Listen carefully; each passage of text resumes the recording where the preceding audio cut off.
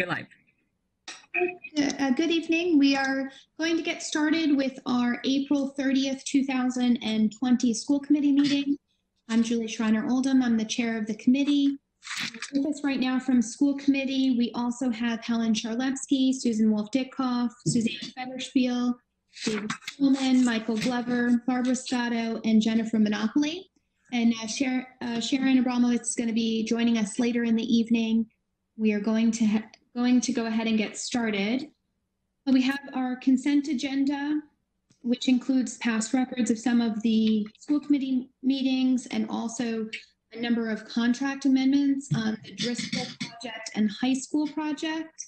Is there anything that Susan or anyone else had wanted to say on those items, or should we just go ahead and vote them? or if there are any questions about any of them. Mhm. Um, You know, it might be an idea since uh, we do have Tony Guigli here and Ray Masak too, that they could just go over those, those pieces. I know we'd like to get through them quickly, but just, there are a number. Andy Felix is here too.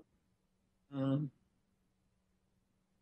And uh, it- it- can somebody put them up? on the screen? I don't know who, Ben? I'm not sure what you mean, Helen. I, I can I can just describe them, Helen, if you'd like. Okay, That would be great. So Amendment 16 has to do with William Rawn Associates. That involves two items. Uh, they redesigned the third floor after they were 90% complete, so we could get a million dollar uh, worth of value out of that design. And then secondly, it's a soil classification that's required for uh, landfill. So that involves uh, William Rawn Associates. Uh, next, we have two items for um, uh, Skanska. The first item involves uh, 40, around 40 uh, changes that occurred during enabling.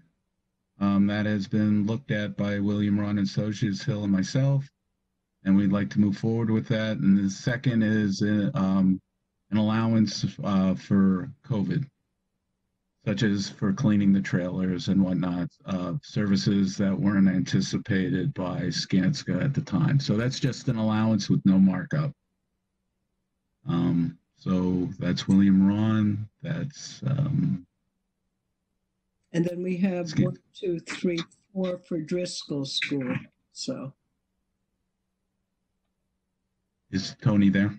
Yes, I, I, I can uh, run through these.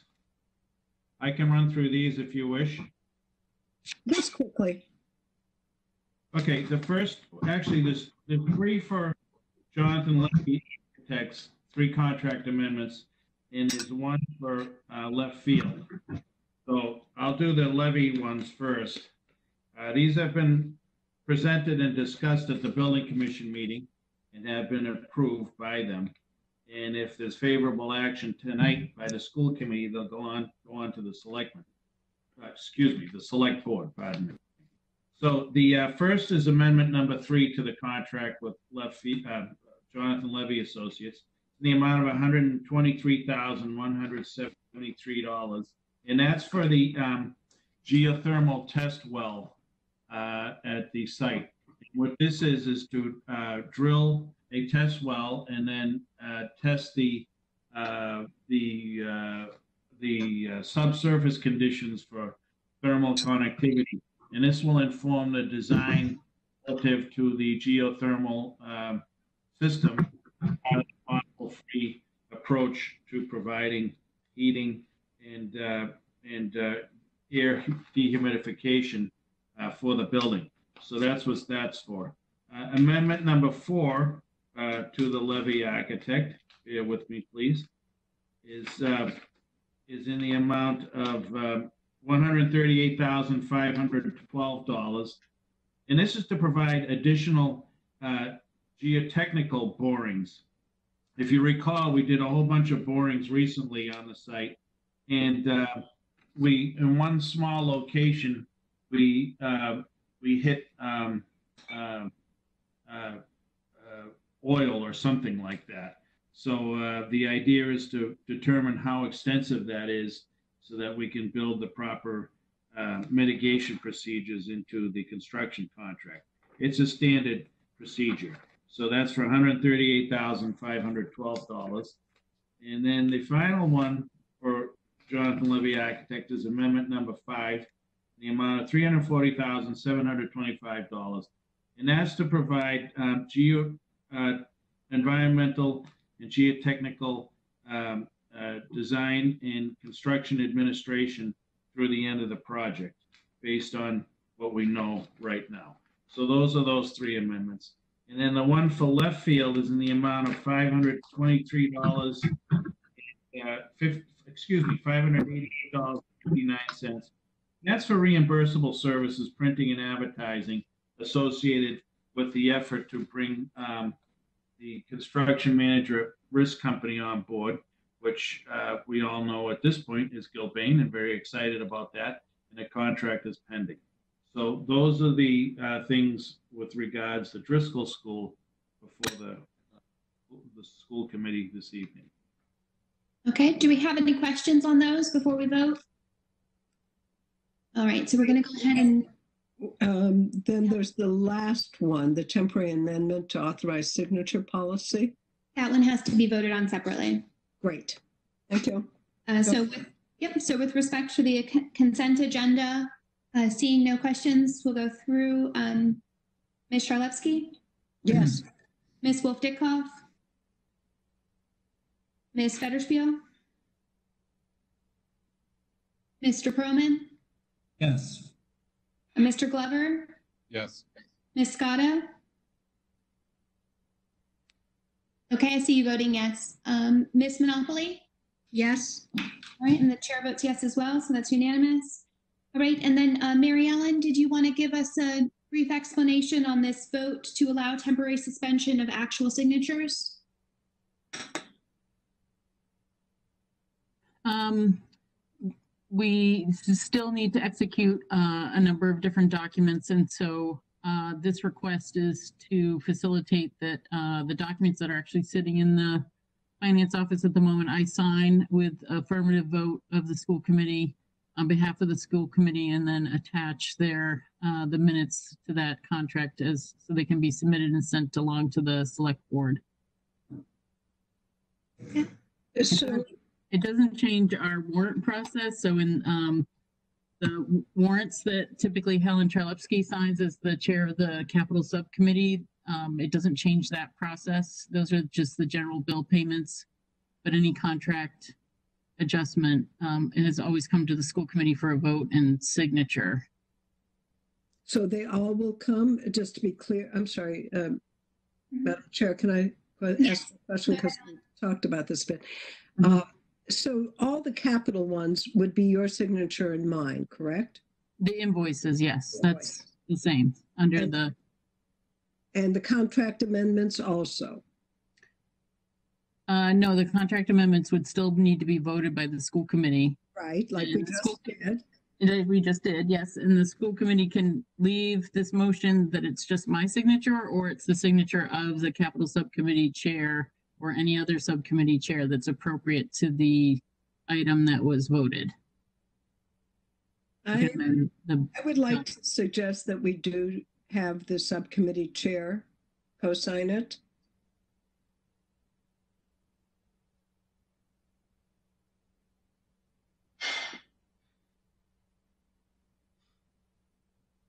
Okay, would be fine. are you making, so do we want to make, are you making a motion, Helen? Is that how you want to make the motion? I think just to be on the safe side, we should have a second pair of eyes take a look at it. Okay, Mary Ellen, it was- what language would we, so we would have, then we would authorize the deputy superintendent for administration and finance and the chair of the appropriate subcommittee?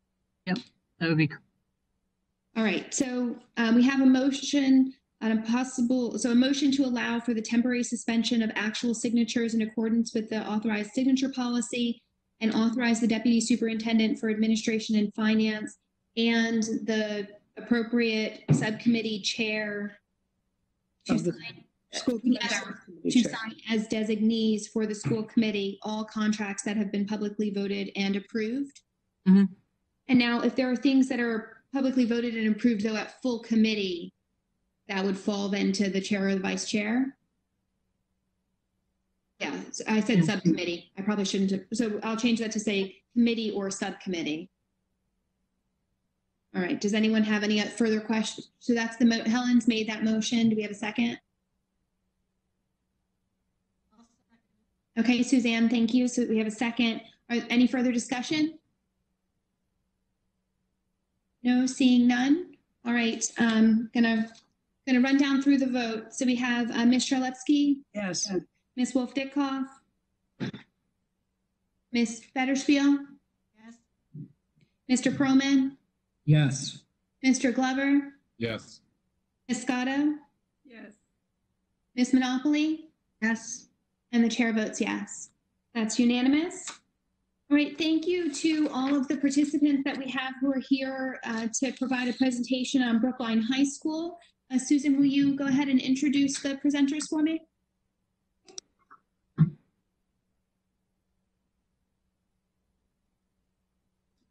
S- Um, Susan, I don't know if other people can hear you. I cannot. I cannot, You can or cannot? I cannot. Cannot. Okay, we cannot hear you.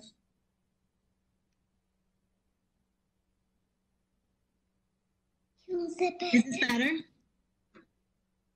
Can you, Yes, we can hear you now, Susan. okay, great. So it is my pleasure to uh, introduce the high school project presentation tonight. Um, uh, Joining us are a number of people, so I will quickly run through who they are. Um, The project co-chair, Nancy Heller, select board member Heller is here with us. Um, The architects um, from William Rawn Associates, we have Sam Lasky and Andy Jonick. From our owner's project manager, our OPM Hill International, we have Andy Felix. Uh, fresh off of their world TikTok tour, we have the high school leadership, uh, Anthony Meyer and Hal Mason. And we're very excited. They're giving autographs um, after the after the meeting tonight. Uh, from Skanska, we have Rob Mulligan. I think just Rob. I didn't see anyone else, but if there is, you guys can let me know. And we have our staff, um, Ray Masak, the building department project manager, and Matt Gillis, who sort of jumped into the fray and um, and worked really hard on this as well. So um, let me just say a couple things. First of all, it's been a, quite a while since the building committee has presented to the school committee. Uh, but that said, there's been a tremendous amount of effort, and you hear small updates um, or substantial updates sometimes from from Helen or from me. Um, and we've been following it up very closely. But it really is sort of a nice moment as we are kind of looking at the end of this year to pull up and say where are we and what's been accomplished? and give you a sense um, both from a budget and schedule perspective what's happening um, given given covid-19 so we're going to start by kind of getting a sense of the project just reminding everyone because i know a number of you weren't even on school committee when the high school um, debt exclusion passed and there are many people in the audience um, and we're about to onboard new school committee members. So I just thought it would be a nice time to kind of pull up and and look at the whole project so that said, there are a lot of slides, um, and if if you hate that, that's my fault. Um, you can blame me. Um, but there are probably more than 100 photographs and drawings in there, um, just so that you can have a really nice visual sense, um, especially since we're all in our houses and we're not on site. Um, it's been a tremendous team effort, and I'm excited to hand it off to for a presentation by a number of people. Again, both Hill and Rawn, and I think Skanska might do at the end, and then Nancy Heller will come on at the end and give us a sense of where we are in terms of budget with respect to um, town meeting and some things that um, we should be thinking about uh, for uh, for next week's public hearing. So take it away. Thank you, Susan. Um, this is Andy Jonick with William Rawn Associates and Andy Felix. Do you want to say anything before I begin? Uh, good evening, and I'll speak some more when I get to that part of the presentation. Uh, but uh, thank you, everyone. All right, I'll advance the slideshow here. Okay. Um, I'm uh, again Andy Jonick with William Rawn. Uh, Sam Lasky, principal in charge, is, is joining me on this call, and he may be chiming chiming in from time to time. Um, we uh, this is the the high school expansion project, so it's um, it covers many facets of uh, of the high school. Um, this is a diagram showing uh, the uh, the full scope of the project. There is a new building uh, being constructed um, at the intersection of Tappan and Cypress Streets. We call that the Cypress Building. There's the new STEM wing being built um, next to, uh, as part of the main high school building. Um, also part of the, the plan uh, is a, a renovation to Tappan, a third floor renovation, uh, renovation to Cypress Field, um, a new Brookline Hills uh, T station and an associated plaza, um, and then a uh, uh, uh, renovation, if you will, of the Tappan streetscape, the sidewalks connecting the high school to the to the new building. Um, the team that's been assembled, uh, Susan touched on this, but William Rawn Associates Architect, um, Phil Skanska, AECOM is the designer for the, the Brookline Hills platform. Um, in terms of schedule, and I will know, touch on a little bit of the history of the project, but here you can see where we are um, in 2020, um, about a third of the way through construction. Um, we started uh, this, we being WRA started um, late summer and fall of 2017 with schematic design. You can see here the kind of milestones um, uh, that we went through during design to get, get the demolition that started at the end of last summer. That's both demolition at the high school and at the Cypress building. Um, what are the reasons for the project? Uh, increased enrollment. Um, the forecasting showed that um, in the, uh, the years to come, enrollment will increase uh, significantly. And the solution was a, a new building um, on the Cypress site, a plan for uh, 700 students. Science facilities on the third floor of the existing building are, are outmoded. They are very small. They're something like, they range between 700, 900 square feet. Um, for 26 students, that's that's too small and, and quite frankly unsafe. The new uh, science rooms are, are, roughly 1,200 square feet um, in the new building. Um, incorporating the the education plan um, um into the project is very important, um, and also to to create this cohesive, unified campus. Um, we'll see in a moment. That's one of the major goals, especially for the new building on the Cypress site. Um, and then facilities maintenance and upkeep, there are a series of uh, deferred maintenance projects I'll, I'll touch on in a moment. Um, in, uh, terms of unifying the campus, this diagram shows um, the, the new building on the Cypress site. Um, and this is of, of, utmost importance to the project um, because creating a front door um, that fronts the uh, historic Cypress Field, um, much like the Unified Arts building Tappan and the original high school building. Um, another reason for that was student safety, having that main entrance and access to the building uh, off of the sidewalk along Tappan and not having students going around um, to the side of Cypress. Um, this is the home primarily for the new ninth grade students. Um, but integrating, uh, you know, bringing uh, upper class students over to that building and likewise having the freshman students attend classes um, in the main high school is important. Um, so, you know, having this traffic go back and forth uh, across the open campus important so it didn't just feel like a you know standalone uh, school simply for the ninth graders. Um, another feature you'll see as we present the design of the buildings is the um, this connection to the what we call the front porches of the buildings. This is another factor of, of unifying the campus. Each building has its own front porch. So that was a key design element. Um, not not only architecturally to create a civic front to these buildings facing the, the green, but it's also uh, we learned early on that students hang out in front of these buildings along Greenway Street um, so creating these porches where students can spend time after classes um, a, a key element in, in the design of the project. Um, as I mentioned early on um, and throughout the project, uh, we've been meeting with the public, faculty and students. Um, I don't know how many meetings. We're, we're in the hundreds at this point. Um, early on, uh, before there was a design, um, we scheduled a series of uh, IDP sessions. These are intensive sessions that would happen over several days, um, and there there may be um, you know, ten meetings a day um, where we're meeting with uh, the various departments in the high school, um, culinary arts education, athletics, um, really covering all the bases to learn as much as possible. Um, and that was that was just to get us going with design. As the design progressed, um, we met with other community members, literally in uh, the abutters and the neighbors' uh, living rooms, uh, to present the project. Um, we had open houses um, at the high school to talk to students, uh, faculty meetings. You know, we met with science faculty several times um, to really drill down on the, the design of the labs themselves and the overall layout.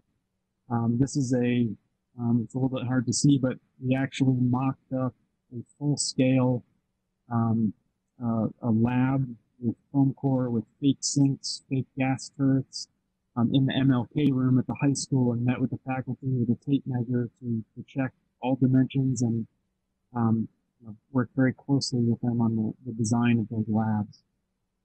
Um, more recently, uh, we held an open house uh, to showcase the physical models. This is this is uh, one of the ways in which we work.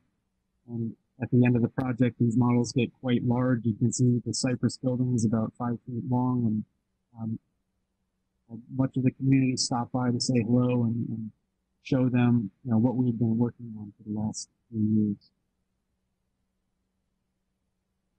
Um, to, to touch on the Cypress building, um, again, these, these goals of creating unified campus, engaging the students, um, uh, serving all students, uh, we, we work to incorporate and to um, some of these design ideas into the project. Um, when it comes to um, you know, the unified campus I talked about, it's the civic front to the building facing uh, Cypress Field, which is at the bottom of the page here. Um, when we started looking at the organization of the Cypress building, uh, we looked to locate the most civic and public uh, spaces in the building uh, at the front facing Cypress Field. Um, not only for the school itself, but also these buildings are heavily used, as everyone knows, um, after hours. Um, so it could be a, a community space. Um, so the Cypress building has the cafeteria uh, front and center. Off of the cafeteria um, is a this is slide. It's called the White Box. This is a really a black box theater. Um, the kitchen servery, of course, serving that that cafeteria, the main office, just off the air, this area here. On the second floor, uh, the library is a meeting room um, that is the same size and, and uh, function as the MLK room at, um, at the high school. Um, those those spaces front, front the cafeteria and again front Cypress Field. Um, the uh, the idea for the the I call it the building blocks of the high school, the, the classrooms, um, was to take this um, interdisciplinary approach where all these classrooms are general use. However, the idea is that um, you could have math, social studies, um, English, one to uh, next to one another. Uh, faculty uh, will have a touchdown space and faculty collaboration, so faculty members do not technically own their classrooms. Um, this also gives uh, Hal and others flexibility to move classes around. Um, this could be math, English, and history. It could also all be math classes. It's really up to um, the team scheduling the classes. Um, another very important um, part of this design is creating collaboration spaces, spaces out in the hallways uh, where students can gather and meet um, and study. Um, so you'll see that the hallway does have these, these breakout spaces um, outside of the classrooms. Um, that was something we learned early on. Again, at the high school, we found students sitting on the floors. Um, there are a couple of, spaces where they have big picnic tables that they use. Um, you'll see in a moment how we integrated um, that that element of the, the original high school uh, into this design. And again, this shows those same collaboration spaces. Um, and I have a couple of um, three-dimensional images of what those spaces will look like uh, in a moment. Um, and moving to the outside of the building, here you can see that uh, cafeteria, which is a two-story space with a front porch. Uh, Andy, overlooking this is Bakersfield. Sam. Yes. Could you Yep. just explain that that cafeteria is, just show where it is over the MBTA track, just so everyone's clear on that? Yes. Um, thank you. We, you can see it right here in the distance. These are the MBTA tracks. Um, and the, the new platform, about three quarters or two thirds of it is out in the open air. Another third is underneath the building.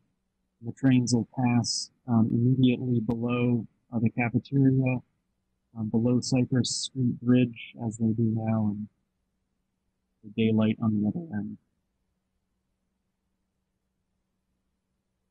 Um, this is a view of one of our models um, at the intersection of Tappan Street and Cypress, where you can see that front porch and uh, into that area. Another view from as you approach um, along the existing sidewalk along Tappan Street. This will be your view. Um, there's the grand stair taking you up uh, to the main entrance, and that first floor is above the tracks. Uh, there's also an elevator here that provides accessible entrance into the school um, right at the base of the school. On the interior, this is a view of the, um, the cafeteria. You can see that new conference room on the second floor, of the library in the distance. Um, are the, there are some garage doors here that are open to the, the server.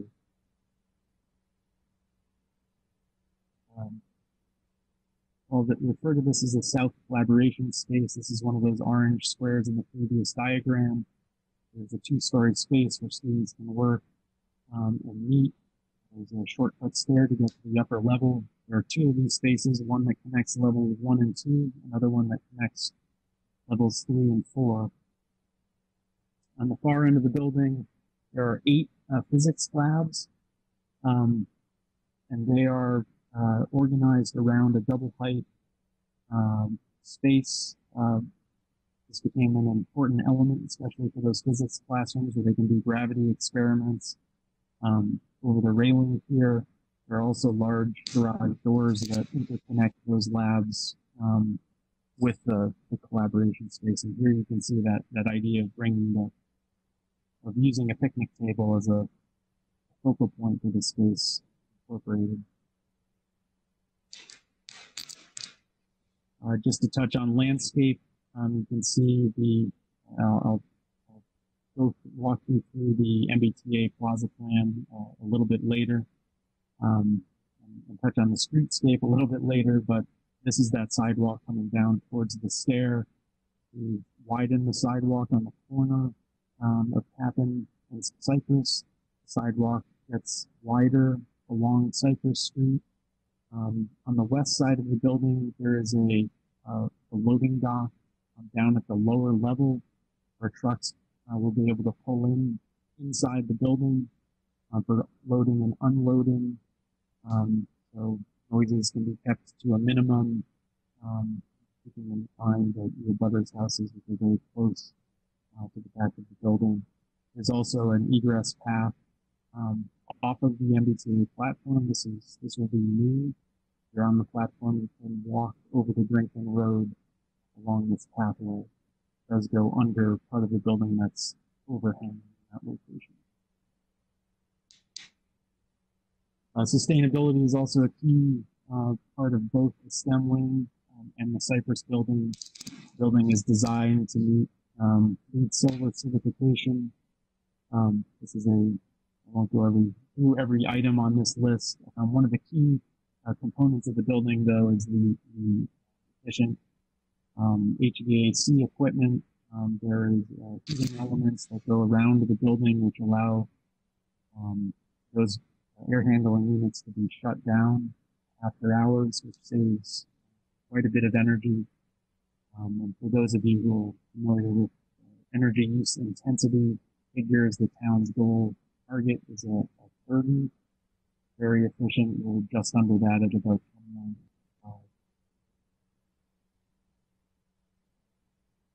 Moving on to the STEM wing. Um, again, this is tied to these, the design, um, responding to these original goals. Um, they're, uh,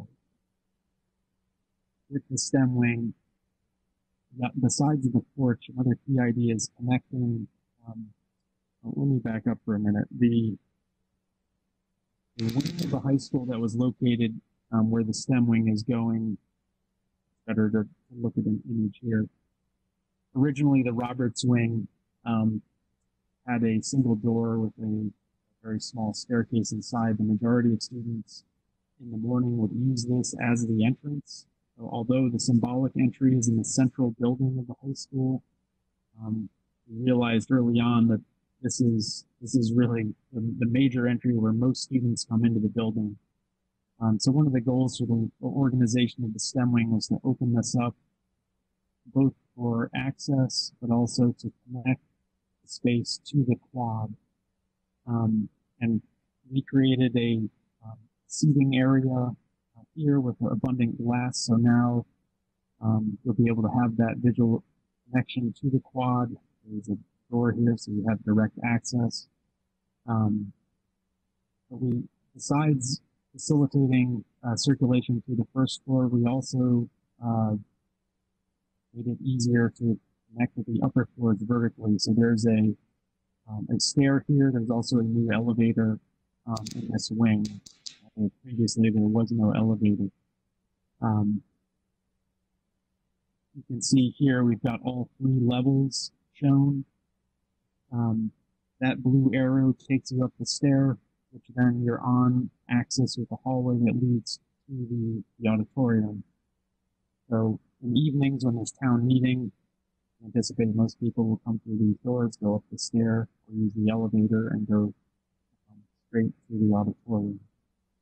Um, another key element um, that you can see in these di diagrams is that the yellow hallways extend all the way to the exterior. Now, for those of you who've walked around the high school currently, there are limited views to the exterior. It's really only when you're crossing these bridges that you, you know where you are. When you enter the STEM wing, you'll be able to see directly to the outside to the south, um, and to the east across Cypress Field. Um, in terms of the, the building organization, there are a chemistry classroom, class labs stacked on the north side of the building to the right, um, and the biology classrooms with access to uh, southern sunlight um, are located to the south. And then on the first floor, um, there are a couple of maker spaces. This is designed for uh, electronics, robotics. Um, it is there is infrastructure should you know, the program and change over time. If the school wanted laser cutters, they, they will have a capability of picking those up. There's also a science um, resource room I'll admit this is a little bit of an older photo from early in the design process, but um, a different type of makerspace uh, in this area of the building. Um, and another important key element here is the community cafe. This is the culinary arts restaurant. It used to be located in the Roberts Wing. Um, there's a, kitch a, kitchen that um, supports that space. Um, but this is again one of these flexible flexibly used spaces where it would be used by culinary arts during the daytime, um, but can also be uh, used as a cafe um, after hours. Uh, education groups could meet here. It also can double as a classroom.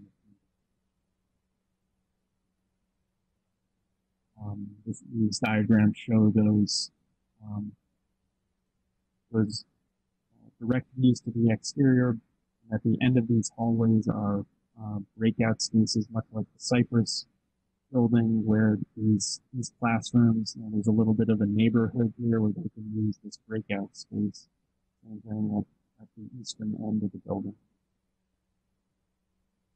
Um, and I should add that there's a one level stair that does bring you up to the third floor once you um, arrive on level two. Uh, this diagram shows the, the um, evolution of the plan here. This is the original Roberts wing. You can see that double loaded corridor. There's a little bit of seating at the, this is the cafeteria, some overflow seating. Um, the new first floor opens that up, that yellow space being completely uh, public um, with seating areas outside the cafe and overlooking the quad.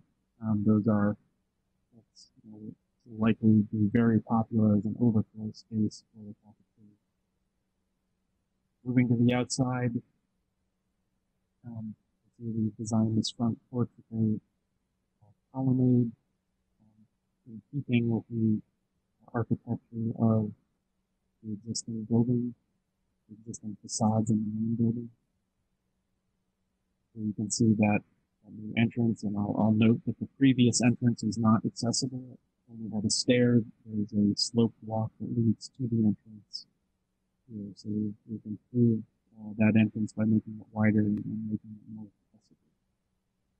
And on the southern side, you can see how the massing is stepped um, to reduce the kind of scale of the building that faces the, the building couple of shots in the interior. This is just inside the entrance, looking towards that culinary arts cafe or restaurant. Um, you know, street. You see out through these windows. You can see a column right there. Um, this is a science resource center on, on the left, makerspace on the right. Picnic tables and a collaboration space.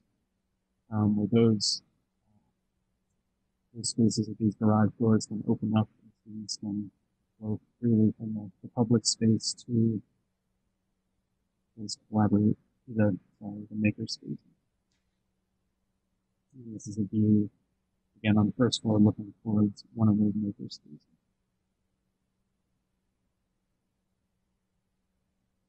STEM wing again uh, is designed to meet LEED silver.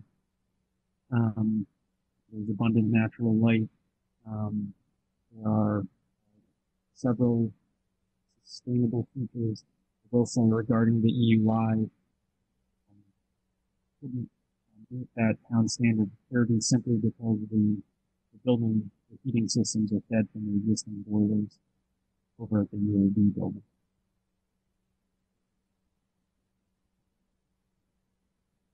Moving along to um, the third floor renovation. Um, so this is the, the, third floor northern wing of the existing high school um, where the existing science classrooms are located. So when these, the new science classrooms are built, um, these will be vacated and this renovation um, design changes those labs into general use classrooms. Um, apologize, I don't have a, a colored plan here, um, but this is the program for those spaces. Um, again, general use classrooms, there's some, excuse me, special education offices, uh, the Learning Center, and ACE Science Classroom, um, and some Excel classrooms. It's, it's a, we call it a light touch renovation. Some of these rooms were simply redoing the finishes, tapping the gas turrets, uh, removing the sinks that, that line rooms because they were previously uh, labs. Tapping renovation. Um, here, this is the first uh, entry level plan. Tappan Street is here. This is the entry lobby of the Kirrane pool. Um, there's a fitness center, dance studio. We'll see that the women's locker room um, occupied much of the first floor. Um, the, the, program um, for this renovation project was to create some much needed classroom space for health and fitness. Um, the make use of those oversized locker rooms. Are banks of um, of showers, maybe 20% or less of those showers were used.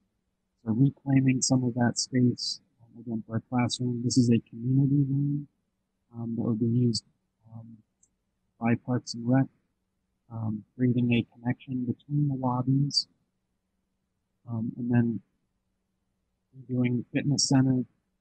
Um, and you can see here new, the new locker room on this level. Go down to the lower level. Um, the men's locker room will be located. The room, um, some new offices for health and fitness. Um, there are some other very light touch upgrades. Um, some of the other uh, spaces.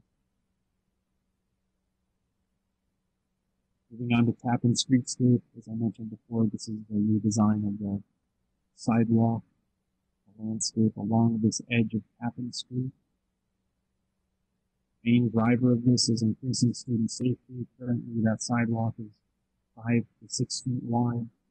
Um, this plan uh, changes the sidewalk so it's 10 feet wide and creates a, um, a buffer um, between the curb and the, the walking path.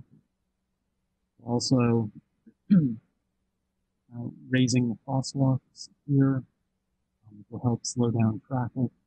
A very wide raised crosswalk by the Cypress building um, that will also facilitate circulation for, for commuters coming across the field. Um, and we're, we're doing a raised crosswalk here at the intersection between uh, Tappan and Summer. Um, Andy, if you could speak up just a little bit when you're talking. Sure. Hear. Thanks. Um, this is the uh, the existing streetscape. Um, you can see there are uh, 53 school parking spaces. So some of the development in terms of the MBTA Plaza, there has been a, a reduction in some of the spaces. I'll show you that in a moment. You can see that very uh, skinny sidewalk right along the street edge. And you can imagine with 700 students in the new Cypress building, moving back and forth to the Tappan or UAB or the main building, it's very important to have a, um, sufficiently wide sidewalk for that volume of students moving back and forth. So that, that's really the genesis of this part of the project. and you can see the it's actually 11 feet that that pathway um, and there are some street trees kind of defining that safety buffer along the roadway um, there are there will be 10 school spaces here in this uh, new parking lot uh, those mbta spaces that uh, exist that existed um, at brookline hills will remain in six more spaces here um, due to some new accessible spaces down at this end, the, the raised crosswalks, the number of spaces along this edge has been reduced to 42. Um, there are there are other improvements, um, cycling, um, which I'll touch on in a moment. More comment. Um, part of this plan was to also improve um, the quality of the, the edge of the sidewalk here in the Tappan landscape. Um, there's a, some benches here. Um, uh, redesigning that that edge where currently, if you go out there today, there's about a four to five foot um, brick wall along this edge, just outside the.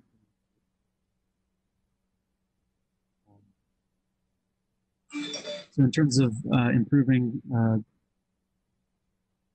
cycling safety, um, the sharrows located along um, Street, the bike lane, and proposed to the transportation board a bike box at this this edge, um, along Davis Street, also lane along, excuse me, along Green. Um, the uh, this shows all the locations for, for bike parking, increasing the number of bike parking spaces by about 40% over what, what exists today. that covers the, the streetscape improvements. Um, moving along to deferred maintenance. Um, these are items that are originally part of the project that um, many people don't see. The the elevators in the high school um, will be replaced. Um, new boilers in the Unified Arts building. Those are the boilers that serve the main the main high school building, Tappan and UAB. Uh, fire protection upgrades um, in the high school. Uh, fire alarm replacement throughout the high school. That that's actually part of the STEM project. Um, heat exchanger replacements. Uh, there's an oil tank between UAB um, and Kirrane Pool, um, and some other uh, mechanical pumps slated for upgrade. Um, moving along to the MBTA Plaza, this is uh, the plaza that's at serving Brookline Hills Station. Um, at the base of the the grand stair that takes you up to the Cypress Building. This is that widened crosswalk. Um, and you can see a snapshot of part of the renovated um, Cypress Field design, uh, which was not a part of our scope. Uh, Weston and Sampson worked with uh, Parks and Open Space to design that. We, we worked closely with them to coordinate um, both projects, so it's a seamless connection between this side of Tappan and the northern side. Um, recognizing those hundreds of commuters that come across the field, making this a wide uh, threshold, um, to maintain that width as you move onto the out, outbound and inbound platforms. Um, creating multiple accessible paths from multiple directions is important. The plaza itself, um, these uh, round rectangles are wooden benches, so there is a, a place to sit. Um, public urban space. Um, you can see here, just on this edge, this is that egress path off the platform. Actually offers a, a way to access the inbound platform.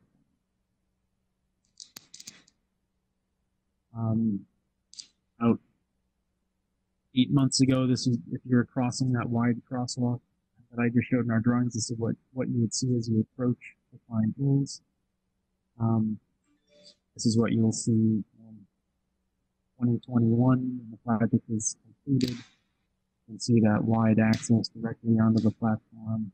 Cypress is on the left, and those are those benches. There's a more aerial view. Um, there's this kind of urban park-like setting. There's some blue bikes, um, access to the platform. School parking shown to the right. Before we move on to construction photos, I pause? Does anyone have any questions? I just wanted to take a minute. Thank you so much for all of this, the information and the details. It's really great to to see the designs and see some of the hard work that's been happening over uh, the last number of months. I just wanted to touch base to see. I had heard mention of something like a hundred slides, and so I did want to just touch base to where we are in the presentation and to see if maybe we can move through. Um, you know, move move through a little bit quicker because I am a little worried about time. Sure. Um, I'm about to hand it off to Rob Rob Mulligan to talk about the construction photos. So Yeah, Rob, and you- Why don't we, Andy, why don't we just do the construction photos Okay. quickly? Just, just cycle through them. So Sure. I think people know what's what and let's just say, you know, Okay. which is STEM and which is Cypress. Let's just try to go fast here. I also think we're on like slide 70 or something. So Yeah, we're, we're on 68. Yep. So let's, you know, I think, I think most people will understand what, what we're seeing here. So just, Okay. let's keep going, Andy. So this is, All right. So we'll, next one. yep, I'll I'll these are- just, I'll just run through these quickly. So obviously this is the Roberts wing that we all had known. And then the next slide shows some of the work done over the last summer to reroute utilities and uh, to, to allow the demolition. And so here the building's gone and the foundations are started. This was a little few months ago. Foundations are happening. And if you've been out, keep going. If we've been out there recently, you've seen that steel has just started going up. Uh, even during our COVID time. Uh, these are complex moments in the project where the new meets the old and ensuring the old stays standing. And, um, and here's the steel going up. Uh, and so that, that will continue um, as, um, as more, more starts to arrive over the next weeks. Uh, let's keep going here. Um, so let's uh, let's keep going. So this is that's STEM, and then the Cypress building. Obviously, there was a building that was first plan was to demolish that building, and um, then there's a, an awful lot of complexity, as you can imagine, to build over the MBTA tracks. Uh, for a lot a lot of enabling work to move the wires that you know power the trains and and, build around these uh, bungalows that are there, the little gray buildings that we've all seen for years. So these just give you a sense of the complexity of, of doing that work. Um, foundation work is happening, and uh, and really what's what's happening now is getting ready to be able to build um, the the that cafeteria floor that will cross the tracks. That's that's coming hopefully soon. it's all all coming up pretty soon as that's kind of the next step on the Cypress building. So, um, so going a couple more, you can just get a sense of you know what it what it was like and and the level of complexity to do this work um, that Skanska has been building uh, to get ready to build across the tracks here. So that that'll be the next thing everyone um, I guess will see. It'll start to be more obvious what's happening as that happens on the project. Maybe So this is keep, yeah, let's keep going. Um, I, I'm not sure if we need to get into this level of detail because I think Andy, Felix, you probably need to get into the, the budget discussion. Yes, uh, I just Sorry, Julie, want go ahead. I saw when we skipped through, I do think it does probably make worth mentioning. I think on that slide we just passed, it shows completion in, is that December of 2021? That is correct. And I did just want to point out that that, that is to, to see if that is an adjustment. I know we were originally targeting for fall. Well, yeah, were we? We were targeting August, and when COVID hit, um, this is where we're at today. Okay. That's why I just wanted to call attention to that before we move to the next section. But thanks. We had some um, delays. I'll be real brief, and uh, we were going to catch up, and um, then we just got hit, and we didn't know what hit us, and this is what where we know we are today. Okay. Thank you, Red. Welcome. So getting into budget, again, this is Andy Felix from Hill International. Um, just to recap, uh, thanks to Andy and, um, and uh, Skanska team for uh, sh- uh, showing the pictures earlier. Now we'll talk the numbers. This was the vote uh, that was uh, occurred back in May of May June of 2018. The budget was set at 205.6 million, categorized into hard so- hard costs, soft costs, FF&E, real estate, other, and Cypress Field.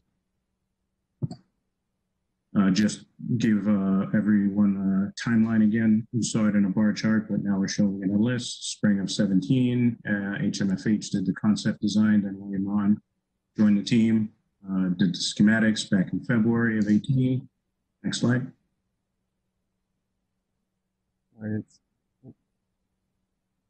Uh, again, just a couple of bullet lists. Um, uh, again, I mentioned May of 18, uh, the town vote.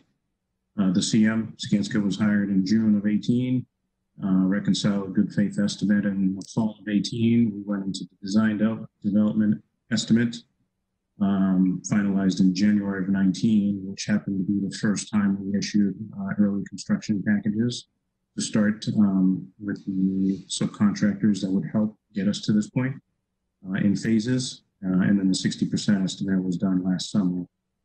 This is a summary recap of the design development estimate where we were within budget. The hard cost roughly was 133 uh, million. And the uh, uh, value management effort that was taking place back then, when we saw that things were starting to trend a bit higher, uh, we got it back to the budgets. 60% uh, effort as well too last summer as i mentioned the hard cost again creeped up a little bit more uh, we came up with, a, with another 43 items that were accepted to get us closer to the budget adjusted the soft cost as necessary uh, to allow for the project to still be, as of last summer, uh, to be able to be managed within the budget. Uh, the um, situation we're in right now is the current uh, project uh, GMP, which is a guaranteed maximum price after the Cypress building, the STEM building, elevator modernization, and all of the work for the MBTA station. All of that work was essentially bid uh, throughout all of last year into the December, January timeframe. Some numbers we still have to award, but the GMP as submitted uh, by the construction manager is already at 145 million. Uh, based on the unfortunate trend of the market last year uh, was really high. We'll get into a couple of slides shortly explaining uh, some comparisons of our project to some other uh, high school and um, elementary school projects in the area. Some of the things that have changed, the other thing, I'm sorry, Andy, if you can go back, I want to point out, as Ray alluded to when we were going through these numbers uh, to get to the point of the budget presentation early in March, that was prior to all the COVID uh, stay at home orders. So we've been under a different uh, scenario since then. Uh, we are calculating uh, as fast as we can guesstimate the cost of this impact. There have been a lot of delays. We didn't get into uh, this during the, um, the, earlier presentation, but one of the things that has impacted Cypress Building uh, is the MBTA suspended support of the work. in other words, we're doing work on their property to do the overbuild. Uh, in order to do that, MBTA has to shut the power off to the trains, divert passengers, and provide staff in order to support and monitor the work that we had to do. That support by the MBTA's, um, they suspended as of March 23rd, and they extended it a few times. And that is now, as of uh, May 18th, is when they are telling us they will reinstate their support to our project. So unfortunately, that's been several weeks, almost two months uh, of, of, delays just in that part of Cypress. Um, so schedule and cost impacts are still fully being analyzed. Um, hence what Ray mentioned earlier with the longer projection of the schedule uh, at this moment, but we're still evaluating. Uh, next slide. Several things that have changed um, that we knew about back then is unprecedented escalation several unknown conditions, which we'll, we won't get into all of the items. Um, uh, STEM basement, uh, community meetings, as Andy alluded to, the plaza uh, actually grew in size a bit during the community involvement process about a year ago. Uh, with a lot of feedback from the community, they wanted the plaza larger and they wanted some connections to the uh, Cypress Field, so the scope grew a bit. Uh, and the working with, in, and around the MBTA has um, increased significant costs uh, as well to uh, to the project more than we had anticipated. Uh, keep going, Andy. This is a graph taken from the Massachusetts School Building Authority website. Um, this project is not funded uh, partially by, or reimbursed, I should say, by the MSBA, but they track several um, projects throughout the state. Uh, the boxes on the right side of the graph, and you can go to the website itself and click on any one of the boxes. It represents a school, um, whether it's high school, middle school, elementary school, that is in some phase of construction or pricing. And you can actually see what those projects' uh, values are estimated at. From that website, we just took a few samplings of where the high school project expansion lies compared to some other school projects that are in various phases of design or in construction or about to go uh, under construction. Uh, we're kind of in the middle, but we're also uh, on the higher end trending to some of the other schools um, that, uh, as of economic conditions prior to COVID, were dictating uh, these numbers. So uh, I think all projects, including MSBA, are still evaluating what the impacts are from the stay-at-home um, uh, environment that we're under. So just a quick recap, the budget was 205. The forecast as of uh, early March was 237. If we do complete other parts of the projects that have not been bid yet, and that includes third floor, deferred maintenance, Tappan, and uh, Cypress Field. Uh, if we were to move forward, and that's part of what's going to be presented at several uh, meetings, uh, public hearings over the next uh, month or so in preparation for the town meeting in June. Uh, But right now, we're trending uh, roughly, if those projects proceed, 32 million over. Um, That does not include COVID, which we're still evaluating what those cost impacts would be. Next slide. Nancy, Susan? Uh, Nancy, go ahead. Can you hear me? Yes, we can now. Yes. Okay, great. Yeah. So uh, we have some some difficult choices to make uh, because we need uh, we can't uh, spend more than we have been appropriated. So in order to get to the 32 million, and it's likely going to be higher, um, we have a few choices. One is we could try to increase funding through tra- town meeting, and we have submitted a warrant article for an for an additional appropriation. Um, I think that you all know that we are having a public hearing on that, and I'm not exactly sure of the date in the next week or two. Uh, the advisory committee is holding a public hearing on that issue uh, toward the end of March, uh, toward the end of May. Um, so hopefully we'll have better information about COVID. Um, and our, our strategies are to uh, look at the, at the favorable bond issues that we've had. Um, the project originally, when we went to the voters, we said it was going to cost uh, 5%. There were, the interest rate would be 5%. Now, uh, since we've been bidding the project, we've had very, very good and much lower interest rate um, bonding.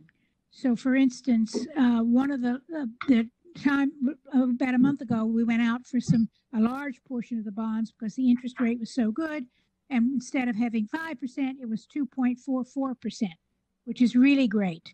Uh, the other thing that happened is right before that, um, uh, our bond rating was maintained as AAA. So that really helps us. Uh, the the bonding before the two four point four four percent um, was at two point nine seven. So I'm working with Melissa Goff and Jen, Gina Franconi, our treasurer, to see what the difference in terms of how much we pro- promised the voters that it would cost and uh, what it's actually going to cost. And um, so we'll see how that comes out. I don't have the answer yet, but I hopefully we'll have it uh, by the time the hearings come up. The second thing we're doing is pursuing the MBTA cost uh, sharing, trying to shift some of the diversion costs uh, to the MBTA. And we had started that process um, a few months ago, and we were making, we felt like we were making some progress, but then COVID hit us and everything fell off the table. So we cannot, at this point, uh, estimate what that's going to be. We were hoping that they would pick up the diversions because those are the weekends and, and, and nights. They're very expensive.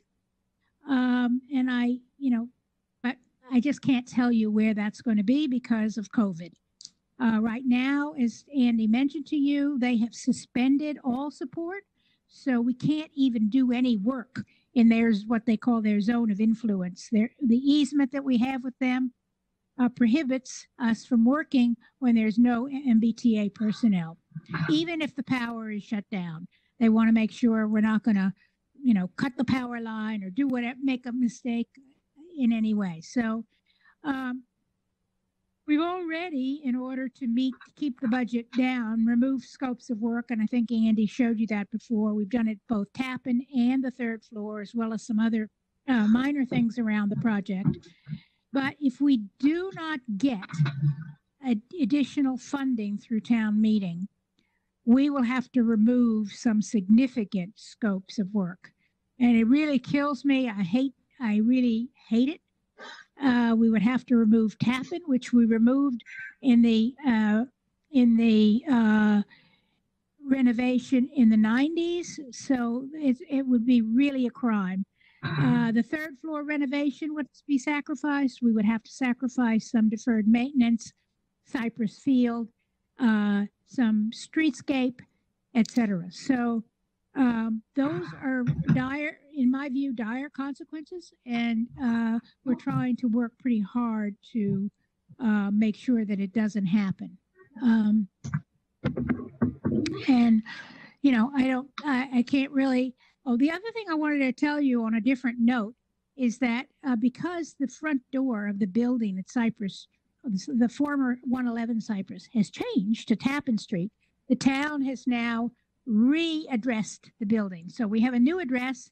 It's 22 Tappan. Uh, the MBTA station is 24 Tappan. Um, so we have to get ourselves used to calling it the 22 Tappan building. Um, it's hard to do, but uh, we'll we'll over time we'll practice and make sure it happens. At any rate, um, that's basically the situation with the um, with the budget. Good. Well, so thank you all so much. So this is we're probably at about the 50 minute mark if I'm sort of tracking my my timer.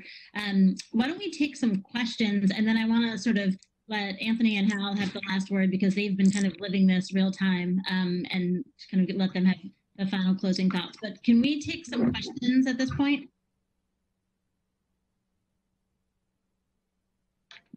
I have, Julie. I have a question, Susan. Go ahead. So I noticed that you had the double there. the- There was the double asterisk next to unknown cost related to COVID, and I was wondering if we have any built-in costs already, and then there are we're expecting additional unknown, or if in the numbers that we are at now include any impacts from COVID and delays. No, It does not. It does not include any. And then um, another question that I had received, uh, I, I believe that I know the answer to this, but two community members have asked me, is, is there any chance that as a result of COVID-19 and some shutdown of construction that has happened across the state and, you know, desires for work or changes in work expectation, is there any sense that there might be savings that could happen from rebidding anything? And if someone, if someone could just answer that, Okay. it has been something that people are asking. Actually, I uh, had a conversation with Ray, uh, I believe, and Andy about this very issue because some people has asked me as well. Mhm. And we've really bid uh, all of the Tappan, uh, I mean, the, um, the STEM and Cypress buildings. So we really can't change that now. Um, it is likely, and I guess Andy and, and Ray and others could speak to this, it's likely that if we, we haven't bid Tappan, and if we do uh, get to go ahead with Tappan in the third floor, it may well be that those would be cheaper, um, given what's happened with COVID, but that's anybody's guess. Andy, can you weigh in? Uh, yes, just to clarify one thing you said earlier, yes, we have bid all of Cypress and STEM. There's a few trades that we haven't released yet because we are close to the current budget and we have to wait at least until town vote uh, in order to get comfort level in order to release the remainder of them. Even if we were to rebid, which a couple of them uh, really don't have to happen work-wise until next year, it's not going to move the needle on the budgets uh, we're already uh, behind on for Cypress and STEM. Um, as you mentioned, Nancy, it's it's a it's a guess uh, as to what the market will do uh, in, the, in the next bidding environment for these other sub projects. Um, my office as well as Skanska's office and on. We obviously have other projects throughout the area that are in different phases, and we're checking in with our colleagues to see if any of them are experiencing real-time bids at the moment uh, in order for us to compare and inform the town as much information as we can gather. But right now, we think it could be a savings opportunity, but we could also see it go the other way where people aren't sure. With the social distancing, we don't know how that's going to affect the construction overall efficiency wise. So it's really hard to predict. Um, I think all construction, what I've heard, is grappling with the same issue. If anyone else has a question, please chime in. Oh, Barbara, go ahead. It's, I can't see everybody at once and I can't see that even all the hand raises at once. So Barbara, please. Barbara, you're on mute. You're still on mute. you, oh, okay. Um, when you say that deferred maintenance, we might not be able to do, could you be more specific about what that maintenance is for the the building? Buildings. The deferred maintenance has to do with boilers, uh, the oil tank between the two buildings, uh, fire alarm, elevators. We are moving ahead with the elevators. Um, it's just something we would have to plan for the future. If we don't get the vote, the building commission told us directly, they said plan for a no vote in June. So we are planning for a no vote. And we need to keep the project moving forward. That would be the Cypress building and the STEM building. It's very, as people have said, draconian, but um, the cuts will be substantial, and I don't think anybody will be happy. Thank you. Anyone else? Please chime in because I can't see hands. Susan, I just have one more if nobody else has any others, which is um, Nancy, you were saying that you thought by the public hearings you might have more of a sense of the cost impacts from COVID. That's- No, no, that, that's not what I said.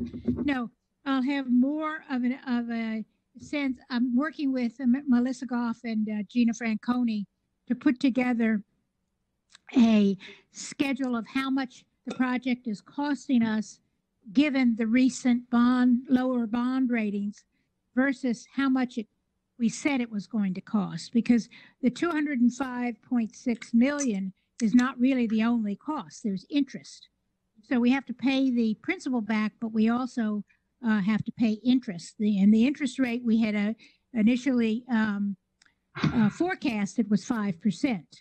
Uh, but the interest rates have come down considerably. So I'm looking at that as a way of convincing town meeting that uh, there's wiggle room in the in the sense of uh, what we told the taxpayers it would cost. So I don't know the answer yet, but I'm hoping that we'll have it by the. My plan is to have it by the uh, by the public hearings. And then do we, what do we have a sense of then for what the timing is for when we would know the cost impacts of COVID-19?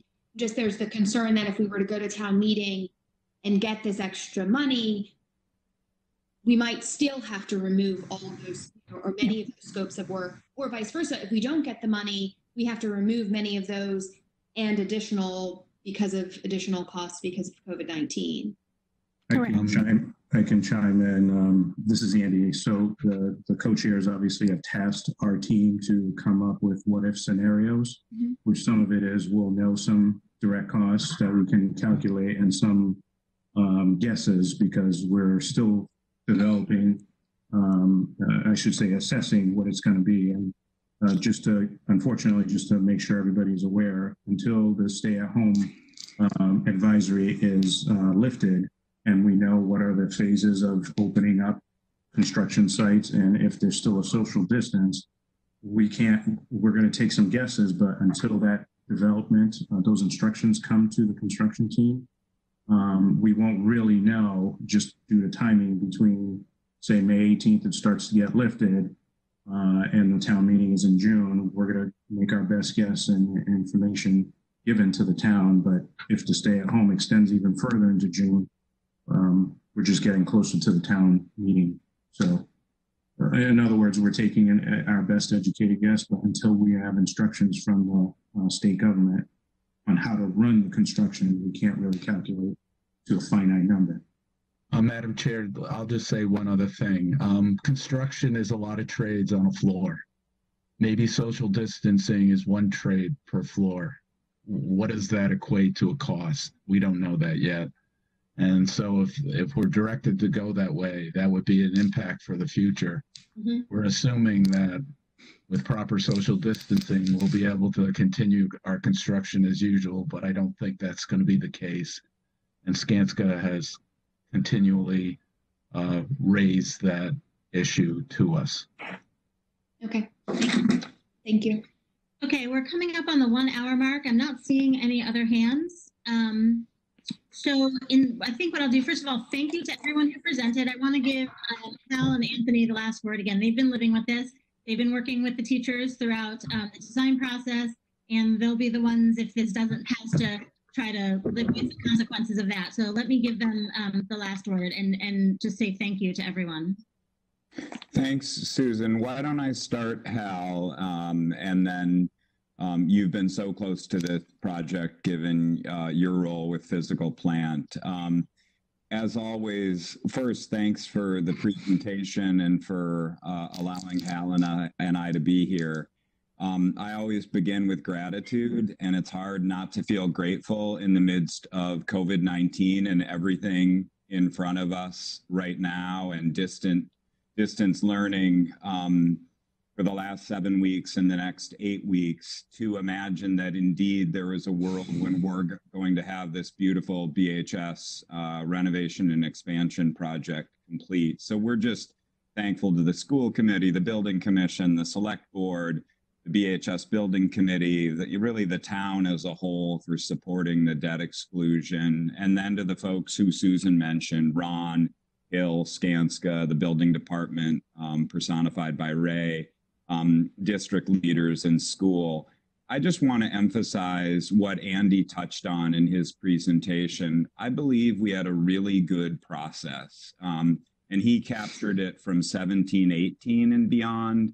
And even though I started this role in 16, 17, as we wrote the education plan that drove it, I know there were years and years of thinking about renovating and expanding Brookline High School. So I just appreciate Rawn's approach, which they promised as they bid. It's listen, listen, listen, listen, and wait to pick up the pen and draw. And you heard that in how much feedback they solicited. You know, at least 118 meetings, um, which I didn't know that I believed when they presented that, but um, I believe it now, having sat with many of them as they sought feedback from experts, uh, revised, and then brought it back to the group. Um, and for sure, given um, our escalating population, we need more space to support our um, rich uh, and deep academic and educational program. But you also saw the public spaces um, that they the design has embedded um, between porches and picnic tables and breakout spaces and the overflow in the science center. Um, I'd also just emphasize we see Brookline High School very much as a public institution. Yes, we're a public school.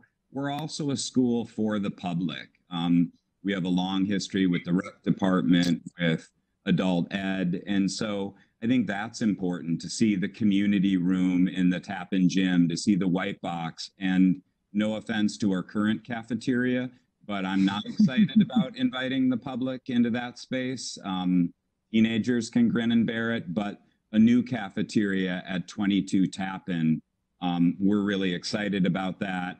The MBTA plaza that's evolved is just amazing. So um, I'm really excited about this, uh, and I know Hal is too, and he's done an incredible job working closely um, with the building committee and with Skanska and Rawn. So I'll turn it over to my dear colleague, Harold Hal Mason.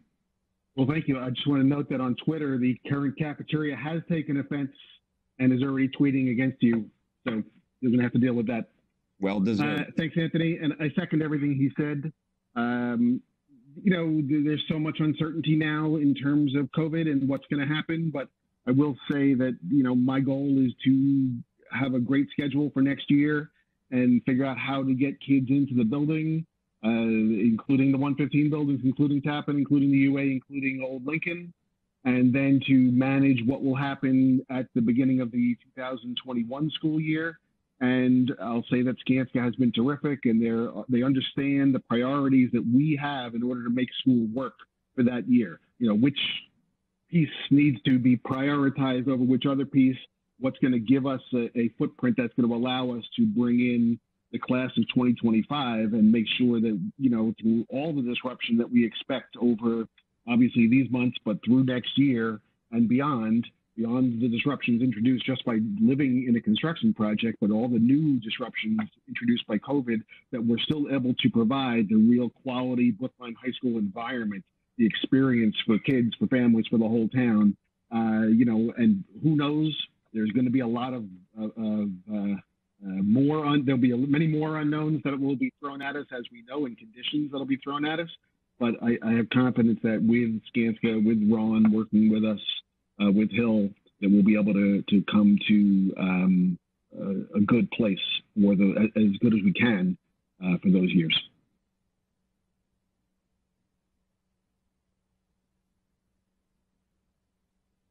Great. Thank you so much, Julie. Back to you. Um, we can let our team go, but just just with our gratitude.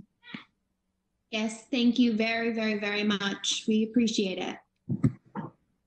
You're welcome. Thank you. Thank you. Thank you. So I'm going to make a mention of an item of, I'll call it under new business, but I'm going to take it a little bit out of order. Um, rather than covering at the beginning of the meeting, I wanted when we had, um, you know, outside speakers who are coming.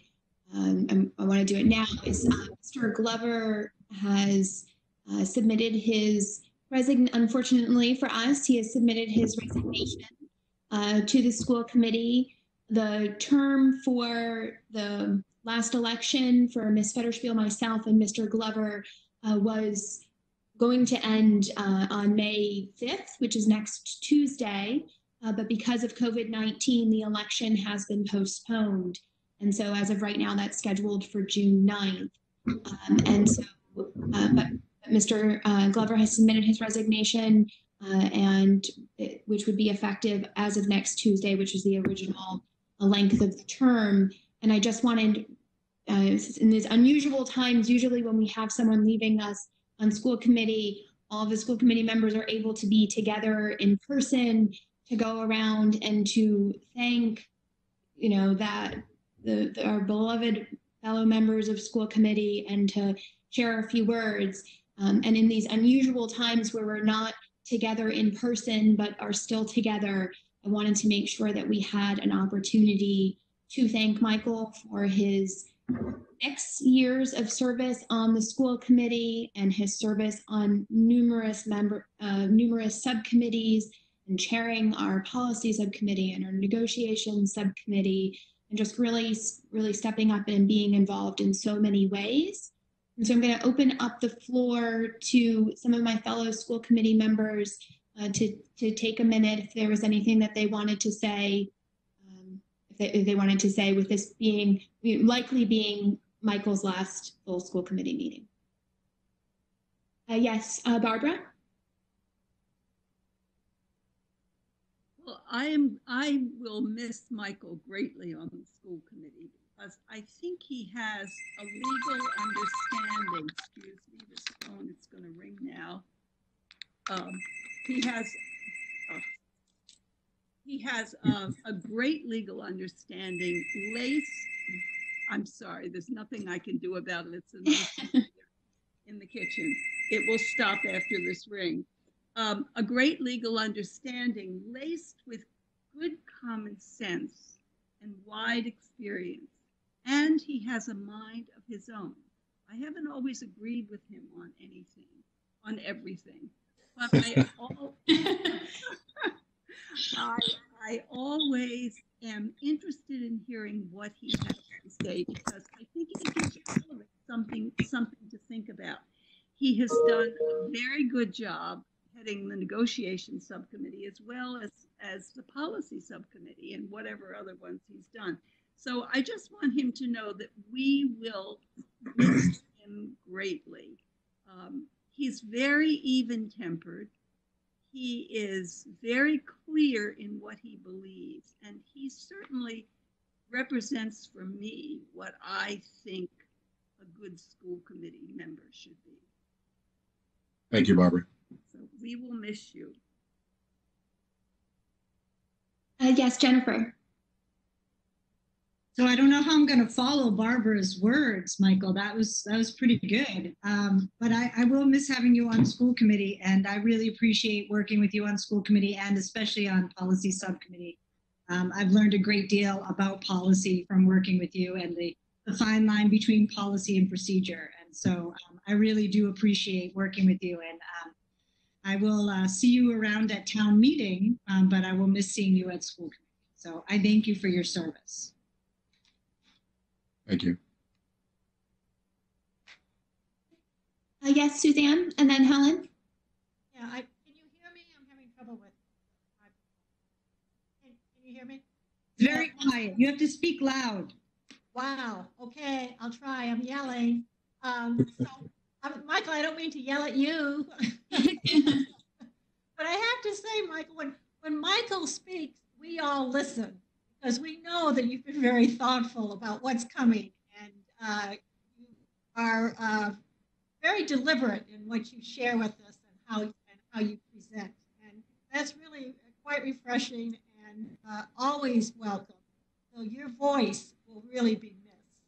And uh, I learned a little bit about negotiations serving with you this year. That is a really tough job and a tough subcommittee. So thank you, especially for all your efforts on uh, the contract work you've done in the past and you've done this past. And you will be missed. I will miss you, Michael. I will miss you as well. Thank you, Suzanne. Hi, Helen. Hi, Michael. I, I'm going to miss you greatly on the school committee. I agree with everything everybody else said, so I won't repeat all that. But uh, I think Michael's calm demeanor and ability to really think about issues in ways, in many multiple ways, has, has served us very well on the school committee. Um, I'm just, I'm really sorry you're leaving. I'm almost thinking maybe we just don't accept your resignation. You know, I tried. you might want to resign, but maybe we don't accept it. thank you, Michael. And thank your family for all the time and effort you've put into this because they deserve it. Totally. Thank you, Ellen. Susan? So I too am in denial. Um, and normally these are a roast, just so we're really clear. We don't say nice things. So, and humor doesn't always translate on video. So, you know, but I will miss, you know, the you swear like a sailor. Um, and I think that's I'm gonna miss that. I'm gonna miss your temper tantrums when you just start like yelling at people. Um, I'm gonna miss it when you start slamming stuff down on the on the table, and we all just kind of like start startle a little bit. Um, I mean, I, the one thing that I have been truly impressed with, besides your just you know legal mind, is how you always ask about the kids. Like that's your question, that's your lens, and it's always been your lens. Um, and I remember one of the very first things you said. We I said, "How's school committee going for you after your first year?" And you said, "You know what? Like I thought we were going to be talking about the kids a lot more. um, we talked about a lot of things, a lot of policies and and procedures and and stuff, right? And but like we don't get to talk about kids that much. Um, and I think that that really um, it, re- it resonated for me. And I do think that um, over the course of this, just how you have always tied the work you're doing to the impact on the classroom, the impact on kids, that's really important to me. Um, and and I really appreciate that about your voice. Um, and I will miss it. I'll miss it. I'll miss her as well. Thank you, Susan. I like to say, Michael, that I uh, really appreciate your organizational skills. I remember serving with you on the superintendent search committee. You ran that extremely well. I thought it was seamless. It went great. It was one of my best subcommittee experiences. Uh, I also want to dovetail off something that uh, Suzanne mentioned that everyone pays attention when you speak. Now, part of that is in the full committee meetings, you can sometimes be a man of few words, but those words carry a lot of weight precisely because if you are speaking, it's probably something very important. So people pay attention. So thank you very much for your service. No problem. There's value in scarcity. Remember that. and brevity as well, right? Um, now I wanted to open it up. Yes, Ben, is there anyone who I had said I didn't mean to exclude by asking if school just if school committee members were wanting to say something. So Ben, thank you. Yes. Yeah, sure. So I'll, I'll do my best uh, in, a, in a time when I'm not feeling very articulate. I'll do my best to speak for the superintendents you, you served served with. I think all of, all of whom I know and worked with. But um, Michael, uh, both in my prior role and as superintendent, I've appreciated um, your your being well reasoned and reasonable, um, and uh, very thoughtful, um, to the point, um, and also really understanding. Um, I think you've always really shown great respect for our, our educators, and I, I mean that broad brush. I mean the, the leaders in central office who you work closely with, our school leaders, our teachers, our educators. Um, And you've shown that in a variety of ways, often asking what we or, my colleagues, you know, feel or believe, or what's our what's our um, uh, guidance on it, but also in understanding uh, the various roles that that we play and you play, and um, and that distinction has always been helpful. I think to been helpful to me as a superintendent, and I think other superintendents, superintendents as well. Um, and I think also what I'll miss is um, your steadiness, and I mean that in, in, in with deep respect, um, in terms of uh, being there, um, being there in difficult times, taking on very difficult roles, but always um, knowing what we, we can expect from you, um, and that in in a in a field or business that can have a lot, quite a bit of turmoil, that steadiness is um, a, a tremendous asset and a tremendous benefit to folks in my role and my colleagues. So thank you. Thank you, Ben.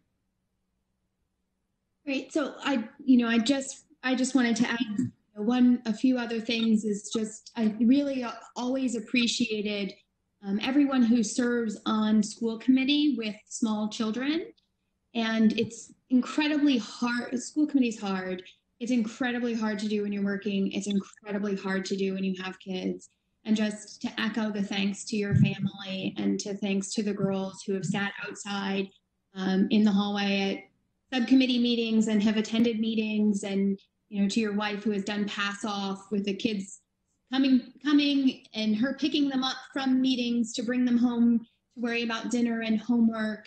And it's so important it's so important to have different voices and voices of children at different ages and voices of um, individuals who have already had children who've gone through the system or might come through the system in the future is just so incredibly important. And I just wanted to take you know a minute to acknowledge how hard it is to do, um, and but you still you know you still did it and you still pushed through.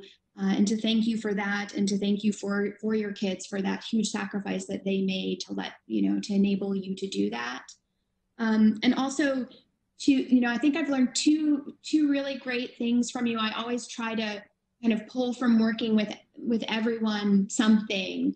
And you know two of the things that i have learned from you is is what a lot of people have said you're just your steadiness.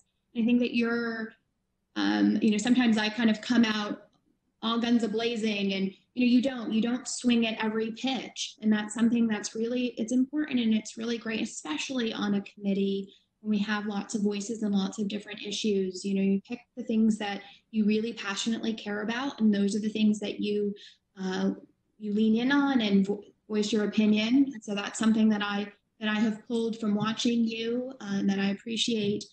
And the other is um, to say no when you can't when there's something that's beyond your capacity to take on uh, to say you know I would love to to be able to do that. I'm going to have to say no this time, and that's a skill that I lack often. Um, and and I appreciate and have appreciated that you have felt comfortable saying that at different times throughout.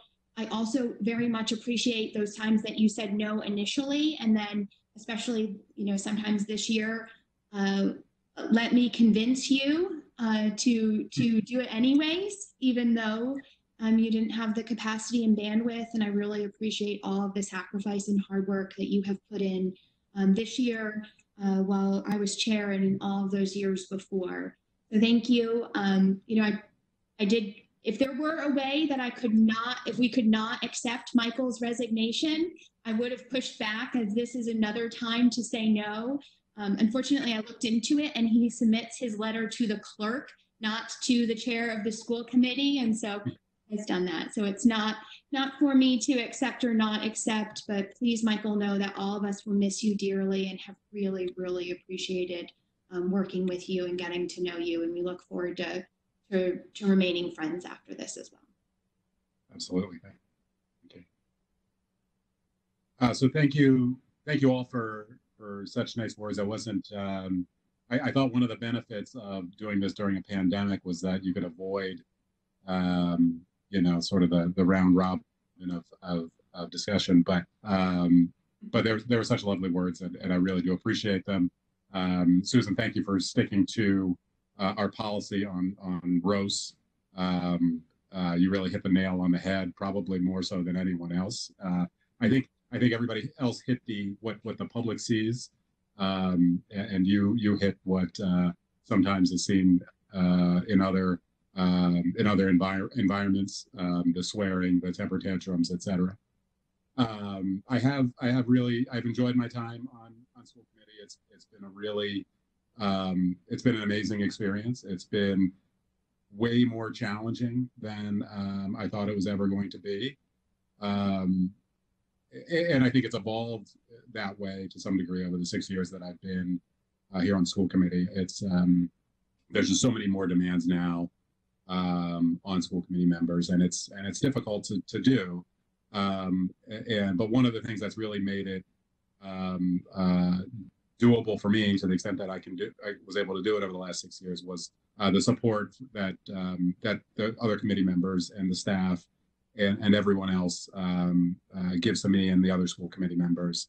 Uh, it, it- really is a great group of people, and it really does make um, make it easier to try to figure out how to to do all of the things that we need to do as members of of the school committee. So um, I, I really am thankful for that, and I, and I'm thankful for meeting so many great, having the opportunity to meet so many great people um, who I consider friends, uh, and not just colleagues on the school committee. It is it is a great group, and I really love that.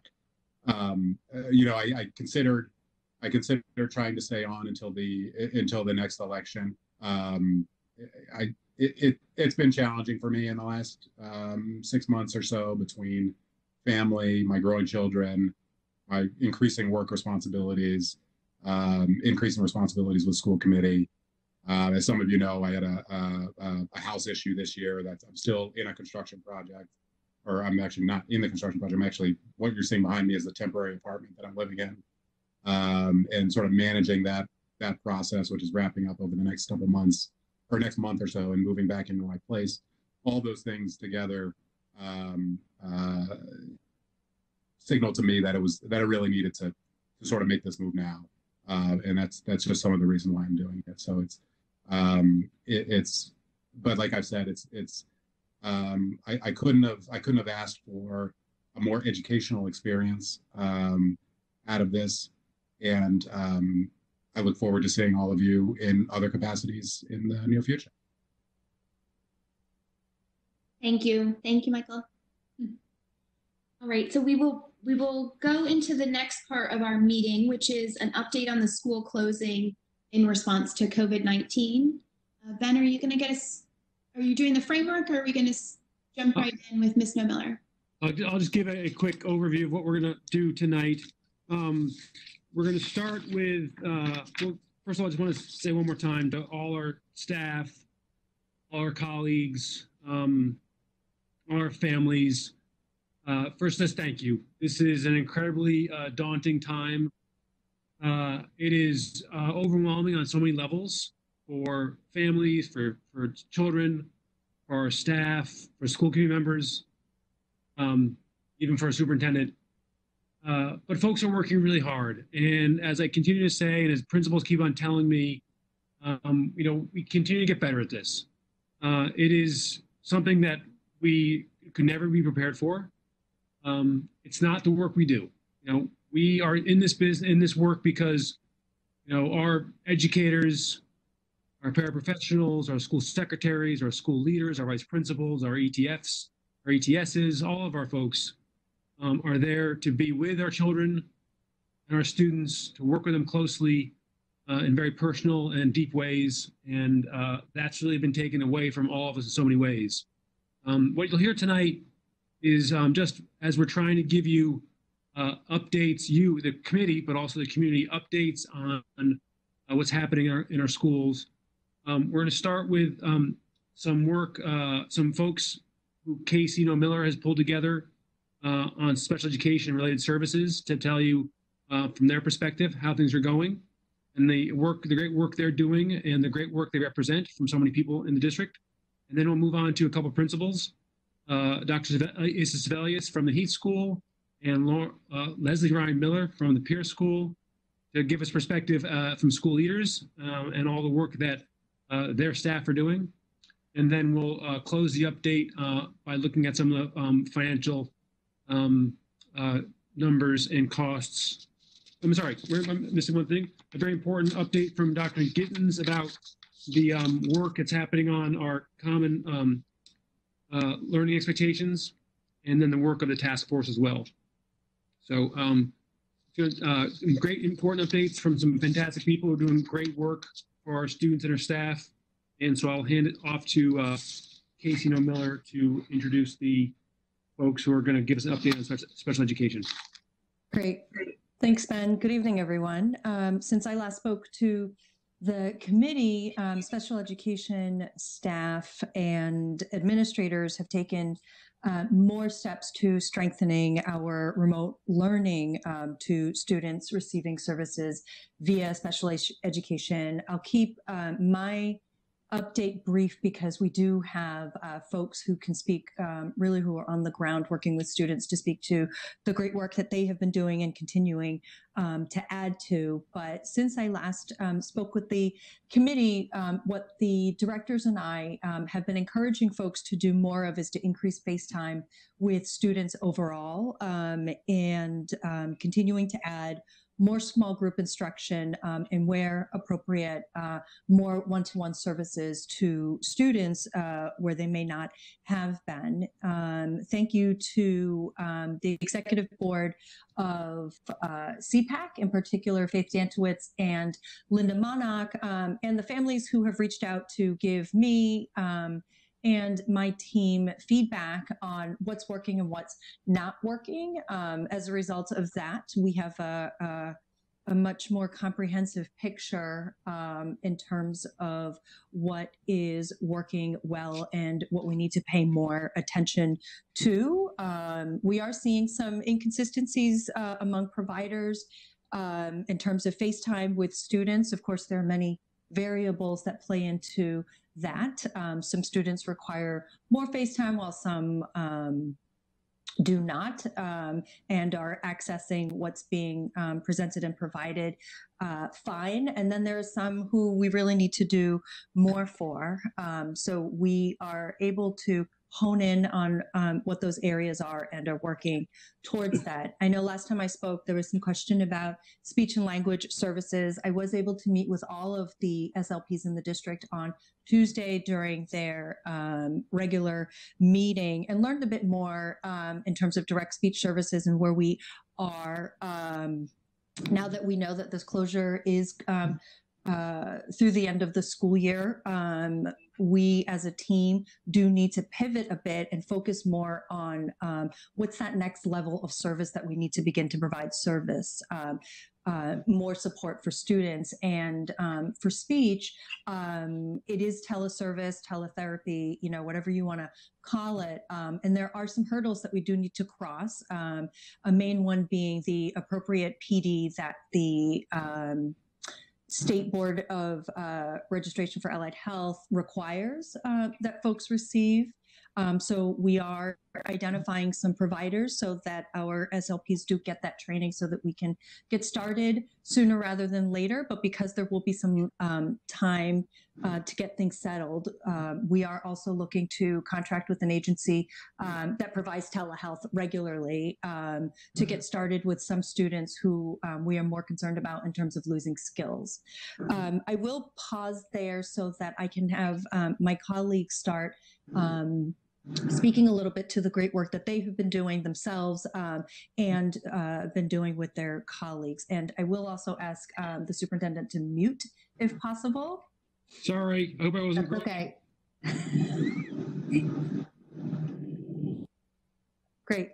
Thank you, Superintendent. So I will start with um, Mrs. Carolyn McCarthy, who is the educational team facilitator at Pierce School, to speak a little bit about her work um, at Pierce, and then we'll um, keep going with the line of folks who have been so patiently waiting uh, to speak with the committee. So, Carrie Lynn, I will hand it off to you. Thank you, Casey. Good evening, everyone. Um, can everybody hear me okay? Great. Um, I am the ETF at Pierce School, and some of the work that I've been really um, doing at Pierce has been really providing support to my special ed staff, uh, really rolling out the phases each week with them, meeting weekly uh, for PSS meetings. And I'm proud to say we are now doing all online IEP meetings as of uh, two weeks ago. And uh, the feeling around that from families has been very positive. So it's great to connect with families I haven't seen in a while. It's been really, really good. Um, so some of the work that we've been doing at Pierce is a lot of our work has really been um, synchronous, engaging students in real time on set schedules and times provided through uh, every every student has a Google folder with IEP specific related goal sections, and our service providers are adding that work weekly. Our liaison is really in charge of um, getting in touch with the families and providing those folders each week. Um, it was just getting overwhelming for a lot of the families to be receiving so many emails from so many people. And that was a clear way that we could work together to provide that information. Staff are currently providing at least half of child service delivery needs. So for example, if a speech and language student receives one session a week for 30 minutes, we are providing at least 15 minutes a week of that time. And that can be done in multiple platforms in multiple ways. I have to be honest, a lot of our staff are getting um, their direction directly from the families. So some families will say it's really hard for us to do um, synchronous learning in real time. Is there a way that you can do pre-recorded lessons and activities? And so we, some of our uh, SLPs have websites that they are sending where they're pre-recorded activities. Some of our uh, providers are setting up weekly Zoom meetings and check-ins, virtual check-ins, emails.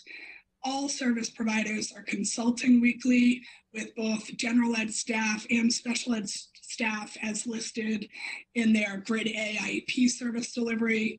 They're joining grade level group meets um, just to help provide those services in the classroom, especially for our students that require that support for in-class support.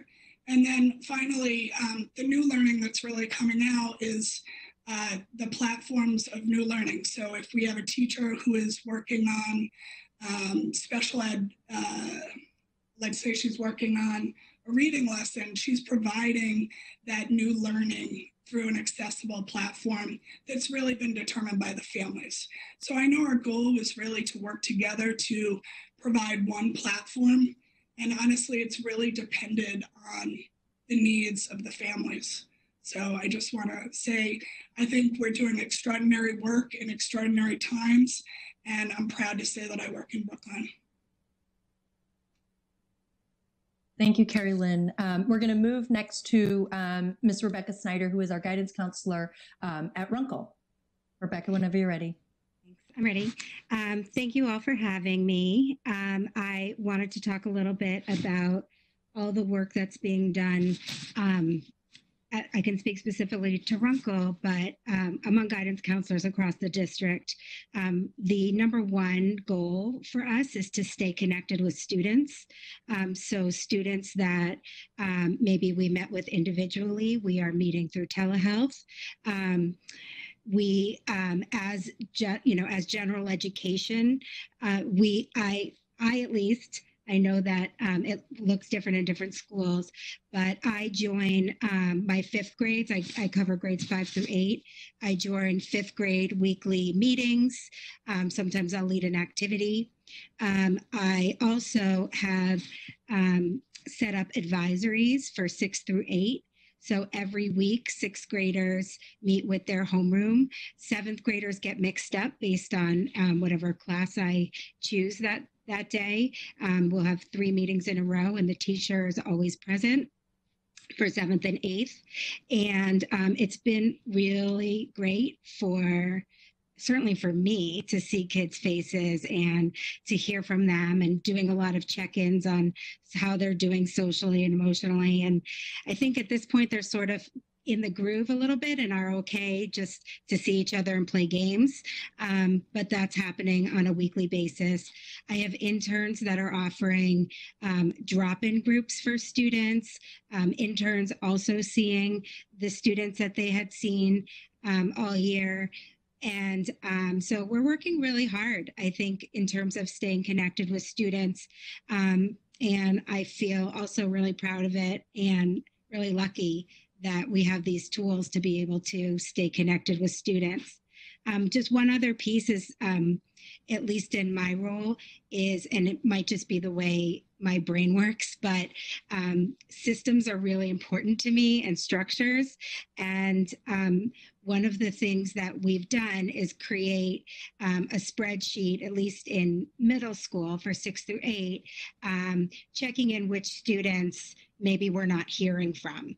Um, and if there are students that have not you know appeared in any of the advisories or any of the teacher meetings or are not doing any of the work um, then teachers reach out directly. And then if they still don't have much luck then i would reach out to the families. Um, and i've i've been pretty successful with that. Not necessarily uh, successful in terms of getting the students to be everywhere they're asked to be but um, but at least being able to check in with families and know that they're okay. Um, if there are students that um, teachers i mean generally the line the the way that it works is teachers make note if a student isn't present or they haven't heard from a student and they um, they try to reach out first and then they alert the guidance counselors. Um, and we may also share that information with with maria um, particularly if we're struggling with reaching students. But um, i think for the most part, there's also been a lot of, you know, sort of general communication with families that guidance counselors have been doing, um, sending out letters maybe weekly or biweekly, just checking in. Um, and I think the response has been really positive. Thank you, Rebecca. Um, next up, I do have uh, a number of high school folks who will speak to the work that they are doing. But before that, I'll just pause and ask if um, the committee has any questions. I also have Maria Litas on um, the line too, if folks have any questions about uh, district-wide guidance supports. But any questions for Carrie Lynn um, or and or Rebecca? Yes, just uh, regarding the presentation we had about services being offered at uh, Pierce School. Is that Pierce model also being replicated across the district and the other K-8 schools? And, and a second question I had, uh, you, there was a discussion of uh, platforms that the faculty and staff have been putting together. Do parents also have access to that or is that staff only? So I can speak to your um, first question. Um, it does look different um, at each of the schools, but overall, what Carrie Lynn described um, is what is occurring at the other uh, K to eights. And then is your second question, did Carrie Lynn speak to a platform? Is that what you're asking about? Yes. So this, are you talking about the systems that that I was talking creating? Yeah. So I um. Can you hear me? Okay. Um, so um, every time like a calendar or anything is created for students, I post that on my Google Guidance, Google Classroom page, and I also share it with parents. Um, so we've created a schedule of the weekly meetings that parents get as well as students. So um, all the communication, at least the general communication, is given to parents as well. So great. And oh, go ahead.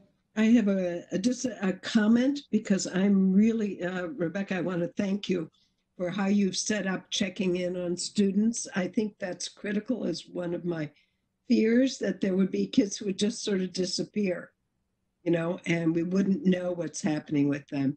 And I'm hoping that what you're doing is being done at the other schools and in the other grades. Um, that that I don't know, but I'm I'm very thankful for for what you described because it, these are difficult times and it's important. It may be something as simple as they don't have internet access, or it may be something much more complicated. But I, I mean, I can say that um, in our guidance counselor meetings every week, everybody, this is everybody's priority is making sure nobody slips through the cracks and that everybody has access and everybody has everything that they need. Um, and even like in like as a guidance counselor, I work with a team of people. So it may be identified um, by a teacher or by me, but there also might be other people that have relationships with the family that might be better, um, the better people to reach out, or even another family, a neighbor. You know, we've been pretty creative in terms of like if we don't hear from somebody, just saying, hey, you know, can you call them or text them and just see how they're doing? Um, so, you know, it's it's really crazy times and we're doing everything we can and probably i'm probably breaking some rules in terms of giving my cell phone number out to people but you know it's it's it works You do what and you have to do. you do what you have to do and it's working and um yeah thanks Thank you, Rebecca. I do want to um, just have Maria speak a little bit to Helen's question about um, if this is occurring across all of the schools. And I know high school will speak to that once we get there. But Maria, if you can speak a little bit in terms of what the K-8s are doing to reach students who have been harder to reach. Absolutely. So this is occurring across the district at all of the schools. Um, generally in the same fashion where there's a tracking system to ensure that we are um, connecting with all students in some capacity. And then um, in addition to that, if if we are having low contact, who is reaching out, just ensuring that we are understanding what the challenges are for that particular family, and then what supports that we can provide, um, what we can do um, to just you know uh, personally support them, whether that is um, you know challenges with um, uh, internet connectivity. Um, you know, there some families might have um, illness in the family. So many parents are still working, so really just trying to understand and support families um, in that respect. Um, and also, as Re- Rebecca mentioned, um, there are so many people that are interacting, ensuring that we're all communicating, um, because that's another priority to uh, support not only the students but um, staff members as well. Thanks, Maria. Um, I am going to. Suzanne, uh, did you- oh, Suzanne oh, had a yes, question? sorry. Yeah, yeah, if you don't mind. Um, so I know that Bridge, which is a, a group of concerned citizens around racial equity in town and in our schools, uh, is uh, sent a letter to all of us, and, and there are some concerns around equity and uh, making sure all our students get the, the best that they can get. And I'm wondering if um, perhaps police might come at our next meeting and give us an update and perhaps be very specifically asking our Metco folks and our Steps to Success people uh, about their challenges, in particular around equity and how we are addressing that. So, I may not have that answer tonight, but I'm, I'm thinking it would be good to look into that as well, specific Yep. group. So Suzanne, we're ha- happy to, to schedule that for the next update. We were also thinking of a, of a BHS update, a more, you know, more complete one. Um, so I think that, um, those two combined would be, would be help, very helpful for the community. Both one is really focusing on, on equity, then also on BHS. So we'll make sure when we go through docket, we plan that out. Thank you. Thank you. And then certainly other folks, if you want to speak to that tonight, of course, you're welcome to. Thanks, Ben. Um, so I'm going to ask Miss Wendy Ryder to come on. Wendy, I know you're having some connectivity issues. Can you hear me? Okay, I'm going to pivot real quick just in the interest of time. I'm here. Oh, I'm- you I'm are? here. Okay. Yep, sorry. Um, so I just want to begin by saying how much gratitude I have for the special education high school. They're a skilled and talented group, and during this unprecedented and really difficult time, their diligence and tenacity and persistence in trying to connect with students and engage them in work has been amazing, and I'm honored to be uh, working alongside them. At the high school, we, as you are aware, we have a wide range of students with disabilities, severe to moderate, variety of settings, many sub-separate to partial and inclusion um, settings. And our first priority during this remote learning time has been really to connect with students and engage them in the relationships that are been so important when we're in session. Because at the high school, oftentimes, and probably at the K-8s, it's the relationship with the special educators that motivate them to come to school to engage and access the work. And so that's been our, I would say, our first priority. Um, tonight, you'll hear from an array of uh, my colleagues that service students in a variety of these settings and different student populations. So just generally and briefly, at the high school, we approach special education services in a team model, and we've continued that during uh, this remote learning environment. So what that looks like is the teachers and all the related service providers, speech, OT, PT, even if they only service one student in the program, we're all meeting with myself and the coordinators weekly to collaborate on student engagement, social emotional resilience, and academic participation. Um, and so that in that model, um, the teachers and the related service providers are providing student directed activities as well as instruction in small group in, the, in a classroom model setting through Zoom or Google Meets um, or as appropriate individually. Along with that are related service providers, um, which at the high school are, typic, are typically so speech and language pathologists or counselors um, will go into the classrooms or the learning centers to work with students and the teachers and the paraprofessionals to generalize the skills that they're working on with students in the small groups or sub-separate. And then just to comment on our students who are in the inclusion settings, uh, as you can imagine, our high schoolers are waking up at 10 o'clock and that's early for them. Many of them are getting up at 12, 3. Today I heard that students are waking up at 5 and asking to have services at 8 o'clock at night with their learning center teachers. And so a large part of the work that the educators and related services providers are doing is really executive functioning first to help students really structure their day, their time, and their work. And then um, the related service providers in those inclusion settings will use the academics assignments as a conduit to their services, which is what we do during the school when school is in session, and they're continuing with that model of services. Um, but without any further ado, I would like to hand the floor over to my esteemed colleagues, beginning with Haley Wells, who is a co-teacher and small group teacher at um, OLS.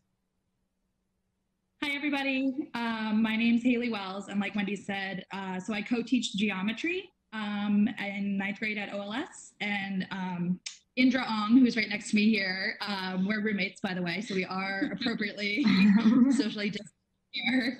Um, we teach a racial awareness course together outside of special ed. Um, so like Haley said, I'm Indra Ong. Um, in addition to that racial awareness course, I also co-teach sophomore English, um, as well as provide reading services for students with reading goals. So we're just going to kind of tag team and share um, some of what's going on um, in our worlds. Um, and so thank you for giving us this opportunity to talk to you and for listening to us. Um, so in terms of student directed elements that are being implemented um, by my colleagues and me um, is various forms of scaffolded differentiated work um, provided by the teacher to be completed by the student.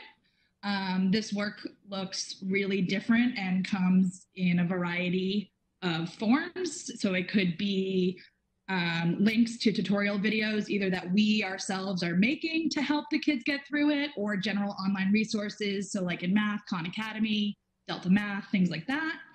Um, we are also providing within the um, tasks or directions completed examples, model problems. Um, in terms of our kids who reading comprehension um, or general, just like executive function of organi- organizing what's on the page, um, we offer either written directions or some teachers are doing like video overviews of the tasks um, to kind of give a little bit of that in-person feel of us being there. Um, we also, like this week for math specifically, we've created individualized catch-up plans for students who are not on track to earn credit. Um, and we also are providing alternate assessments when necessary um, for either certain student uh, general populations or specialized programs or on like an as needed individual basis. Um, within the tasks that we are providing for students, uh, we are doing our best to offer menus of options with different types of tasks uh, and also level of challenge um, to kind of meet student choice and accessibility where students are at. Um, so some of the types of tasks we're doing, uh, readings, online activities, uh, watching videos and responding to videos, discussion boards uh, where kids can interact with each other and we can chime in and facilitate as necessary um, problems where they're in math, like actually doing the problems out and uploading their work for us to see, or in other classes, you know, like written responses, paragraphs, papers, whatever it may be. Um, and also a larger focus for us too during this time has been on mind, including mindfulness activities. Uh, so mindful art has been super popular. Um, going like asking students to go for if their parents will allow like a socially distant walk um, for mindfulness, gratitude practices, those kinds of things. Um, so that's kind of like the student piece. And then um, in terms of collaboration um, that we are doing, um, the between the district and uh, high school administration, we've kind of put together some common practices, like when work is released to children, when the due dates are, um, you know, certain platforms to use, what the grading expectations are, things like that. Um, and also in terms of collaboration, we are attending many, many meetings, uh, sometimes weekly, bi-weekly, sometimes a few times a week, depending on the need. Um, so sometimes like in special ed department meetings, we're meeting with job alike um, colleagues, so like learning center teachers, co-teachers, things like that. Uh, we're also meeting in grade or subject teams. So like ninth grade math meets a few times a week to think about our work. Um, full department meetings, full faculty meetings. Um, so all types of ways to try to meet together and collaborate. And then in addition to all of those meetings that Haley just mentioned, um, we are consistently emailing with families, uh, students, teams, so teachers, support staff, um, and we're doing that on a daily basis. We're messaging through Canvas. We're using the PSBMA accounts. Um, and we're also messaging through the United Mine Workers website that is up. Um, so teachers are regularly updating all of those, um, those forums. And we are also doing a lot, like Haley mentioned earlier, we're doing a lot with Zoom and other video conferencing platforms. So things like Google Meetup or Google Hangouts. Um, myself and other colleagues are offering open office hours several times a week. So we have a set time. Um, students are able to set this down in their agenda book and know that from like Tuesdays four to five, I can go see Ms. Ong. Um, and we're using these meetings in a couple different ways. So they're optional, but we hope to um, first and foremost, just establish and maintain connections with students, um, offer academic support, and then also continue to do social emotional check-ins and make sure that everyone's doing okay um, find out more about families and what what the home situation is and then um, we're able to use that information and that data to report out to student teams and provide support as needed um, another model that we're using in addition to these open office hours are that we are also offering um, as appropriate we're offering small group um, sections and also um, on a case-to-case basis, we're offering some one-on-one support. And so these are really meant to be targeted sessions in which we're focusing in on students' IEP goals, um, continuing to build those skills and help develop um, skills that they can carry and apply throughout all of their different uh, tasks. Um, we, like Wendy Ryder mentioned, one of the biggest obstacles that we're up against um, is students' executive functioning. and so um, we're doing a lot of work to just help students navigate um, not only creating a schedule and keeping track of due dates and things like that, but also just how do I access this um, this file on Canvas or how do I set up this Zoom meeting that I need to have with a teacher. So we're helping run a lot of um, interference on those logistical pieces. Um, and I think we have been able to get in touch with a good number of students. I've definitely been pleasantly surprised by the amount of students that I'm consistently hearing from and getting work from. Um, so that has been a blessing. Of course, um, there are some students that we are missing, and those are the ones that are on our radar. We're definitely tracking to see who has been in contact with who. Um, and as soon as we see, you know, a name pop up a couple times, like it's all hands on deck and just doing whatever we can. Um, like Rebecca was saying, you know, whether it's calling or getting inventive and, and asking to text a neighbor, like we're doing whatever we can to circle around our kids. Great. Thank you so much, Indra Ong and Haley Wells. That was a wonderful, comprehensive overview of what's happening in the inclusion and partial inclusion setting. We really appreciate you being here. So next, I'm going to introduce Dr. Matt Dubois, who is our school psychologist and works in the Supported Learning Center. Uh, good evening, everyone. Thank you for uh, having me here tonight. Um, as uh, Wendy uh, said, my, my primary role um, at the high school is I help uh, coordinate a program called the Supported Learning Center. Um, and in, in SLC, we serve, uh, right now we have 24 students in the program. we have myself as a psychologist, we have a special education teacher, we have two paraprofessionals and two interns. Um, and the, the one of the active ingredients, I would say, of SLC, um, uh, based on the needs of our students, is really facilitating strong relationships uh, with kids. Um, the way that our program is built is that we typically will see kids multiple times every single day. And so for our seniors, that's been four years of, of, of seeing us multiple times every single day throughout their high school uh, career. Um, so what we've definitely tried to do during this period is to remain uh, engaged with our kids keep that uh, going for them. And so what we uh, have uh, right now is our setup, um, and uh, Indra and Wendy sort of both reference this, is our Mondays, we, we typically are our executive functioning days for our kids. Um, and so as much as we're able to, we'll set up individual meetings with kids where we'll get them organized for the week. Um, that typically be with myself or, or with their uh, liaison. Um, it'll go into United Mind Workers, we'll go into Canvas, and we'll develop an academic plan for the week. On uh, Tuesdays through Thursdays, um, we have kids uh, join a group Zoom. Um, it's usually uh, about five kids uh, per group Zoom, and they're on there for an hour um, with myself, uh, my, my special education teacher, and two paraprofessionals. Um, and uh, we, for, for kids that don't need support, we'll actually just have them sort of mute themselves and sort of remain with us while they do work. Uh, we've learned that if kids are not supervised, they're very good at avoiding during this period, so not a lot of work will will get done. Um, and then we use the breakout uh, uh, function pretty heavily within Zoom to get one-on-one support uh, for kids. Um, then, and then on Fridays, if there's any remaining work, we'll do another individual uh, session uh, with kids. Uh, kids also meet with me individually for therapy every single week. Um, and on uh, Wednesdays, we do a program wide meeting, uh, which is typically more community based. We usually do a fun uh, activity. Uh, for the past couple of weeks, uh, we've done trivia. so, um, again, sort of what we're really focusing on based on the needs of our kids um, are, is on the social emotional aspect.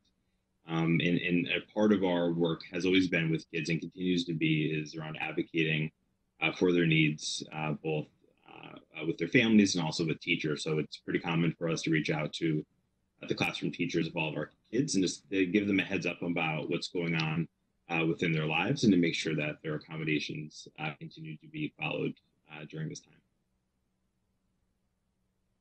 Thank you, Dr. Dubois. Um, you, Dr. Dubois also supports um, Winthrop House. He's on our crisis team. He's the lead of our early warning data system. So he we use his talents in a variety of ways. Thank you. And lastly, I'd like to introduce Elaine Shields. She is our teacher for Bridge Alliance, which is our program for 18 to 22 year olds. Hi, I'm Elaine. Um, so I teach the Bridge program, which Wendy mentioned. We're community based. Um, we serve students ages 18 to 22 with, with moderate to severe disabilities. So our typical day pre the COVID crisis um, was, you know, typically we'd be out in the community for about 60% of the day um, doing life skill development, vocational training, working at internships, traveling on the train, that type of thing. So our day looks very different now, obviously. Um, luckily, we have had success with using Zoom for classes. So we meet three times a week over Zoom for about 45 minutes. And um, we have about 100% attendance nearly every class, which has been really wonderful. Um, we have seven students this year and six paraprofessionals. So it's the 14 of us that meet three times a week. Um, and then after class, I set up the breakout rooms um, via Zoom, and that allows our staff to work one to one with students. So each student is getting two to three sessions a week, one to one with either a peer professional or myself. Um, also, every student has an individualized learning plan, and we've been creating or finding online materials for each of the students and dropping them into the students' Google Drive folders. Uh, also, our service providers all take turns dropping into our classes, which has been really nice. So that means our occupational therapists, physical therapists, speech and language pathologists, um, BCBA, all of the above. Everyone's been joining into our classes. Um, we even had Mona, our, um, one of the front desk staff at OLS, join a class the other day, which was fun. And then two of my male colleagues, uh, Jim Henry and Brendan McCarthy, teach a weekly men's group to my students. And additionally, I collaborate weekly with Wendy Ryder and our team of service providers, which has been really impactful. Um, and then I communicate frequently with all the students, all their families. Um, and I think it's been pretty successful actually. And I'm I think I'm mainly grateful for Wendy's support and for having a strong team. Um, oh, also Anthony, I'm, I'm really grateful for Anthony because he actually went and personally um, picked up something we needed from the classroom and delivered it to one of my students personally. So that was really nice. Um, so yeah, thanks for listening to me talk about Bridge. So thank you uh, my high school team of representatives of the uh, of the special education department. Um, and I think that you have all shared with school committee the range of services and and uh, uh, and instructional practices that we're doing during this remote learning time. Thank you so much. Thank you, Wendy. Thank you, Matt, Haley, Indra, Elaine. Casey, do you have opportunity for questions if there are questions from school committee members? Let's take let's take a few definitely, um, and then we do want to move on. I, we I'm trying to keep on track on our time and also other other folks' time, but I think if we can have a few, and then love to really hear from Principal Sevelius and Principal Ryan Miller. Does anyone have any questions? Susan? Yeah, so first of all, I just want to echo it sounds like there's so much activity going on, and it's just so obvious that you guys care about the kids so much. It just, you exude it, um, you know, and even being up on this call late tonight when you've got full days. So thank you for being here. Thank you for the work you're doing. Um, it is, it's hard work. Um, it's hard work in good days. Um, and it's and it's really challenging now. So thank you for that. Um, it just it's um, it's so heartwarming to hear. I guess my question is, as we think about the you know sort of district wide, um, how do what is the what is your recommendation for how we can kind of get our hands around you know a snapshot of how the district is how, how our kids are doing? Um, so for example you know i get asked questions like you know do we you know, do we know how many parents are struggling you know and are we you know are, are we providing supports for the kids um, and we're connecting them to resources? And i say i'm totally comfortable saying yes that's happening um, I think it's just not it's not clear to me. Is that happening to 10% of our kids? That happen to, to 30% of our kids? Like just how do we get our heads around um, how kids are doing emotionally? Like are they even in a place where they were learning is something that they can be doing? Um, and they might not be. Um, if they aren't in that place, how are we kind of keeping track of you know the kinds of things that they're not only needing in terms of resources, but also you know what they're missing right especially if they're you know ieps that are you know they're they're not um, services they're not getting for whatever reason and you know how do we just how are we keeping track of that and then i guess sort of on the flip side if there are places where things that we're doing are working really well like how, how are we kind of gathering that to say, you know what, this is working really well. We want to kind of be doing more of it and, and be getting that kind of feedback loop. Because um, I think again, it's it's easy to kind of hear the individual stories and understand kind of the multimodal approaches you're using and how you're kind of swinging into action. Um, it's just really hard at a system level to kind of pull back and and see how we're how our kids are doing as a system because i think it'll be really important for us to know if 5% of our kids are really really struggling and can't access materials so don't even bother that's a different number than if it's like 40% right or eh, so i just i think we would make different decisions and so i guess i'm just trying to hopefully this makes sense as a question but i'm just yeah. trying to get at how do we at a system level or maybe you know either leslie or some of the other printer or asa um, how do you guys at a building level just get a snapshot of where where the kids and the families are so i think that's just what i'm struggling with uh, but you know the the these stories are very are very helpful just to give us some concrete ideas so can- susan i'll just jump in really quickly. Um, in terms of your systems question um, and the f- feedback loop, um, this is exactly what happens during the OSS admin meetings where folks speak from, um, they report out essentially in terms of what's working and not working at the schools that they oversee um, and where systems are working,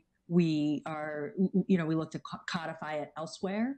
Um, in terms of how we know whether or not our students are doing well. Um, one thing that um, Erin Cooley, who's the uh, director of data management, and I met with uh, some members of OTL2 to think about a survey to go out to parents, uh, both gen ed with the focus to on special ed to find out are you accessing the services, why, why not. Um, uh, you know, do you have any concerns about your students learning? So we're hoping to get something um, designed um, and out there sooner rather than later. Um, I do. Uh, i am actually going to ask Matt um, and Maria to speak a little bit about um, how you know whether or not how, you know uh, uh, students are doing social emotionally. Yeah, yeah. Um, uh, uh, Susan, super, super important. Um, one thing, and this is a similar thing I think that's happening in a lot of the elementary schools. We have a we have a tracker at the high school that one piece of data that that um, uses for is it communicates to what degree students are engaging across their classes. So that's a platform where teachers are able to report out is have I not heard from this student? So that's sort of the, the first level that we sort of know what is engagement. Now there's a there's a number of reasons why a kid may or may not engage. Uh, we are leaning pretty heavily on our uh, uh, school counselors and our guidance counselors uh, who are doing a beautiful and wonderful job reaching out to kids who they're sort of concerned about. Um, that is that is very very very important. Um, and so you know I, I, I don't exactly have a number right now on the percentage of kids. I can I can anticipate that, that it's relatively high in terms of the number of kids who are impacted uh, socially emotionally during this period. Um, but one of our goals is to sort of do this pretty frequent uh, checking up on kids. Um, so, so we sort of are able to triage and know which kids were, were prioritized. And just to echo a little bit um, from Matt, so similarly at the elementary schools, we are doing the same. Um, and we also meet regularly uh, as a team to talk about those students and to really understand. It really varies school by school. Uh, and there's a, a, broad spectrum of student how how the level of engagement um, that different students and by grade too. Um, so so it's it's really hard to to put a number on that when there's so many different variables, um, particularly between um, you know age level and, and grade. Um, but really, it's that team collaboration where um, the counselors are uh, a, a, significant uh, part of the team and they are regularly um, checking with, um, you know, just working with their students, but also working with the other educators to ensure we are reaching all the students and we are identifying what the challenges are for um, each family to increase engagement. Yes, Rebecca, and then Helen. Um, so I I think we're doing a really good job, but it's really been a learning curve. So I I really feel like it's important to say like we're now able to you know sort of collect the data and try to figure it out. But um, for a long time, I've yeah, I mean it's been so long now. The very first week or two, I think we we had no idea kind of how to navigate this, but I think that different systems have been created so that we can identify kids. And I think even just asking them positives and negatives of the week is a is a good way just to check in and see how they're doing. Um, I really just feel like I need to put in a plug for starting to think about what we need when we go back to school, what kids need when we go back. Because right now we're all sort of like in this weird limbo. And, you know, I mean, luckily, you know, any students that I have whose parents have had COVID 19, the parents have recovered, but um, I've had other family members. I mean, there's going to be, this is a trauma. And I think for every, for us too. And so I just want us to really be thinking about, you know, when we go back, like as having as much kind of cushion as we can, um, because it's going to be it's it's going to be just as much of a shock to the system that we weren't coming back that it will be that we are coming back. So I just think I, I just feel like that needed to be said. Uh, Helen. Thank you. Um, that is something that we, we will be thinking about very soon. Uh, you know, I think that's something that that's critical. Um, one question, and thank you for all of your descriptions of what you're doing and and the work that seems to be working. Um, there were two populations that I'm a little concerned about, more vulnerable populations, the populations in the Bridge program and in Winthrop. And I, I know you, the people from there are not here, so maybe at some other time you might tell us about it, or if you happen to know, I, I'm not sure which way to go. Uh, I can speak a little bit to the Winthrop House um, department and staff. I meet with them weekly, and uh, we had a staff meeting today, and they are also tracking their students. Yes, it's a huge concern for us, Susan. Our students who have social, emotional, uh, significant vulnerabilities, and we are doing multiple um, processes and systems to reach them. Uh, earlier this week, the social worker at Winthrop House held a parent group to try to reach out as much as possible to get everyone as engaged because those are the students typically that are school avoidant. So this now le remote learning environment is not the best landing place for those types of students. Uh, so yes, I agree totally with you. Those are our greatest concern or one of our greatest concerns. And and Matt might be able to talk a little bit to that too. Um, running, uh, uh, weekly uh, DBT group uh, and so we've continued that remotely. Um, and so we have some regular attenders uh, to that. There are a couple kids um, who I work with individually as well within uh, the program. But um, as Wendy sort of uh, noted, and this is also the case uh, within kids in SFLC and, and, a lot of kids in, in general, that you know, for kids who um, haven't always felt good about school or haven't felt good about the academic piece, you know, at this point, it's it, it it's easier to avoid. Um, and when kids are not feeling great, a coping skill that you know all human beings will use is to avoid. And so, one thing that we're trying really, really hard at is really frequently, and it's tiring, but it's really, really important, is every single day, every single week, making sure that we're engaging kids actively. That we're not just leaving it on kids saying, "Hey, I'm here."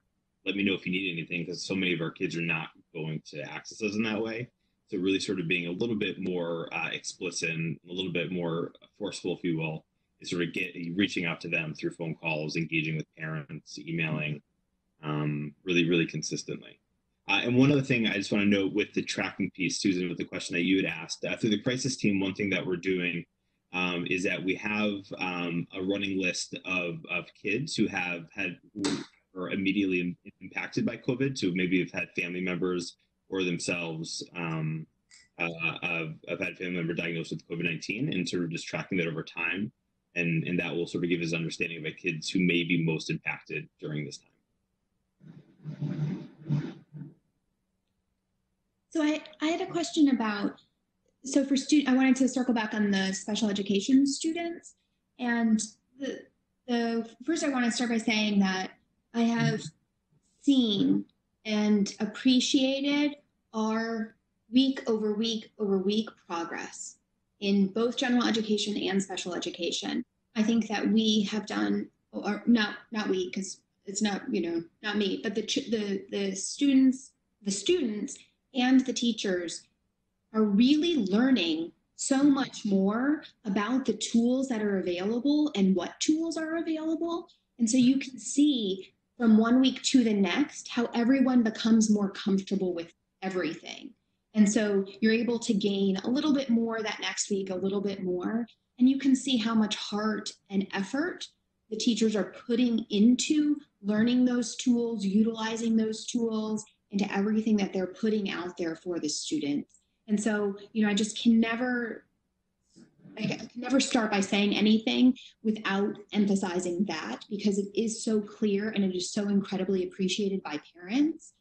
Um, the, the that, i that I have no, that I have observed is that for students who are on IEPs, and in particular if they had IEPs where they required help to access the ed, that, that point of education, so that they're needing someone to, you know, as we were talking about, either that they're needing help on the executive functioning, or they're needing help with reading access, or they're needing help with, with students who, even if all this amazing material is out there, especially on this, with we have so much self-directed learning, it's just hard to see how a student not manage self-directed learning can even get to the point where they're accessing almost anything. And so, you know, I, I wonder, I heard a little bit today about how, you know, we're receiving um, one or small group or one-on-ones or 30 minutes, they would be get they would get half. Am I understanding that we're trying to move towards where we're providing like half of that small group instruction?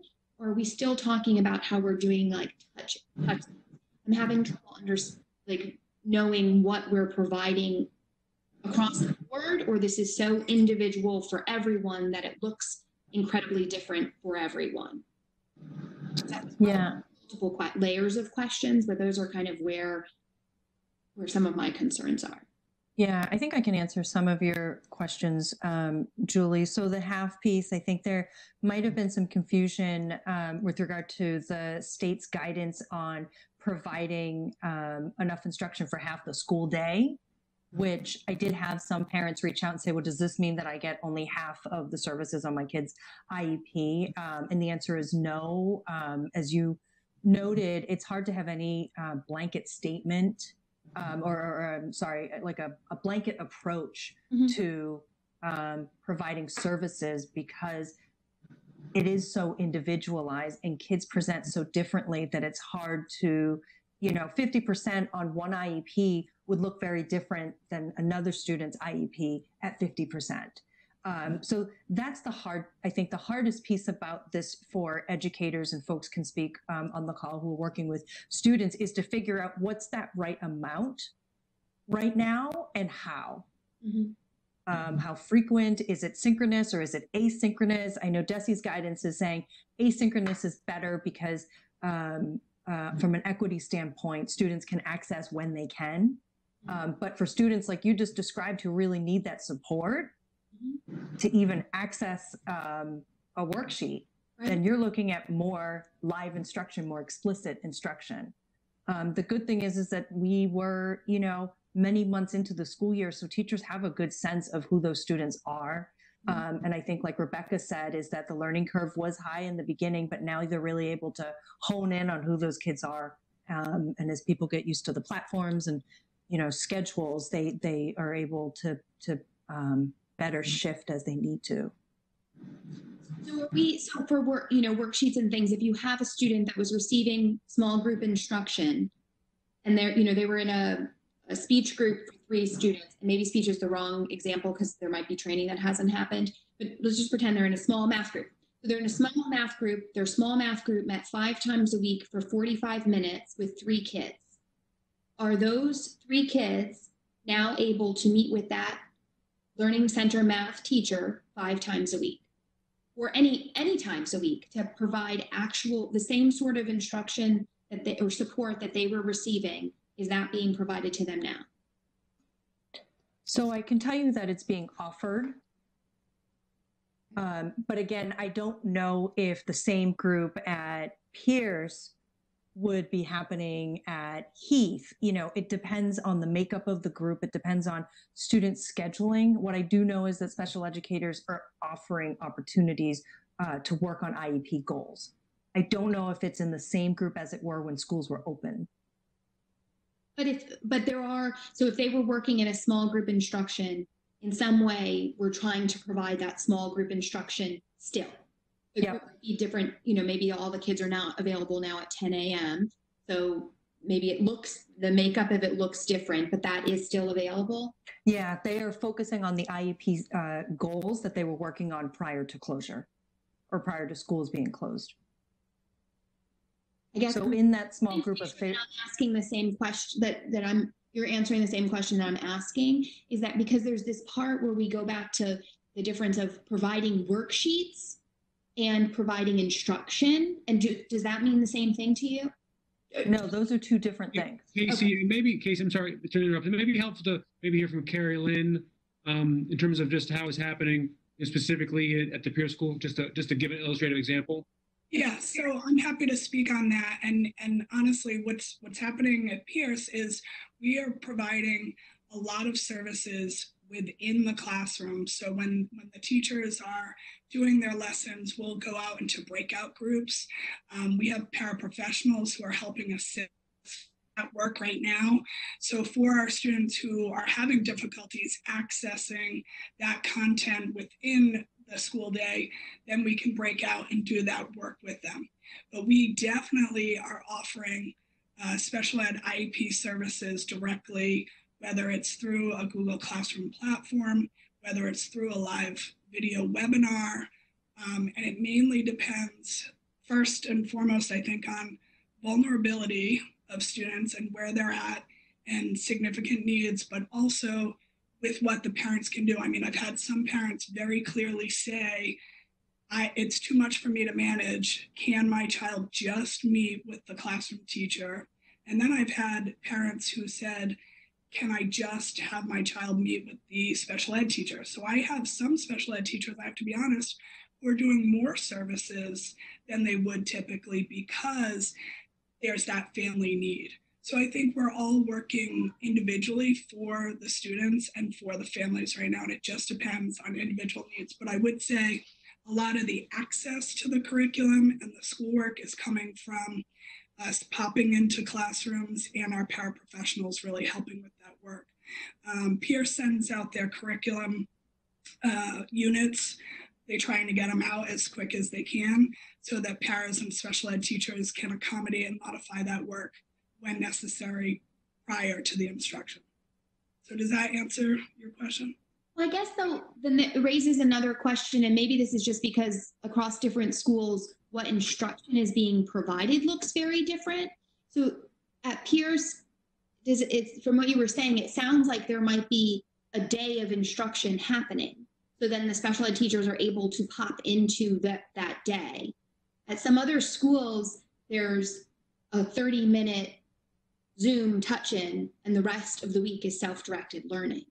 And so this might be part, you know, part of my question might be coming from hearing different parents' experiences based on the very different experiences that they're receiving of what a day looks like. Yeah, and I think we've accommodated, I mean, definitely across the board, even within grade levels, things are being done differently. But I would say that if there are more, just like um, teachers are doing, classroom teachers are just doing an hour a day, then we are picking up that slack as special ed because we're making sure that during those self-directed times that those kids are able to access and do the work. Okay.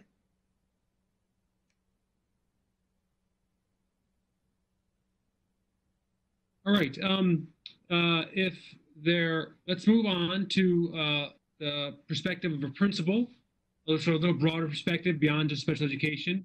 Um, and then Robin Asa needs to be let back in. He got booted. Um, so while Leslie's giving an update, if you could help out Asa, that'd be a big help. Thank you. Hi, everyone. Um, good to see everybody. I'm going to try to be brief and you can shut me down because um, I'm really, really proud of the work that is happening at Pierce, and I know very similar work is happening across the district. Um, so I have a lot to say, but I'm going to try to um, temper my comments here. Um, so, you know, I'll start by saying that um, there's no way to um, really exemplify the challenge of moving a school community that really prides itself on the day to day interactions with students to an absolutely online format. I mean, there are challenges that have arisen over the course of the last month, six weeks that I just didn't even think. Um, so we're learning as we go. And what's really important to me and the message I've been giving to the Pierce educators is let's stay the course and I want to see continuous improvement as we go along. And I feel really um, good about the work that's being done. Um, so just to kind of summarize, we're taking a three-tiered approach to this um, online work during the closure. And it's really based on the district guidance that we've been given and on the DESE guidance. So the three prongs we're focusing on are equity and access, distance learning, and maintenance of community.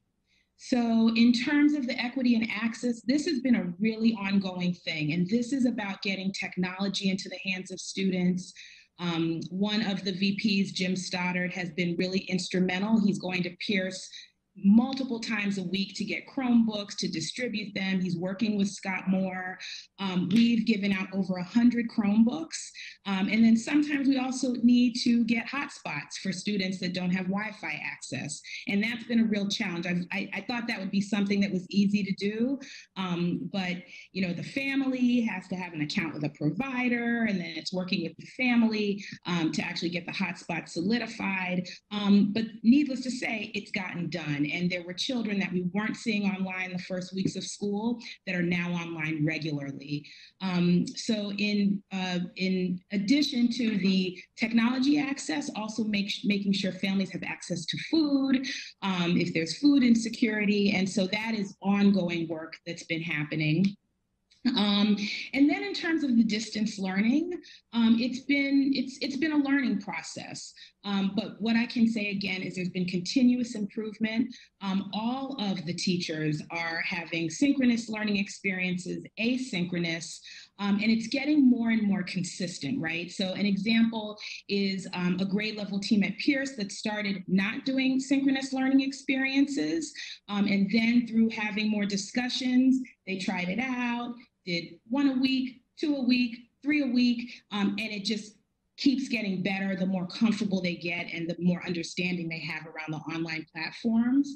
Um, we've really been focusing um, on a, a, document that the Office of Teaching and Learning put out um, on uh, April 5th that really outlined a couple of tenets of dis distance learning. That's team collaboration, student weekly learning plans, communicating with students and family, monitoring student engagement, introducing new learning and content, and student daily schedules. And so we've been meeting every week as a faculty. We have almost 100% attendance at those meetings, and our agenda stays the same. We look at those tenants every week. Um, there's always a grade level team that presents to share what's working, what's not working, um, and that's been a real source of professional development for the staff. Um, all of our distance learning experiences can be found on the Pierce website. We tried to make a one-stop shop for families so that they're not sorting through emails, but rather can go to one location to figure out the platform that's being used. Um, and so uh, uh, something that really helped us here was that the middle school had already been very versed in Canvas. So that wasn't a hard um, next step for our kiddos um, or for our families. So the middle school is using Google Classroom and Canvas. Um, the majority of our elementary grades are using excuse me, using Google Classroom. Um, and then our lower elementary, early childhood is using a mix of Seesaw and Google Classroom. Um, so the platforms are um, are, are pretty consistent. Um, overwhelmingly, one of the things I think that's been really important, I've been incredibly impressed with our teams, is that they're team planning. So that across a grade level, children are focusing on the same skills and objectives. And this is going to be critically important when we go back Um, to per Rebecca's point, um, one of the things that I'm starting to not, not even start, we've been focusing on um, and continue to focus on is what needs to happen at Pierce when we go back to school. In what ways does the schedule need to look different? Um, what approach are we going to need to take that's different in those opening days of school? What professional development do the teachers need? Um, so, in many ways, we're doing this in tandem. While we're focusing on these three prongs, um, we're also starting to focus on next year. And Jamie Yadoff, who does a great job um, of building the schedule, is thinking about what intervention blocks need to look like. How do we need to possibly use paras differently so they can provide instruction um, to the kiddos where the gaps might might be bigger um, or larger than um, for, for other students. Um, let's see. Um, I think in terms of the maintenance of community, um, there's a lot that's being done, and I think families have found this really helpful just in terms of how we continue to keep children engaged and seeing one another. Um, so this week, um, there was a crafting club. So the art teacher um, was in a synchronous learning experience with the ECS teacher, um, as well as a paraprofessional. And it was really lovely to see some kids knitting, um, some kids doing art, and they were they were chilling with one another. And I think that that is also as important as the academic piece there were about 16 students there um, and three um, adults with them. And so um, it was nice to see them continuing to maintain community in that way. Um, our assistant principal, Jim Stoddard, does the morning announcements um, during the regular school day. And so now he's transitioned that to online. And I've heard really positive feedback from parents about that. And then John Badger, who's another assistant principal or vice principal um, who manages grades six to eight, is actually doing virtual lunches. So he's having, you know, online lunch with kids once a week. And we have a, a, a really big number of kids um, who are logging on for that. Um, so, you know, it's in terms of the distance learning, going back to that, it's it's a work in progress, but what I see, I'm incredibly proud of. Um, I always use the metric of, is this something that I would want my daughter to participate in? And overwhelmingly, I feel really comfortable saying that it is. Um, a couple more points I wanted to make. Sorry, so many things I want to say. Um, I think, you know, just one thing to focus on is again the continuous improvement. Um, so, again, where we started with fewer synchronous learning opportunities, um, we're building those. And then as we start adding the layer of more specialists doing virtual um, learning opportunities, paraprofessionals getting involved, um, talking about the special education providers that are now getting involved, um, it's really making for a much more robust setup. And so, um, again, I I would welcome, you know, I, I don't want to take too much more of your time, but um, I'd welcome any questions, but also any offline discussions um, to talk more specifically what's happening at Pierce. Um, and while I am talking about Pierce, I know that just from talking with my colleagues, a lot of this work is happening across the K to eights as well. Mm-hmm. So I can, if you have specific, this is Asa, I was locked out, but now I'm back. If you had specific questions for Leslie, which I'm sure you do, um, please ask. But I feel like the having kind of the Heath experience might help you formulate ideas and stuff. I mean, everything that Leslie said, and that Casey and that great team, K8, K12, actually, we're talking about with special education. I mean, all of that holds true at Heath. I think one of the questions somebody asked um, earlier was, how are we keeping track of kids? And you know, I've got spreadsheets on top of spreadsheets linked to spreadsheets, right? That loop back into spreadsheets. There's so much like work happening. Um, but a lot of the times it's just really good old fashioned legwork. We're just reaching out to families. I'm reaching out to my team. It's just really working hard to make a human connection in these times. Clearly, I'm in my basement, right? I've never worked from my basement before. And so I keep telling people, like, um, in so many ways. I've been a school principal for I think 15 years or something now, and so most 99% of the time I can say this isn't my first rodeo, right? But now it's like this is my first rodeo.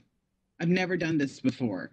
Um, it's all of ours first rodeo, um, and really big patience, but we don't have to ask so much forgiveness. I'm finding because the work is really um, like Leslie was talking about, taking off in ways that are um, pretty unbelievable to to watch. I've joined staff meetings um, with you know teams of people. My my CST team meets, my PSS team meets, my SST team meets. So we're focusing on really kind of high needs kids, kids with ed plans. All my uh, teaching teams meet, and I join a lot of those. And what I've seen is this kind of relaxing from from extreme anxiety with staff to a relaxing into this new practice.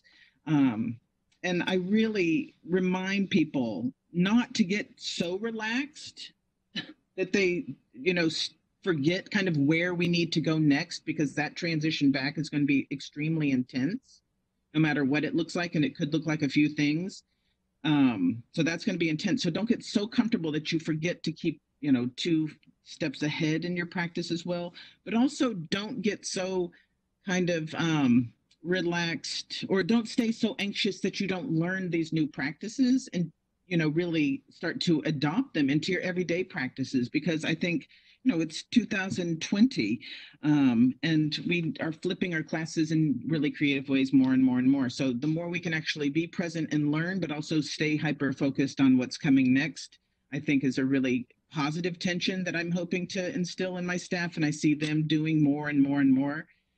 Um, and also, I, I feel like times like these, like you really get to see the strengths kind of emerge from the people. Um, my paras are doing amazing connected work in the school, um, very involved in the life of the school and the life of the kids. Um, I'm seeing our interns, right, who could have disappeared and gone home. They're staying present in our school. They're teaching lessons. They're earning those hours. They're staying very involved um, with the kids and in projects. Um, and so those are the kinds of things I think I can add that perspective. Um, but what you're seeing and hearing about in all the other schools is really what's happening at Heath as well. We had a poem in a pocket day today. That was National Poetry Month. So we're still celebrating those things. It's Ramadan. We're still celebrating those things as a community. Our student council's really active still. Our Gay Straight Trans Alliance is super active in the school. Um, and so, you know, we're still finding ways to be who we are, but also really present in the moment so that we're not pretending that something else isn't really, you know, the mechanism behind all of this. Um, and we've had a really good response from our parents. It's been intimate, passionate, honest, very loving, um, careful work with our families. And um, I feel like we're getting kind of dividends on these relationships we've built over the years. So um, it's a very difficult time. Um, excruciating in many, many ways. Of course, families are sick. I heard today about a family where everybody in the house is has COVID, fully diagnosed, and some are heading to the hospital, some are just hunkered down. We have mental health issues cropping up. Um, I have staff with you know newborn babies that are actively engaged in the class placement process. Um, and so you know this is these are the times of our lives and i think it's the community and the, the relationships that we've built over the years that are really sustaining us right now and allowing us to stay focused on doing our best when everything else seems to be kind of falling apart and if I could say one more thing, I mean, I think one of the greatest challenges I'm seeing is just how this pandemic is so fluid and always changing. Our work is always changing. And so we're always just trying to keep on top of what's next. And what's what's difficult is that it it's so many approaches and and so many unique needs that we need to address so for the amount of um, families that I get that say, I would like to have more of this. I have just as many families saying, I can't do this much work. I I need I need some help. My, you yeah. know, my kids on the screen, I, you know, I can't, there, there's a plethora of issues that we're really um, trying to manage. Yeah. And so, you know, this is a time too when I'm so thankful to be in a district that has resources like a STEPS advisor, mm-hmm. a METCO advisor. They're doing um, small group work, they're having lunch groups, they're following up with families for me, they're getting kids online. I mean, it's really, it, it's a whole group effort. And, um, you know, the, community has really risen to the occasion. I've cried at like three faculty meetings just because I'm so proud. I'm so, you know, proud that people are really, you know, standing up and, and doing the work that needs to be done amidst having, you know, family members that have passed away.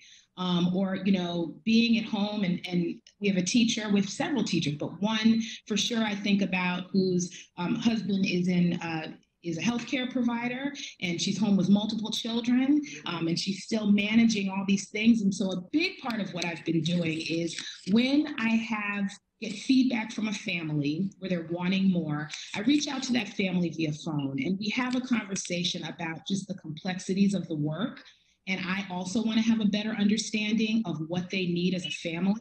Um, and those um, conversations have been really helpful to me. And, and I believe they've been helpful um, to, to parents in terms of managing expectations and letting them know, you know, we're not sitting home hanging, um, you know, there are many times that something can get in the way that is related to the pandemic and is really a family crisis.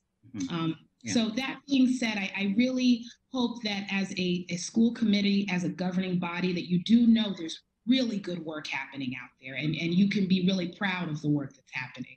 Agreed. Agreed. Yes, Suzanne? Yeah, so I just thank you so much. This is A little louder, Suzanne. Okay, thank you so much.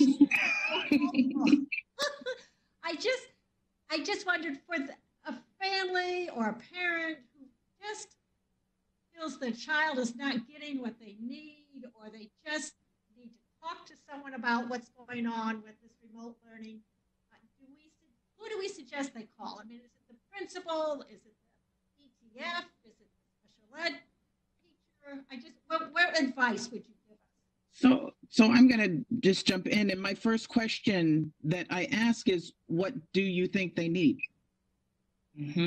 What's missing? Wh- What more? Tell me, just tell, I, I lead with curiosity, but oftentimes I do take the call. So, you know, I don't need everybody to call me. I really do think that the first point of contact still should be with the teacher, you know, because our systems haven't changed so radically that, you know, that voice isn't really the first and most intimate they should hear from in most cases. But I think it's about managing the relation, the worry hmm. at this time. So many people are worried and they don't have any more touch points. I also hear a lot, not a lot, I've heard like two times families who are like, oh my God, I, I think my child has a learning disability. They surely need to be reading better than this. What's the evaluation process? And I uh, really say, tell me more, but link back to that teacher who's like, no, all of our data shows this. You're seeing your kid in a completely different context. So I think that, that they can contact who they want to contact, right? There's no there's no gatekeeping really. But at the same time, I want to know more. And I want my teachers to find out more too. What's the worry? What's the anxiety? What's missing? What do you per- what's your perception? And then go from there. Because it just might be a generalized anxiety. My kid's not in school, therefore I'm failing them. And in 10 years, it's really going to hit them hard when they're trying to, you know, get into the college of their choice. Um, there's a lot of different kinds of anxieties uh, uh, that are, have really been awakened in the world. And that's what I want to know more about first, I think. And, and Suzanne, I, I, the only thing I'll add to, to what uh, Asa said was, uh, I'll reiterate one one thing he said, which is the first point in contact, as it always is, is the classroom teacher or or the teacher that you know your parents concerned about that child. You know, if it's a, if it's a learning specialist, if it's a special special educator, if it's you know a guidance counselor, but but start there, and then and then the principal or vice principal or guidance counselor. Really, it, it's which is the same as we'd have in if school is open. So begin there, please. Um, I'll remind parents of that in my next communication. Principals remind remind them of that as well. But but it's it's you know, and then if necessary, talk to other folks, guidance counselor, principal, that sort of thing. But but I really do appreciate what Asa said about asking, uh, curi- being coming from a place of curiosity to find out more. Um, that is always so helpful when we take that stance. I'm not sure if I'm not sure if many or all teachers are doing this, but I just wanted to mention one of my daughter's teachers had has scheduled a weekly. She has like a drop-in hour where the kids can can uh, office hour. Also added a drop-in office hour for parents. Mm-hmm. And uh, you know, I don't know to it, it has, I, I'm not sure how many people have participated in it. Um, but just, I thought that that was a wonderful resource. It, it was something I happened, my daughter had wanted me to go with her and ask a question. And so we dropped in during the, the office hour and it was, trem- you know, tremendous. And so I, I know many teachers are doing many wonderful things. I just wanted to mention that that was something that, that I have seen that is happening. Yeah. And you know, just the other day, our seventh grade team had an open house. Um, and I thought, oh, everybody's kind of like zoomed virtual meetinged out. I thought there would be you know, a handful of people. We had 50 parents. Um, and so they were able to ask the questions they have about, you know, you know, what is my child missing? How are you going to address this going forward? And so I think when people have the opportunity to ask those questions in real time, that also can lessen the, the anxiety because they want to know that we're thinking about this and that, you know, this isn't just a learning gap that we're going to be okay with, but that we're, you know, planning next steps and we're going to, we're, we're going to address the needs of students. Thank you. Thank you so much to, bo- to both of you for, I do have another question, if I may. Sorry. oh, yes, David. Uh, Could one or both of you speak to current participation rates, particularly at the middle school level, and about what percentage of students are completing their work? Mhm. So we are um, actively, our, our teachers at the middle school level um, are really, have, were great right out of the gate on that. Um, and so they were very quickly, after just a few weeks, um, able to say, this is who I'm seeing, and this is the rate of return on work, and these percentages. There was after the first couple of, and I don't have exact figures on me, so I'm not going to pretend I do, but there was a period at first where there was some pretty high engagement um, across the board, six through eight, because I think people were, kids were excited and parents were excited, and this felt new and fresh. And then there was a dip.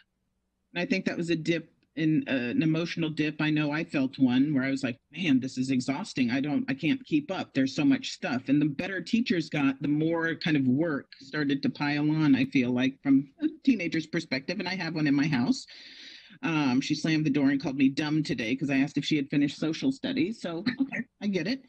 Um, and so then it kind of, we had another peak. So right now we're in a peak where we're getting probably 75% attendance, mm, you know, most of the time from most kids. Um, and really looking at what's completed, what did they try and didn't complete, and then what did they not attempt, and kind of figuring out why. But that allows us more of that space that we were talking about previously in so many iterations here around finding out who are the kids who are not present, right? So we're not looking at 25% participation. We've got 75% of the class that we need to worry about. It's quite the opposite. We have so many touches on the ball with most of the kids most of the time that it really frees up our, our staff to focus on the small percentage that's just not showing up at all or haphazardly. And would you say that these percentages are fairly across the board for all our schools, or some schools at significantly higher rates than others? I don't know. Um, and while, while the principals have, um, it, so just another piece of, of, of the coordination collaboration that you heard about tonight is, um, principals and senior leadership have meeting, been meeting three times a week. Um, as you also heard, guidance counselors across the district meet, meet multiple times. You know, grade level teachers at middle school meet, you know, there's a lot of meeting and coordination here. And in our principal meetings, all principals have shared um, similar reports in terms of tracking completion. Um, we haven't aggregated that up or compared them um, uh, school to school yet, but um, folks are tracking that. We just haven't uh, haven't thought yet to um, you know create a comparison, um, but something we could work on. In our in our K five participation super high. So super high. Um, I'm hesitant to ask more questions um, because our folks have been here for a long time. Um, and we do have to move on to an update just about uh, uh, finances and the budget. Um, I, I, you know, are these updates uh, just like a long time ago when you were giving your budget updates are all designed to help inform the committee and then the, the broader general public um, about what's happening. It, it is so hard as a school committee member, as a superintendent, even to get a real insight into our schools in uh, in, in normal circumstances, um, and across our schools especially. Um, and these days and age, it's even more difficult uh, to do that. So I really um, appreciate um, our folks coming and joining us tonight and helping uh, tell the stories of the great work that's happening um, by so many people. Um, and I certainly, even more than they're coming tonight, I appreciate the leadership they're providing, um, capital L, small small L, but in so many ways, uh, and the way that I think I think I'll just talk about what Leslie said in terms of the ongoing improvement that our you know teachers are doing with each other, that our school leaders are are helping and nudging along in so many different ways and so many different approaches. Uh, it is um, it is uh, remarkable. Uh, I really appreciate the messages tonight about uh, give us you know grace and gratitude. Uh, there isn't enough of that, even as much as there is. There couldn't be enough of that in a time that's so difficult as this. Um, so I I appreciate that message as well, um, and just really thank folks for for everything you're doing and for being here tonight. Yeah. Lisa. Thank you. Mm-hmm. Thank you. Thank you. Thank you. And thank you also to Maria. And I saw that there are some others. Wendy, thank you. And thank you to everyone who participated, but you know, who's who has left the call. We we appreciate all the hard work that's happening. Thank y'all too very much. Thank you. Thanks for having us. Thank you. Thank you. Uh, so uh, then next we have an update. Is that Nicole? Are you providing the update on the remote learning working group and task force? Yes, she will. While she's getting ready, I just want to add in in the um, drive folder, there are two things um, that were shared with you earlier this week. But one is Dr. Gittens' letter to all to the K-8 staff, introducing the um, common learning expectations for K-8 for the remainder of the year. Um, and also in that drive folder are the common expectations themselves and the links to, um, you know, is actually the introduction of that, but then the links to all of them, which you can uh, see as well. Um, and I just want to thank uh, Nicole for her leadership on this. Her, also Mary Brown, um, collaborated, coordinated, cajoled, and sort of herded our very excellent coordinators on getting this done, work done very quickly, and then working with principals so then they could understand it and support it. So um, I'll just leave that as an introduction. Um, so thank you, Nicole. Hi, everyone. Um, so this earlier this week, um, we were able to put out the learning common learning expectations for the rest of the year for grades K to eight in each content area. Um, and we got a lot of positive feedback about the organization of the material, um, the uh, inclusion of uh, really thinking through um, the importance of our specialists, our um, you know librarians, um, and other support folks, and being able to um, support classroom teachers in providing more instruction. Um, we also had the coordinators did have office hours and have more office hours tomorrow for folks to come in and ask questions and provide feedback. Um, we were actually um, the uh, Gabe, who is the um, coordinator over social studies, did make some adjustments to um, what is typical of uh, the kindergarten year, where they talk about money and work. Um, and so, one of the some of the feedback that he got uh, from a kindergarten teacher, just not even thinking about, you know, like this is the time of the year, this is normally what we do, this is what, you know, we put in the common learning expectations, but really thinking about how many people in the community have potentially been impacted by uh, COVID and um, and perhaps lost jobs or at least lost wages. And so we wanted, he was able to make that adjustment, remove that from the kindergarten um, expectations and select something else for um, us to work on. And so that was really an important part of being able to have office hours for teachers to give feedback once they're looking at them. I'm looking at the document now um, live, and there are tons of people on here now actually live. Their their um, icon isn't even faded, like they're just sitting somewhere with the document open, but they're actively um, looking at the document right now. Um, so that that had been, you know, the work that the team engaged in um, and making sure that we are spending money um, to support the learning, the common learning expectations, making sure that teachers have the materials that they need, um, any videos that they need. How can we substitute out like actual insects with, you know, time delayed videos of insects that would be supportive of the instructional practice. Um, we've um, entered into a contract with Seesaw, which is an online platform that is typical for K um, to grades K to two. Um, and we also have updated the staff support website. Um, it is we had we have a lot of resources. It wasn't necessarily as user friendly as it needed to be, and so that's been updated. And um, teachers are able to find the common learning expectations there. They're able to um, find see the um, different online platforms that we recommend because we have um, privacy agreements signed with those companies.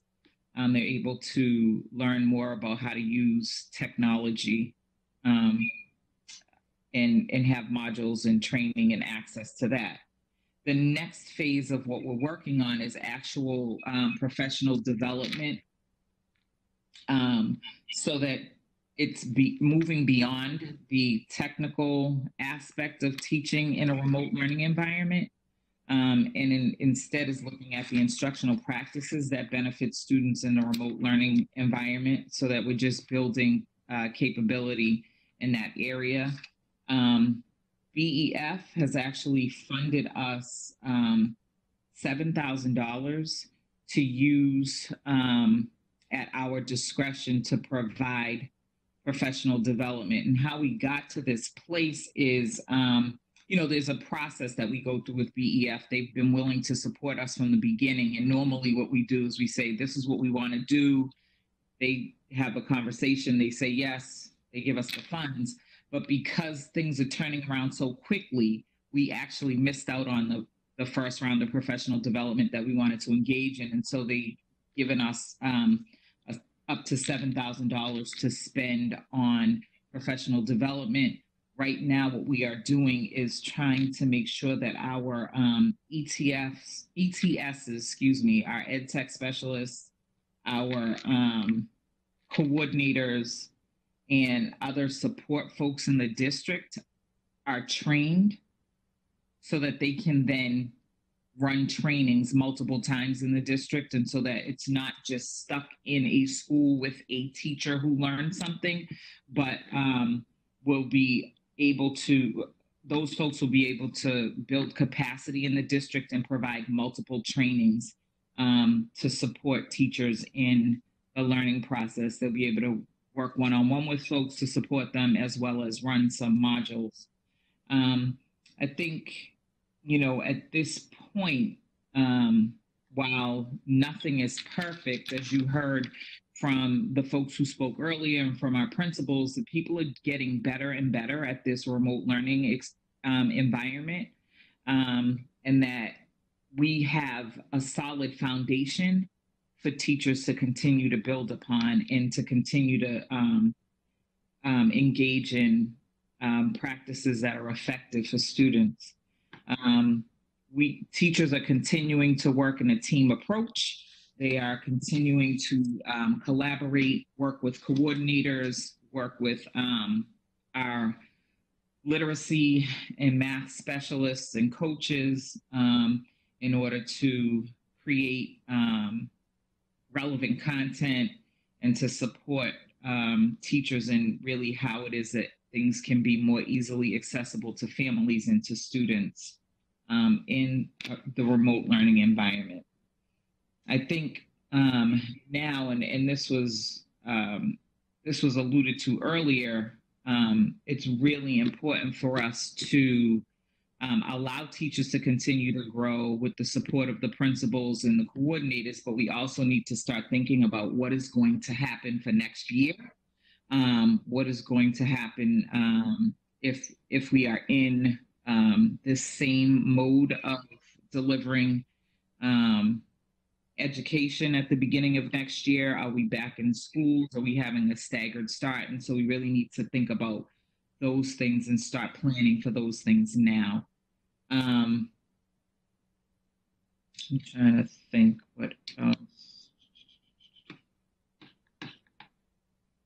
Um, you know, as as folks said earlier, like I am just super appreciative of how nimble um, people have been in this process, and it might not feel like that to everyone in the community, but the work and the ability for people to change on a dime, um, adapt and change and invent practices that did not exist in this district previously um, has really just been impressive on a level. People are are supporting each other and are really trying to figure out how to how to get um, the work to be um, student facing and organized and um, recognizing that people are trying to learn different things and um, really trying to support people without um, without uh, making people feel you know uh, support people and make them feel comfortable in, in venturing into this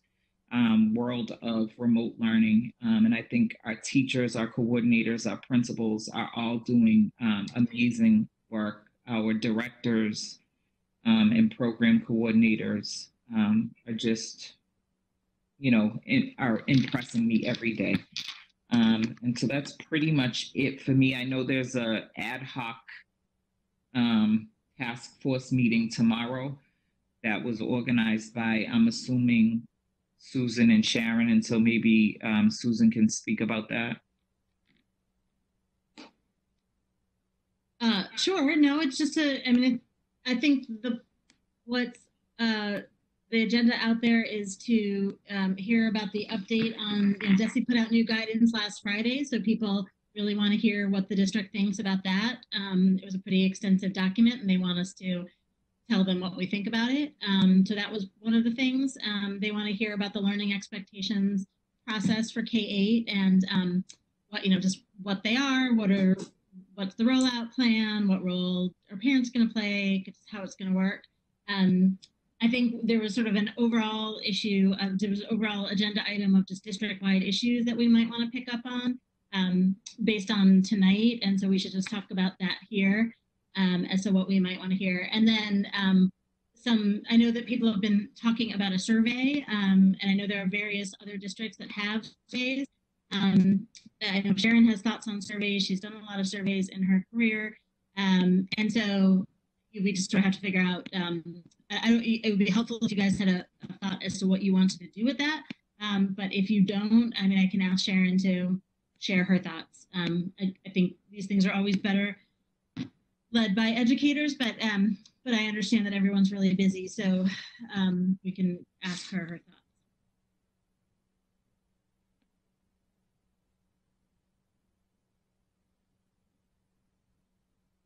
Are you wanting input, Susan? Are you wanting input from school committee members about whether a survey is helpful, or from what's what's use what's useful as you have well, I don't know. I mean, it's been mentioned a number of times, so I'm not entirely sure. They mentioned Aaron was working on one. Like it's just been in.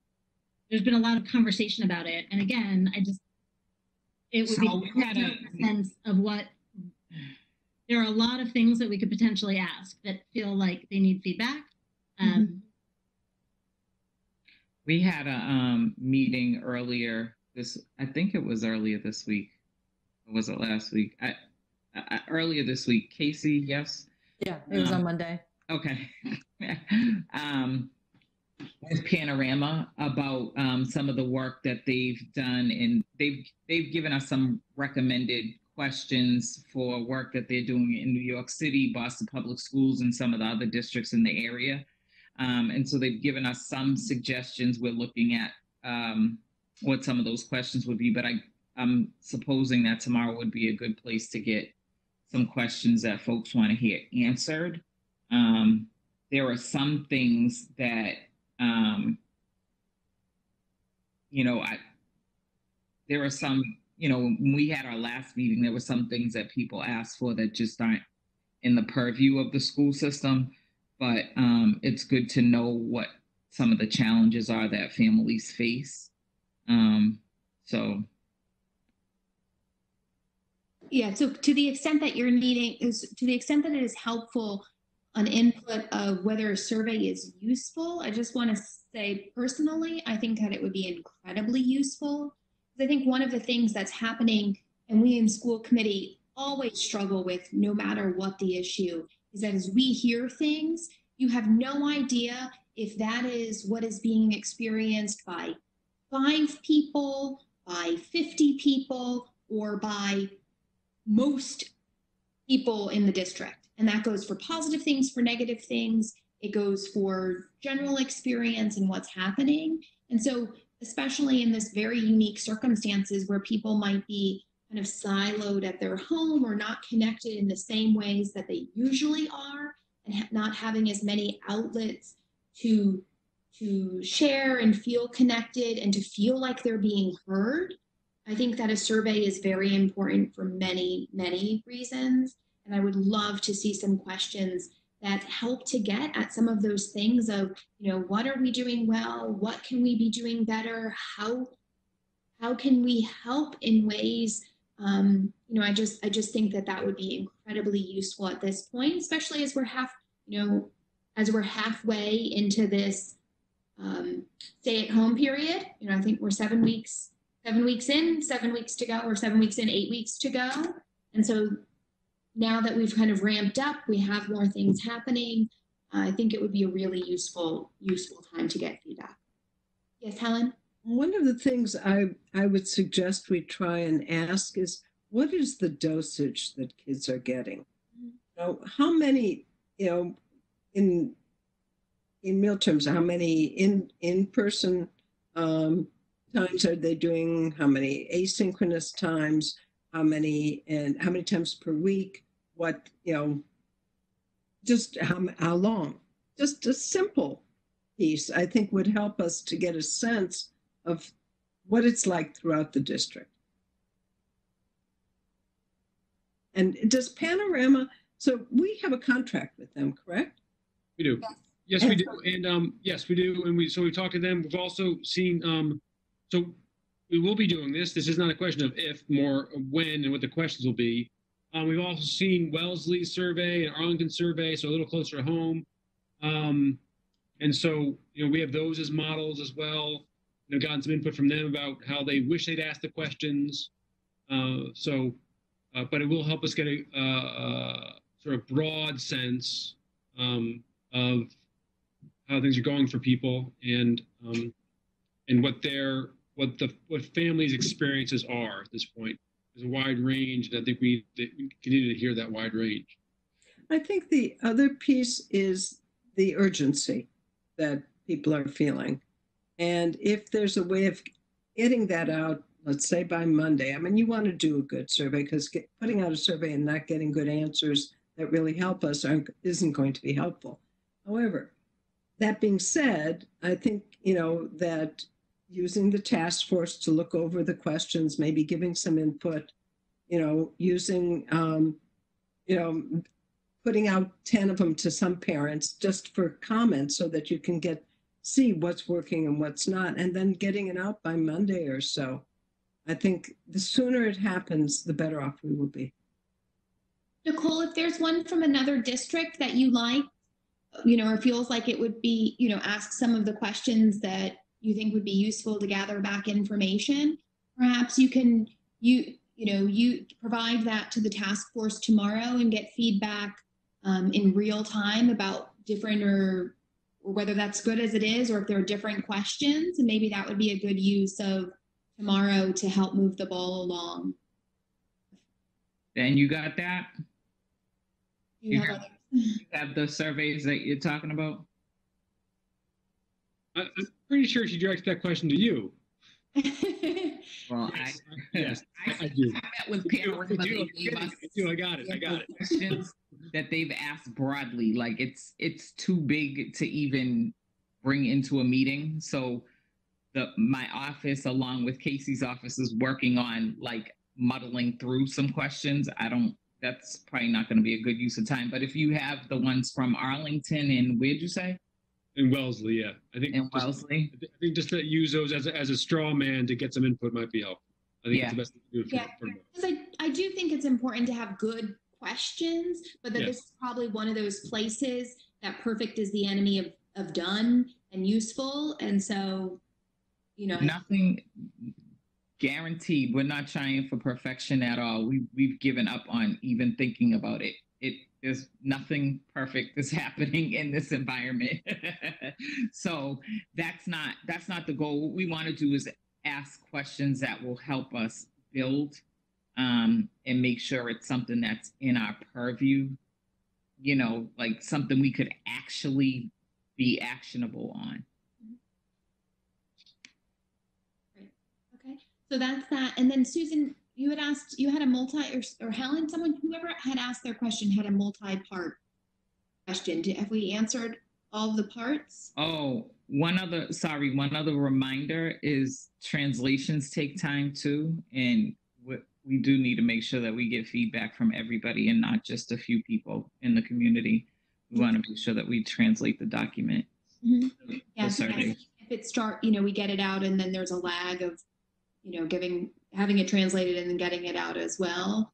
Because it's probably also going to take us a little bit of time to compile all of that um, information. So even if it trickles back in different waves, I think it is, that is helpful and important to make sure we get those different community groups. And then for the feedback that you're receiving from, so on the learning expectations that were put out, where I'm glad to hear that there have been opportunities for feedback, um, especially because the BEU um, wasn't able to participate in the in the process of developing those. I think it's great to have that vehicle to provide input. Are you getting? Are you hearing from teachers that this is something that this is you you know useful to have? You know, So- useful like. So, right, before this even, before this went out, um, that's, this is something that teachers were asking for, like, what should we focus on? Um, because I think they want to be organized in their approach. Um, and while there wasn't a massive involvement of teachers, the coordinators are working with groups of teachers anyway. Um, and so they, they have vetted things through the groups of teachers with whom they've worked. Um, you know, during this, during the closure. Um, so it wasn't maybe as systematic as you, we would normally do something like this. Um, but teachers definitely had some input prior to things going out. Um, and teachers, educators were asking for this kind of um, support and narrowing of information. Yeah, let me just clarify one thing, Julie, which I think you may have um, not be clear on is is they're finalized and they're operational, and then this week we, this week staff are planning, you know, they're and they're they're using it in their planning for next week. Okay, so because all that input and and whatnot had happened the week the weeks pri- the week prior. Sorry. Yeah. Yeah. Yeah. So they're That's they're correct, live and operational.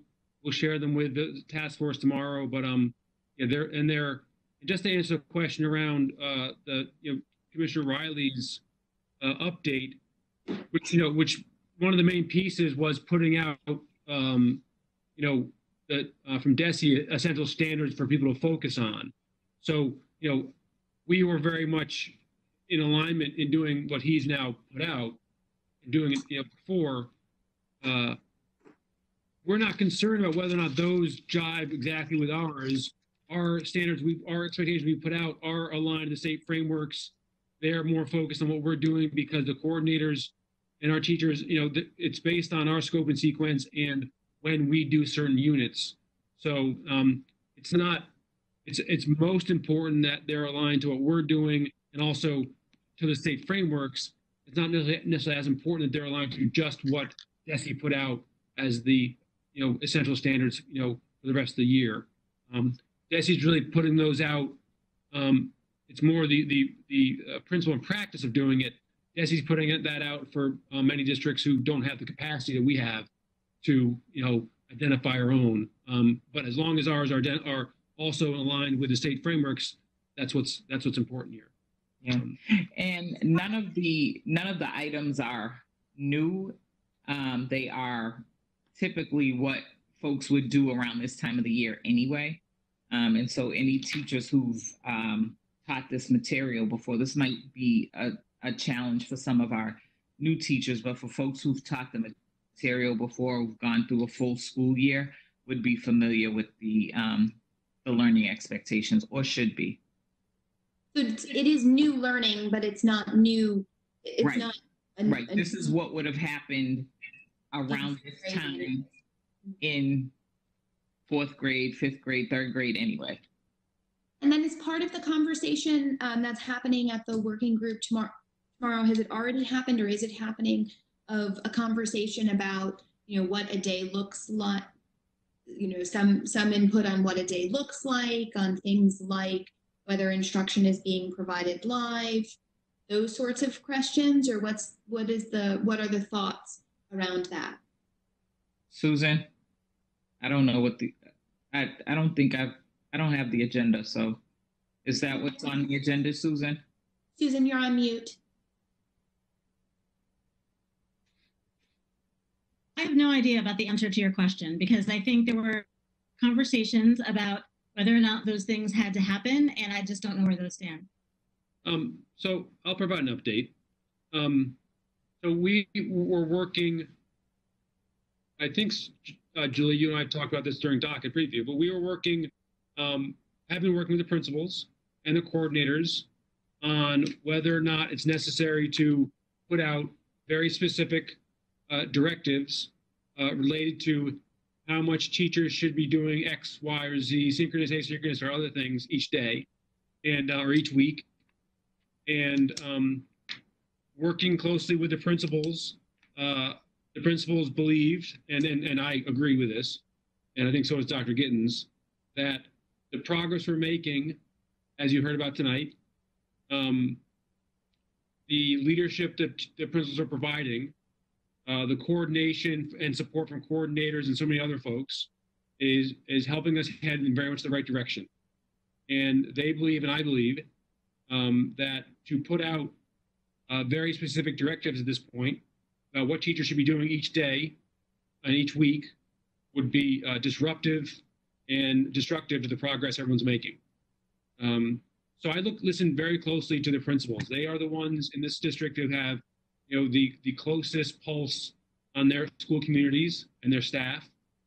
And I take, um, and I think, and Nicole, I speak for Nicole here too. I believe, um, you know, takes their uh, guidance and their uh, input very. We we have a lot of faith in that, and um, and so that's and that and that was you know, working through uh, a number of the meetings we've had over the past two weeks, and really pushing hard each other, you know, each direction basically. So uh, that's where we are at this point, and uh, they are confident. I'm confident in them that they can can continue to uh, lead and support and help their staff uh, make the, the uh, appropriate amount of progress um, for all learners. So in the I think, um, update, I think what you heard Leslie say earlier about, sorry? Just, just one last thing. We are Oh. um, providing further clarification of, of the types of learning that folks are already doing and defining a little bit further in the next, uh, our next uh, update on, uh, on guidance.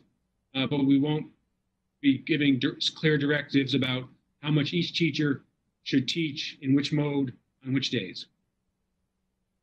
Um, I think what you heard Leslie say earlier is that, you know, there's an expectation that people will continue to improve and that, you know, as she's worked with and guided folks who weren't doing any um, synchronous learning, they're, they're building their capacity. And um, I think that's, that is happening in more places than just um, at Pierce. but Leslie is pretty much spoke the same way that all of the principals did, which is this is the work that we're doing and we're helping to build capacity um, in a way that we always do. So the part the part that I'm like not quite sure about is is are we are we moving to a place where we this is the goal like this is the gold standard and we're we're with with with time and the leadership and the guidance of the principals we believe everyone can get to that gold standard or is what we are saying at a fundamental level is that what teachers are doing at different schools and different grades and different classrooms is different and that's okay. Like i'm, I'm trying because those are two very different things.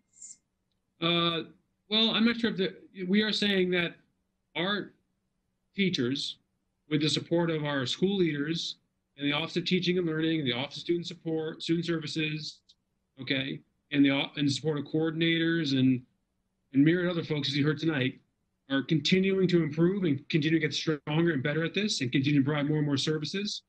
Um, and there's going to be variation and uh, and flexibility and um, and for very for, for then there always is in Brookline. Um, uh, we have heard for years now how important autonomy is, and especially in this in this day and age, there needs to be um, flexibility on all sides. I mean, you heard this a number of times tonight, um, because there are uh, families who want very different things and can handle very different things. There are staff who are in very different positions. So uh, we are doing, we are, it is very strong what we're providing across the board. And um, where there are areas of that need to be improved, the principals are very much aware of those, and they continue to support those staff, um, and uh, as they always do. And so I guess it's the both and. We are continuing to improve and strengthen our work, like every district is, and there is going to be variance.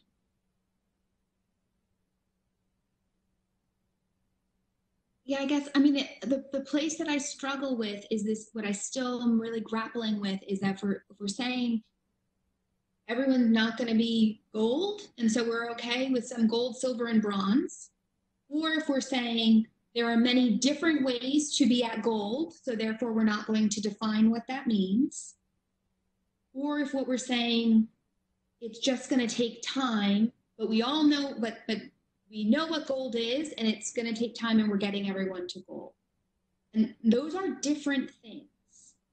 Um, and so so i think um how to say this? This is um the imperfect science of teaching. Um and we we all um, have an expectation for teachers to reach a certain level that really is all about student engagement and supporting the students they have in front of them. Um, and so that's different in every in every space. I think what's challenging to recognize for many folks is that this is how school is anyway. People always do things differently teachers always approach their students differently, their work differently. That hasn't changed in this environment. It's been more of a struggle for people.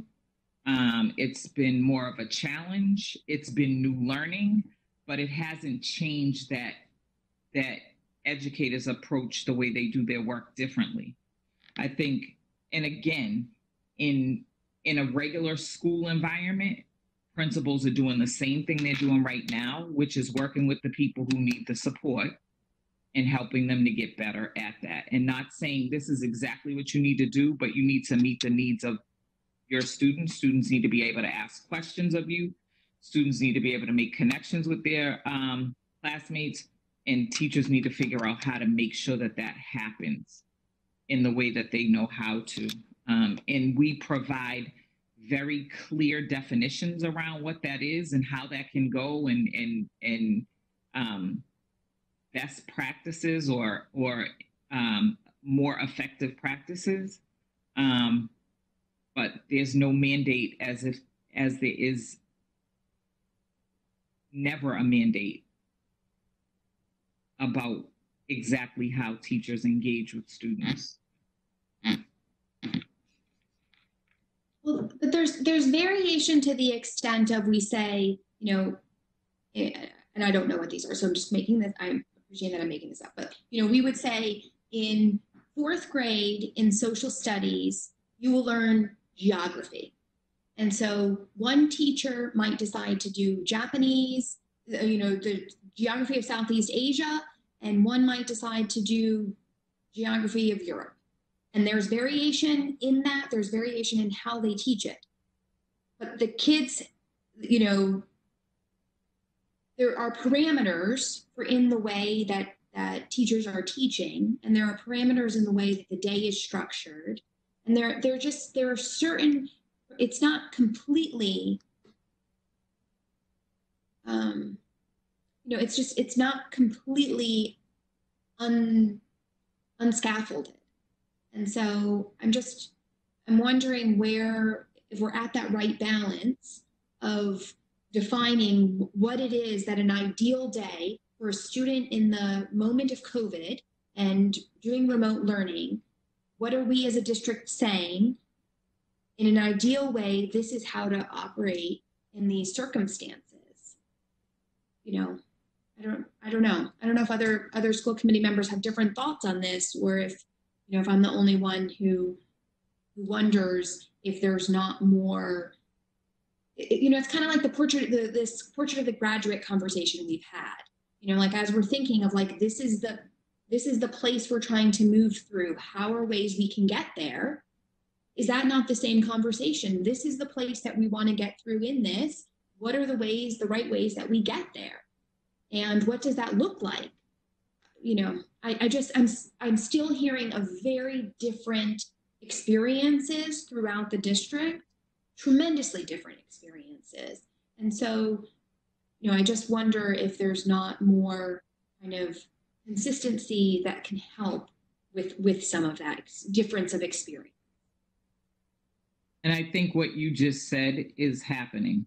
Like we want to make sure student so we want to make sure students learn these things at these grade levels. This is what you should focus on for the rest of the year. How you teach it is up to you.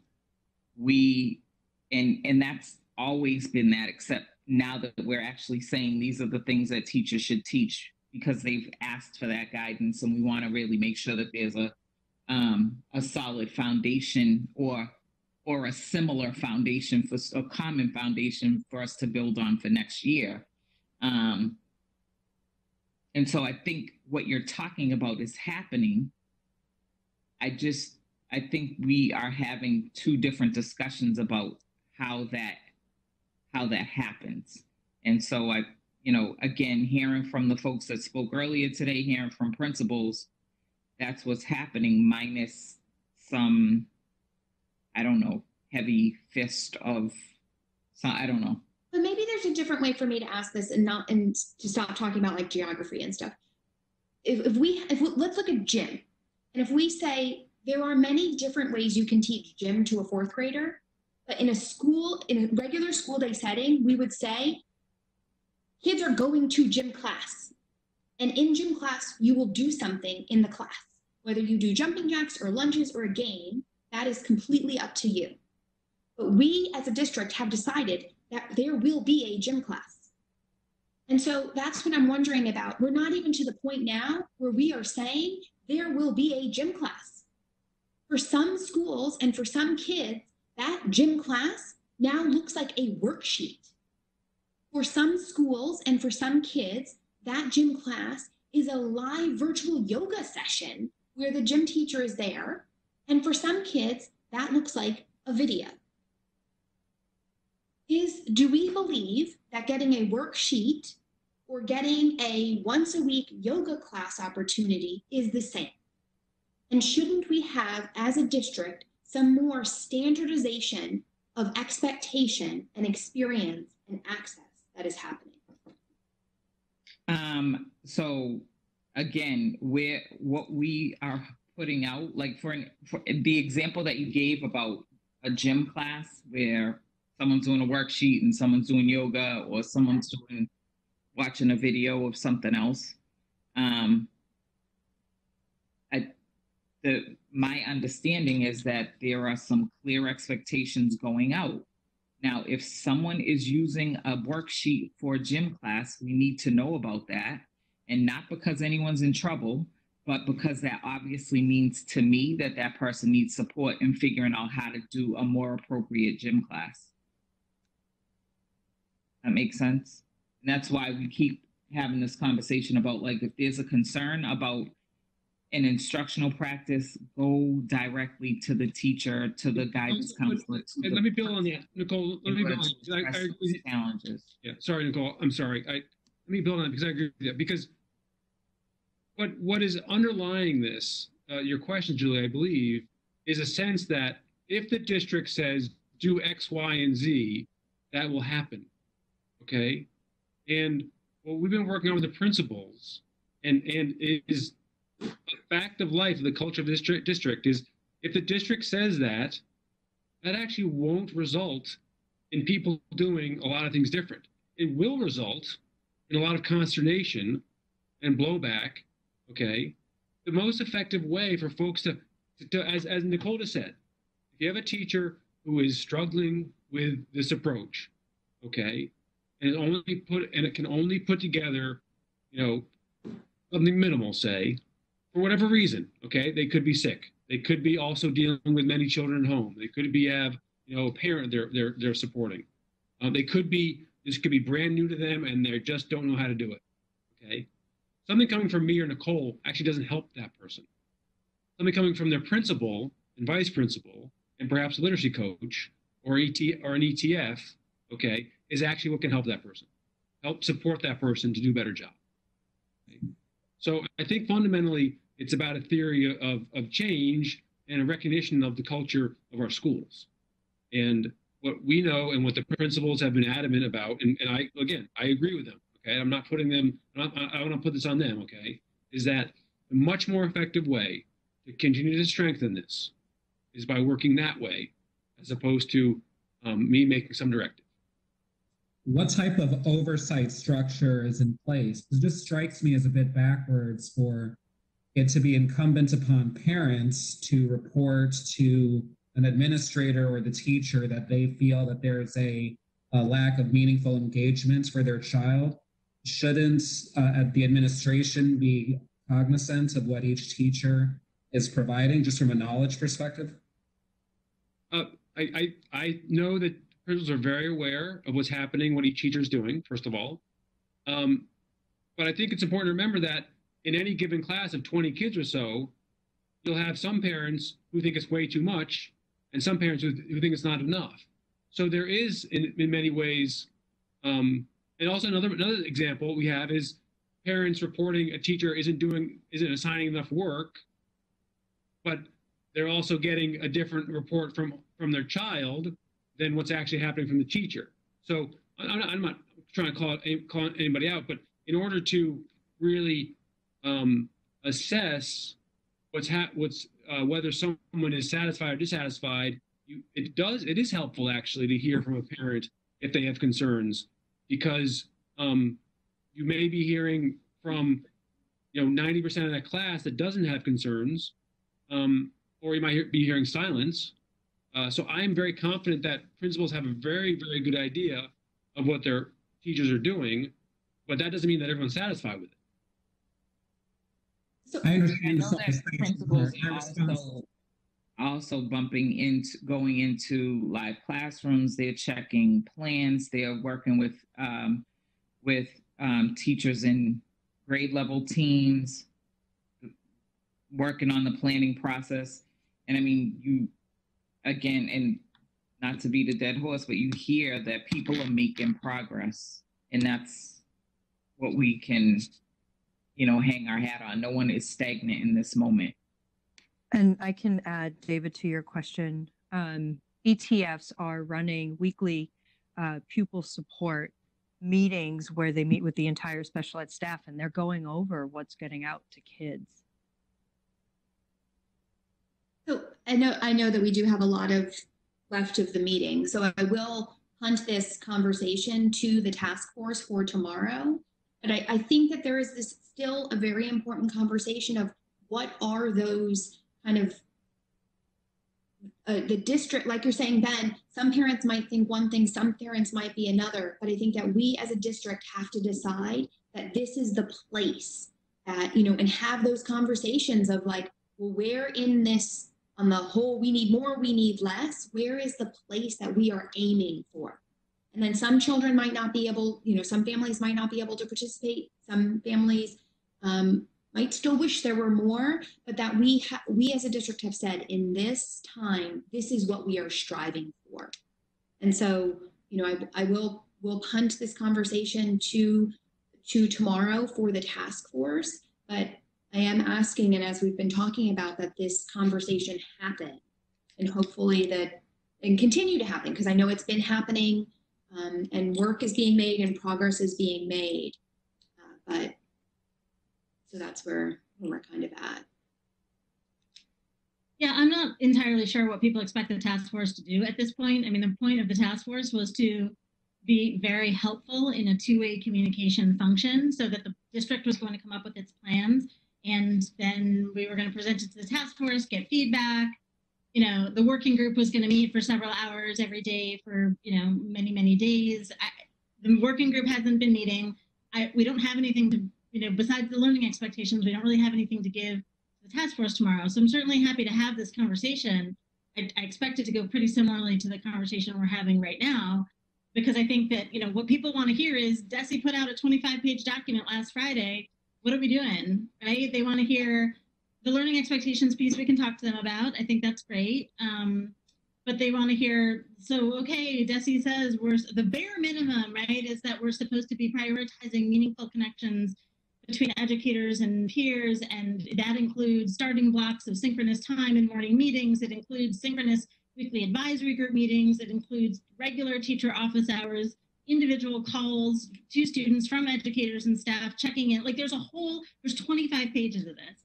So I think people want to know how are we, what's our plan to execute against some of this? And I think we've heard really great conversations today and a lot of really good examples. I'm not sure I've heard how that answer to that question. I mean, I think that is the question that parents have been asking for six weeks. And, and I think we've got a lot of good, really, really good examples. And I think what we don't have is a plan for how what strategies we're asking people to do and what we're how we're measuring it. Um, I mean, there's a whole part in the DESE thing from last Friday about data collection. Are we measuring student engagement? Are we um, are we disaggregating by uh, race and income? Are we disaggregating by race and income the the people who are and aren't getting um, services and who aren't aren't engaging? So I think there's a lot in there, and I think people just want to hear how it's going, what are how we're gonna how we're gonna make that happen.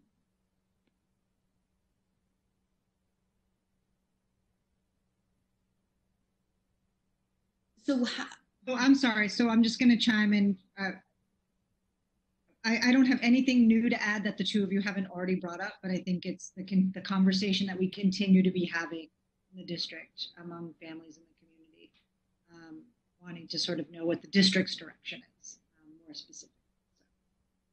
So, just chiming in.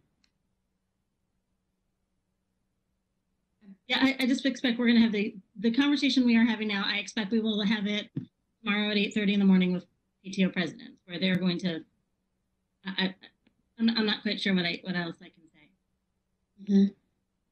And I'm and I'm unclear as far as like a plan, you know, as a planning guidepost sort of thing. What we do as school committee to to set, you know, do we need another meeting in a week to say let's take, you know, I don't.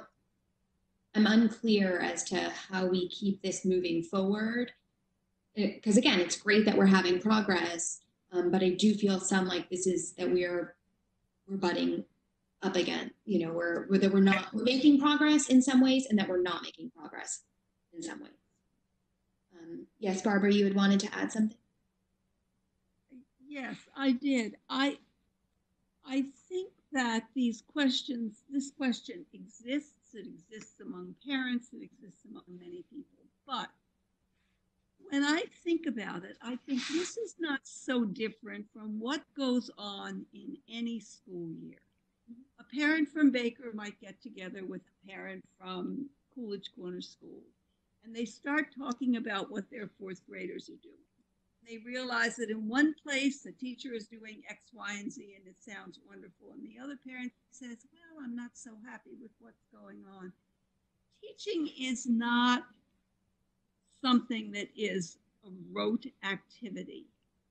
A lot of it depends on the teacher, the teacher's experience, the group, the interaction of the group, etc., etc. And we could be asking this exact same question about what was going on during the school year. Why is this happening here and not happening here?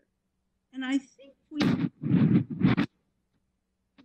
hard at what people have said tonight, principals in large part, and and Casey and the people who have been here talking about special ed kids and realizing again that people are getting better, they're doing better. It's not going to be perfect, but it never is across the whole system. And you're thinking about, well, how are things being done? And do we have a plan? And should everybody do this? Well, even if we did, that doesn't mean that doesn't mean that should happen, that that could happen, because people are so different in how they teach and what they do and what their skill level is. And I think we could talk about this from now until the middle of next year, and we still would not necessarily come up with an answer that everybody was satisfied with. And I think that what we have to do is get people to the point where they're saying, yes, this is a very difficult time. These teachers are having a very difficult time. They are doing what they can. And yes, we would like everything to be done really well. We hope that can happen as much as possible.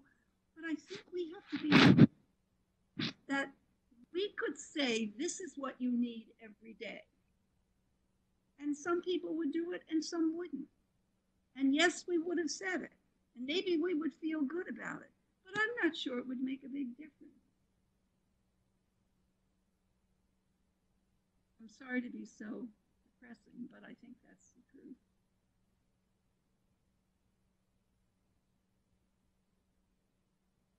So we will. We I have I have one other question though because I keep hearing like, oh, you know, things are improving. We hear that they're improving.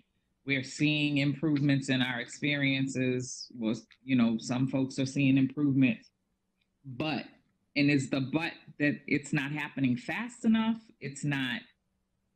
What what's the but?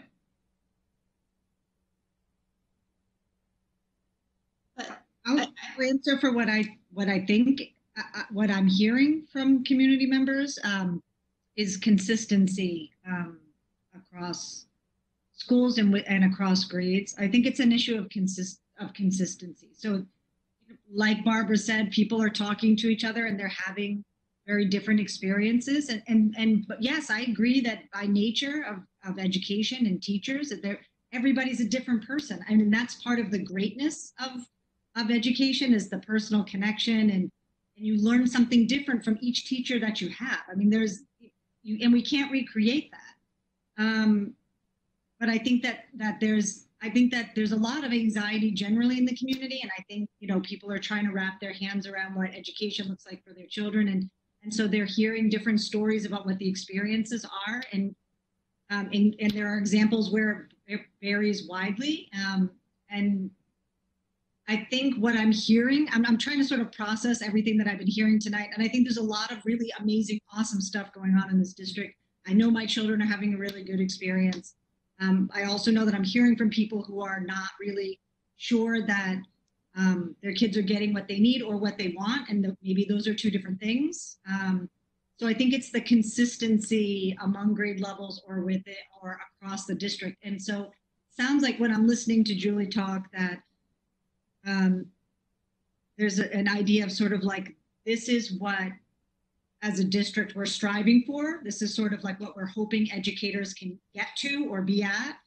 Um, and that's not a bar to hold people back from what they can do, but we're hoping that at some point we can build our capacity to be everybody is is doing sort of this piece. And, and maybe that's something the coordinators work on together with, you know, Office of Teaching and Learning. I don't know. I, I mean, that this is the question that I come to, led Julie. I, I don't know where school committee, like what, where do we go with this conversation? And, and I don't, I don't know what that balance is between school committee and the school district. Sorry, and I, it's like 10:09, and I'm, I'm sorry, but it's, I, it's getting late. Um, and we have a lot of items on the agenda. I'm not sure if we're going to be able to do all. of them. Just throw that out there. Well, Mr. Gillis has been waiting very patiently for his piece, and I think we should at least accomplish that tonight. Okay, let's let's do that. Matt, thank you, thank you, thank you, thank you for participating for this long. Um, And being in your office still. I I know. it makes- problem.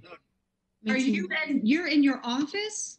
Yes. Either that or he has a lot of fluorescent lighting in his house. I'm so tired. I wasn't, thank you, Matt, for being so patient and waiting with us till 10:09 at night.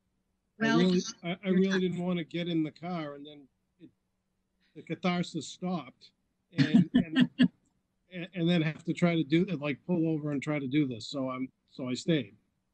Um, you know, uh, just a moment to Michael Glover. Michael, you're smart, kind, supportive, appropriately inquisitive, respectful of other people's time.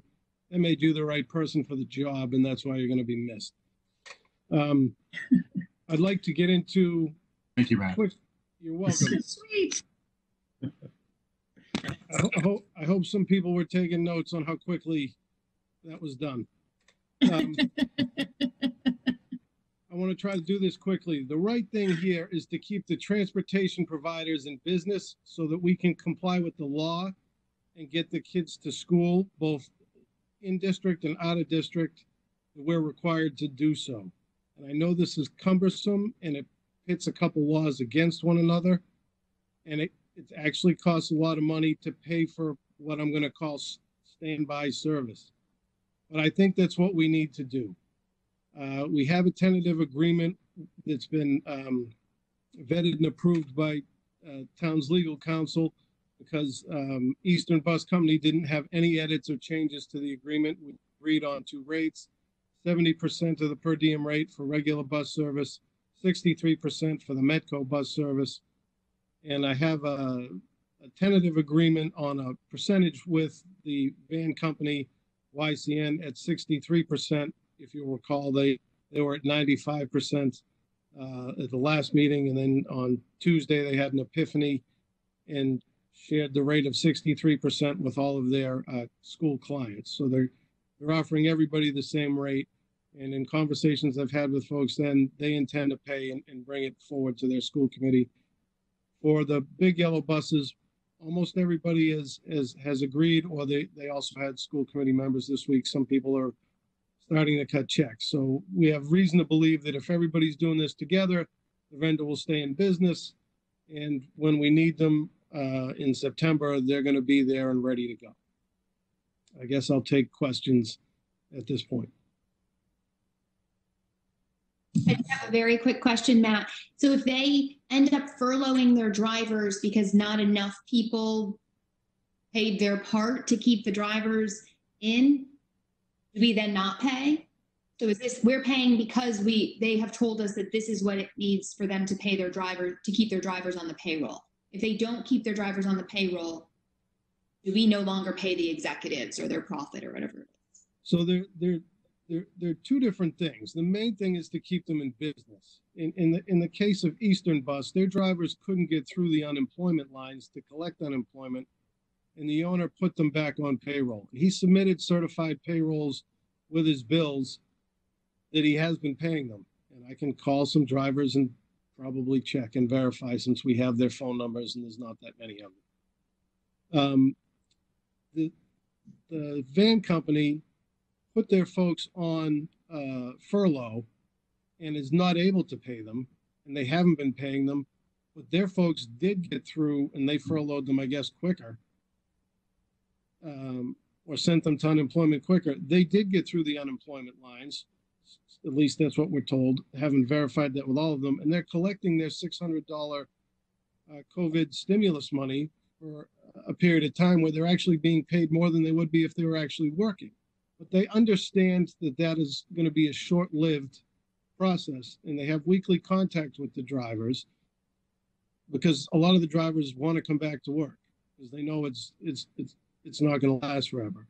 So, in this sense, the 63% covers the special ed company's costs, and the 70% is covering the regular ed, uh, transportation company's cost so that they can stay in business. They're just going about it a different way. Uh, they're, they're different business models. So, the big yellow buses don't go home with the drivers. They go to a yard. The yard has to be paid for. In in the uh, van model, the the vans go home with the drivers. They get it as a benefit. They just turn off their gas card when when they're not uh, transporting in school. So the drivers are using the the vans still for uh, you know their own personal use, but they pay for their own gas. So it they're they're reasonably different, and most, if not all, of our um, colleagues in school systems that have these same same companies we're trying to do this together. Um, and that's that's kind of where we're at. So so yes, it's a little bit different, but the main goal, we have good reason to believe that what they're asking for, because they want to stay in business and we want them to stay in business, it is what will work to get them through through next September. Does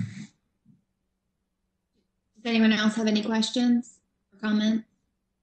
Yes, uh, earlier you referenced that there are two competing laws. Uh, I have been made aware that one of these laws essentially says that a town is not supposed to approve of an expenditure if we did not receive services rendered. You reference us in conflict with another uh, regulation and that also town counsel has looked over this and it's okay with moving forward.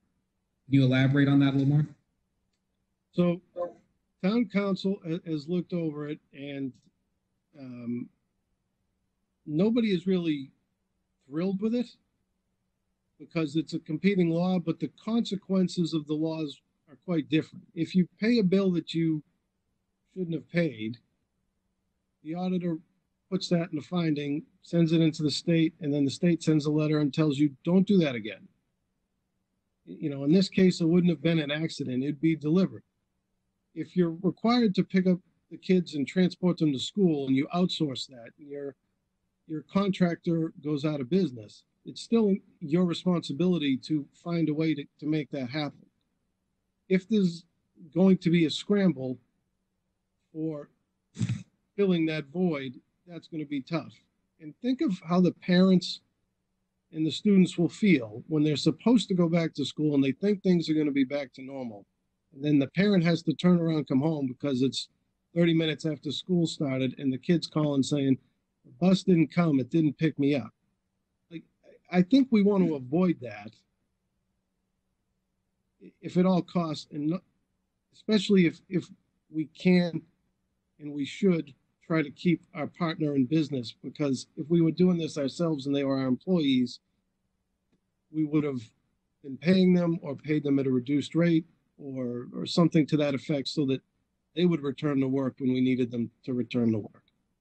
So I mean, I, I view it as an extension of that because it's just we can't educate them if we can't get them there, and in some and we're obligated, whether it be special ed uh, contracts or this or state law for public education under grade seven, and the distance that they live from school to transport them there. And then also, as I recall you pointing out at a finance subcommittee meeting, almost every other district that has a contract with Eastern Bus is doing the same as you're proposing, correct? Yeah, we, we talk a couple of times a week now to, to check in and see where everybody's at. You know, it, first it was kind of like, well, who's going to be first? I don't want to be last. And now it's it's pretty much everybody's on board. Did, um, has the decision been made about what would happen or what is going to happen for the families who have been asked or who would traditionally pay for the bus service and now for the period of time that they haven't needed the bus? Did we made any decisions about what would happen there? No, but that's a nice segue into this.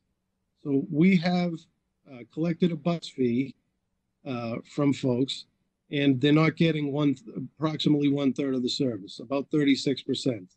Um, I think we should refund them, you know, with everything else uh, going on, I've only had one request come in uh, so far, and it was the other day. I think we should refund them because we have the ability to to refund them between what's left in the revolving fund and what's left in the general fund, and that would be right around seventeen thousand dollars. And so Julie also is that we can't come to the committee to request a refund if we still have hundred percent of our costs. You know, so part of it is uh, fixing or sort of settling what we're doing with the school bus, yellow school bus is tied to that next step that you'll get a request from us to um, reduce and refund a portion of the fee. Okay, so I was just wondering if it it's good to hear it's that way. I was wondering if it goes in the opposite of if we're paying them anyways, are we going to ask families to incur that or a percentage of that cost that we're paying for this time period? It sounds like no. The answer is there will be cost savings from what we budgeted. And your recommendation would be to refund families. We're able Yeah. to that out of the cost savings. Mhm. Any, any further questions? Can you just remind me, where are those cost savings coming from? What is the cost saving? Because we don't pay hundred percent of the bus contract, because this is the, the vote that we're being asked to make is to pay sixty-three percent of the remaining contract amount for this, these months. Yep. So we were planning on paying hundred percent, so we will be paying less than expected. Helen, you're muted. It's sixty-three percent for one seventy for the other. Um, you know, I think we've gone round robin on this a number of times. Um, I did speak with the Newton uh, School Committee member who said they're they're working on it too. I think they may even be voting tonight. I'm not sure. Um, our staff is telling us this is what they think. I know that Matt drives a hard bargain in things, and so he wouldn't be bringing this to us if he didn't think this was the right uh, the right thing. I think you know we we just have to make a decision, and it's not an easy one because we know what we're facing. We know we're going to have you know cuts next year. We know that you know our budget even for this year. There's there's uh, some uh, well I don't know. We'll, we'll probably hear that in just a minute. Um, it's a really hard decision, you know what if we have to and then what if next year we don't you know we still are in the same position where we're doing remote learning you know what happens then That's one of the reasons why this is tied only to this fiscal year. I mean, if we're gonna be out a whole year or, you know, uh, it's another extended period of time, the committee might, might want to make a different decision. I might have a different recommendation. Mhm. Do, do we have an update as to whether they are going to, uh, Eastern Bus is going to sign our eight-year extension? Yes, uh, I received that today. Um, they signed it and with the language that I added that, um, and negotiated with, with the owner, that they'd be willing to, um, review, uh, negotiating down a lower price for next year in August. He just wants to see how everything else comes in. He, he would have, he could have moved the seventy to sixty-eight percent. I'd rather see if I can get one or two percent off of next year in ten months as opposed to one or two percent for uh, this year and three and a half months. All right, so does someone have a motion? i guess i'll make the motion that we we go ahead with what matt um, put forward in the memo to us Do we have a second? Oh, second? David? All right, any further discussion? I just, I just wanted to, I'll be voting no, and I just wanted to say that it's, you know, not for lack of appreciation for all of the effort that you put into it, Matt, and negotiating it. I just am incredibly concerned about the deficit that we're going to have in this year to cover additional expenses that we're going to have.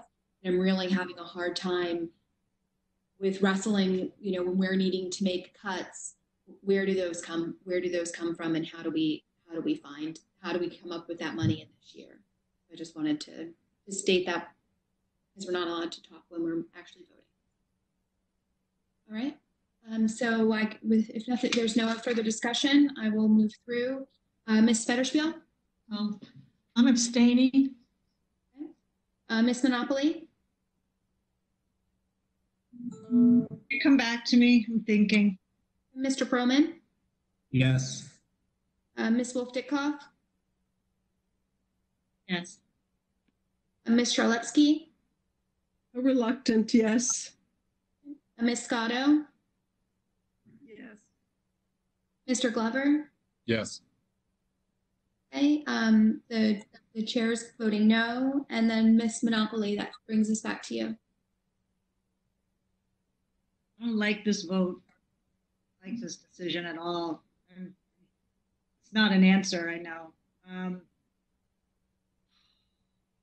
It's just for this year, right, Matt? It's just for this. year. It, it ends with the 180 day school year this year. And just so folks understand, we don't actually, we wouldn't release payment on any bit, on any bills until like the month was closed.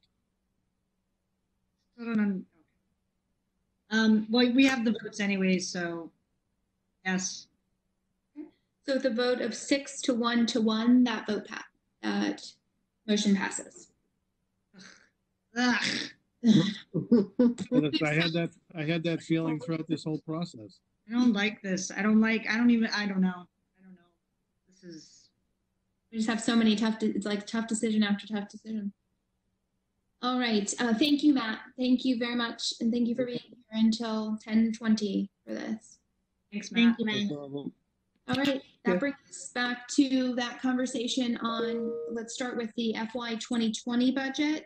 Mary Ellen, if you could give us just a brief update on where things are at. Is there an update in the folder? Is there a new document on this? Yeah, uh, yes, there's a third quarter report in probably two fold, two different folders. I think I put in two places, same report. Um, we are currently projected, um, to be at, at the end of the third quarter at a roughly about a million four. Um, in the hole. Um, primarily, um, those are all related to, um, our pandemic expenses. Um, the lion's share of that um, is is um, funding and paying for the BEEP uh, staff out of the revolving fund, uh, the rental facilities custodians, um, and um, a small portion for uh, for BEEP. Uh, sorry, for um, athletics. Um, um, athletics started issuing refunds for the spring sports uh, this week, and so um, they were fine as as I finished up this report, but noticed that the refunds started going through. So I have I'll have some work and monitoring to do there. Um, the other piece of um, dollar amounts that are in the report um, that I have um, I have held about a half a million dollars in uh, expense funds. Um, actually, more than that, probably about seven hundred thousand dollars in expense funds. Two hundred thousand for um, unanticipated special education expenses that um, Casey Ng-Miller needs access to for between now and the end of June for supports. I'm meeting with her and Mike D'Onofrio next week. I hope to fine tune that number. Um, hopefully that will be cut in half, so that will reduce our deficit. Um, also holding, um, there's roughly about two hundred and fifty thousand in, um, expenditures that are, I know are coming in related to, um, purchases, um, in the, that are unapproved requisitions. Um, and then I'm keeping at this point, two hundred and fifty thousand dollars in, um, unknown invoices for goods and services that were procured without a purchase order. Um, so the secretaries need to come back, um, go through mail, um, and locate invoices and people need to turn over invoices.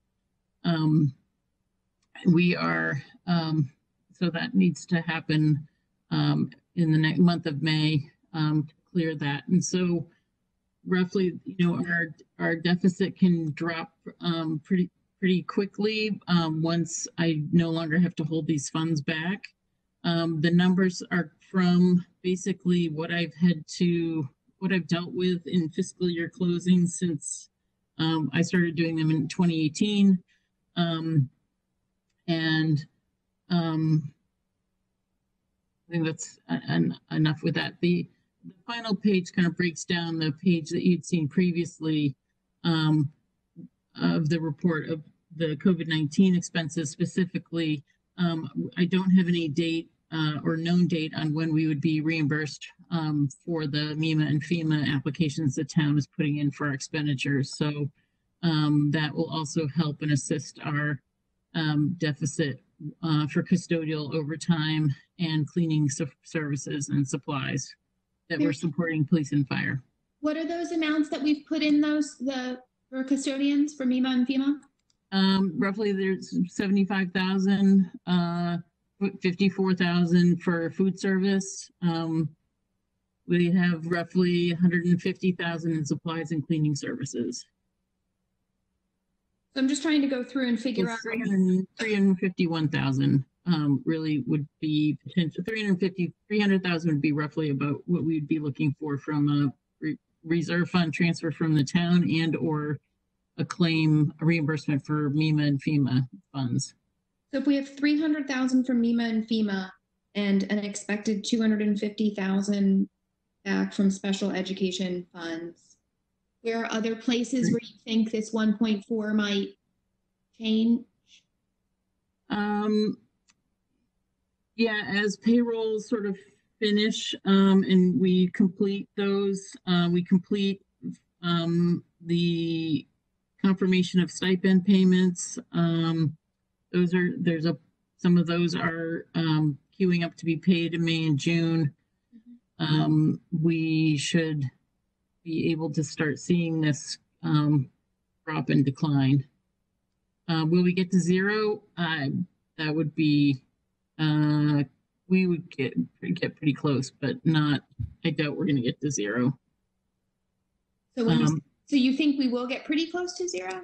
How close to, so, How close? Um, probably within, uh, probably within a half a million, two hundred fifty, half a million dollars, which is less than a half a percent.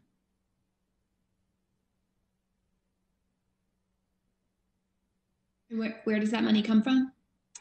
So that money, um, that's a discussion I'm beginning, I've, I've started with, um, Melissa Goff. Um, that has to do with how the select board is going to fund, um, deficits. Um, so the, there, there are a couple different mechanisms that the town can use, use for that. Um, so that I imagine will be emerging um, as we hear about a variety of um, stimulus funds that uh, municipalities are eligible for. And do we have any built-in, we've heard about like speech and language pathologists um, needing PD and bringing in potentially someone for that? And are there other PD costs that we have on this? Or is that what, Um, I, um, Nicole and Casey and Ben and Khalees will, are keeping me informed with the different requests that are coming through. Um, and they're evaluating, senior staff is evaluating those requests in terms of what they're essential, how they're essential, and, um, they're letting me know kind of what those um, estimated costs are, and I will let them know where we are with our, um, our budget projection and whether we have funds or don't have funds. Mary Ellen, can I just jump in real quick? Um, Sure. Some of this too is because I have um, scheduled settlement conferences um, with the Bureau of Special Ed Appeals uh, between now and June 30th. And so uh, when we meet with Mary Ellen, we have to talk about once these settlements are agreed to, is the money coming out of FY20 um, or 21? And then are there other, I guess the other um, unexpected, unexpected COVID costs? You said you have an item, line item that's built in for that. That's where those would fall? So that would come, I don't know if that question was for Mary Ellen, but the, both the uh, training for the SLPs um, and settlements would come from our reserve line. In this COVID budget or reserve line in just your general every year special education budget? It's our every year uh, special education budget. So Casey, I put two hundred thousand in my report for that. Yeah, yeah, yep. So Casey and I, you're talking about the same dollars, source, source and dollars, just. You know, and, and the tough part is that there are some options. Um, so for example, um, the committee could potentially look at, um, suspending or delaying, uh, the vacation buybacks that are part of a number of different contracts. Um, um, and or renegotiating those. Um, could look at furloughing, uh, could look at any number of different options around mitigating costs. Um, I, I went after the expense accounts. We froze the budget on April 8th. Um, so I put, I, um, went after those accounts because we were still experiencing and sort of regrouping about what our staff and um, employees were working on. Um, so with that, um, that's not quite covering all of um, all of our payroll needs. Um, but as we go through every payroll gets, you know, we fine tune that number. Um, roughly there, there are roughly eight to nine payrolls left for the rest of the fiscal year. Any other questions? So um, I think one of the things that we're going to need to have a very clear answer on is which line items we have been able to either reduce or save um, through COVID. If the answer is none of them and they've gone up, I think we're going to have it's going to be a we're going to have to think differently about that conversation because I think that that is not intuitive to a lot of people, and so we're going to have to figure out how to explain um, things that seem obvious, like why would you need substitutes? We don't have substitutes, or why would you need supplies? They're not using crayons, or why would you? I think there's just sort of a why, you know, why do you? And I think there are a lot of those, and I think we're going to need to figure out a narrative that explains those. Um, I don't know if you want to do it. it certainly not at 10:30 at night, but we could we could try it. You know, we can sort of have that conversation next week at finance. Um, but anyway, I think we're going to have to figure that out. And I think and I think we probably need some options, Mary Ellen, just as you said, of this is what it would look like to be more aggressive. Like this is the next set of things you'd go after. Um, So, and if we do end up being, um, you know, if we end up, if we end the year, you know, 250, you know, that's one thing. But if we have already tapped out all the sources that we use to get that 250, um, it's a different conversation. Um, so I'm not worried in the abstract about a 250 or 500. There's always, you know, at the end of the year, things you have to clean up. But it, but it kind of depends on how many of those go-to places did we already sort of empty out. And I think we just need a better sense of that. Um, Well, yeah, well, specifically to substitutes, I included in the memo, the today's balance in the substitute account is ninety-eight thousand. So we have historically underfunded that line. Um, expecting the unit A line to kind of cover that, and it hasn't really been doing that. So that is So, a yeah. perfectly logical place. Like I was hoping that it would be a lot more, but it actually surprised me between the second quarter and the third quarter. You know, we were we still went through two to three hundred thousand dollars of substitutes um, in a quarter in a three month period. So um, the um, and the supplies and materials and expense lines, um, those two also freezing all of those. Um, those are exactly our crayon lines, our you know, materials lines, things like that. Um, that um, we're mining, my team, um, Donna Chisholm and Peggy Lee are, are talking with secretaries and mining the open PO list um, and liquidating those as we can. Um, so yeah, we can talk about more, more sort of next steps and more drastic steps um, and measures to then, you know, take to shave this, shave this down um, and really get things fine tuned um, going into April and May in the last pay, last few payrolls. Yeah, I mean, I think that to the extent that revenue for this year is not going to come in like this year, right? So nine C, you know, our equivalent of nine C cuts. Um, to the extent that revenue is not going to come in for us this year as a town the way we would have expected, um, and you know, there are multi-million dollar numbers that people are throwing around. I don't, I don't have a number, but that's what I'm hearing. What you know, what is that? I think we need to have confidence that we have done everything we possibly can to get our number down in, you know, short of truly noxious, you know, choices. And I think we sort of have to show people like, here is the set of things that we tightened up on and here's where we stopped. Here's the set of things that we just didn't, we didn't go for those because those were too, too hard, right? Too harsh. Um, and, you know, different people might have different judgments on that, but I think unless we show unless we satisfy ourselves that we've done our diligence, I think it's going to be harder to communicate with other other entities, Mhm. some other entities. Yeah. So uh, we can do that Monday if you want, or Wednesday if you want. Um, but we can do it when you're ready. The next meeting is fine. Okay, any further questions on FY 2020?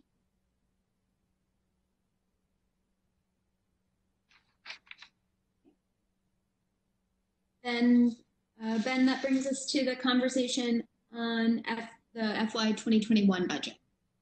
Great. So, um, hold on. Um, so uh, last week, the Finance Subcommittee, I provided a preliminary balanced budget with details of some of the necessary reductions to balance the budget at that point. The reductions I outlined to the Finance Committee uh, and shared with you before uh, were reasonable target adjustments designed to make a very limited impact across our schools. Uh, as of now, we've been able to make some minimal targeted cuts. However, I'm much more concerned about further cuts that will have to be made because of the impact of the COVID 19 pandemic on the economy.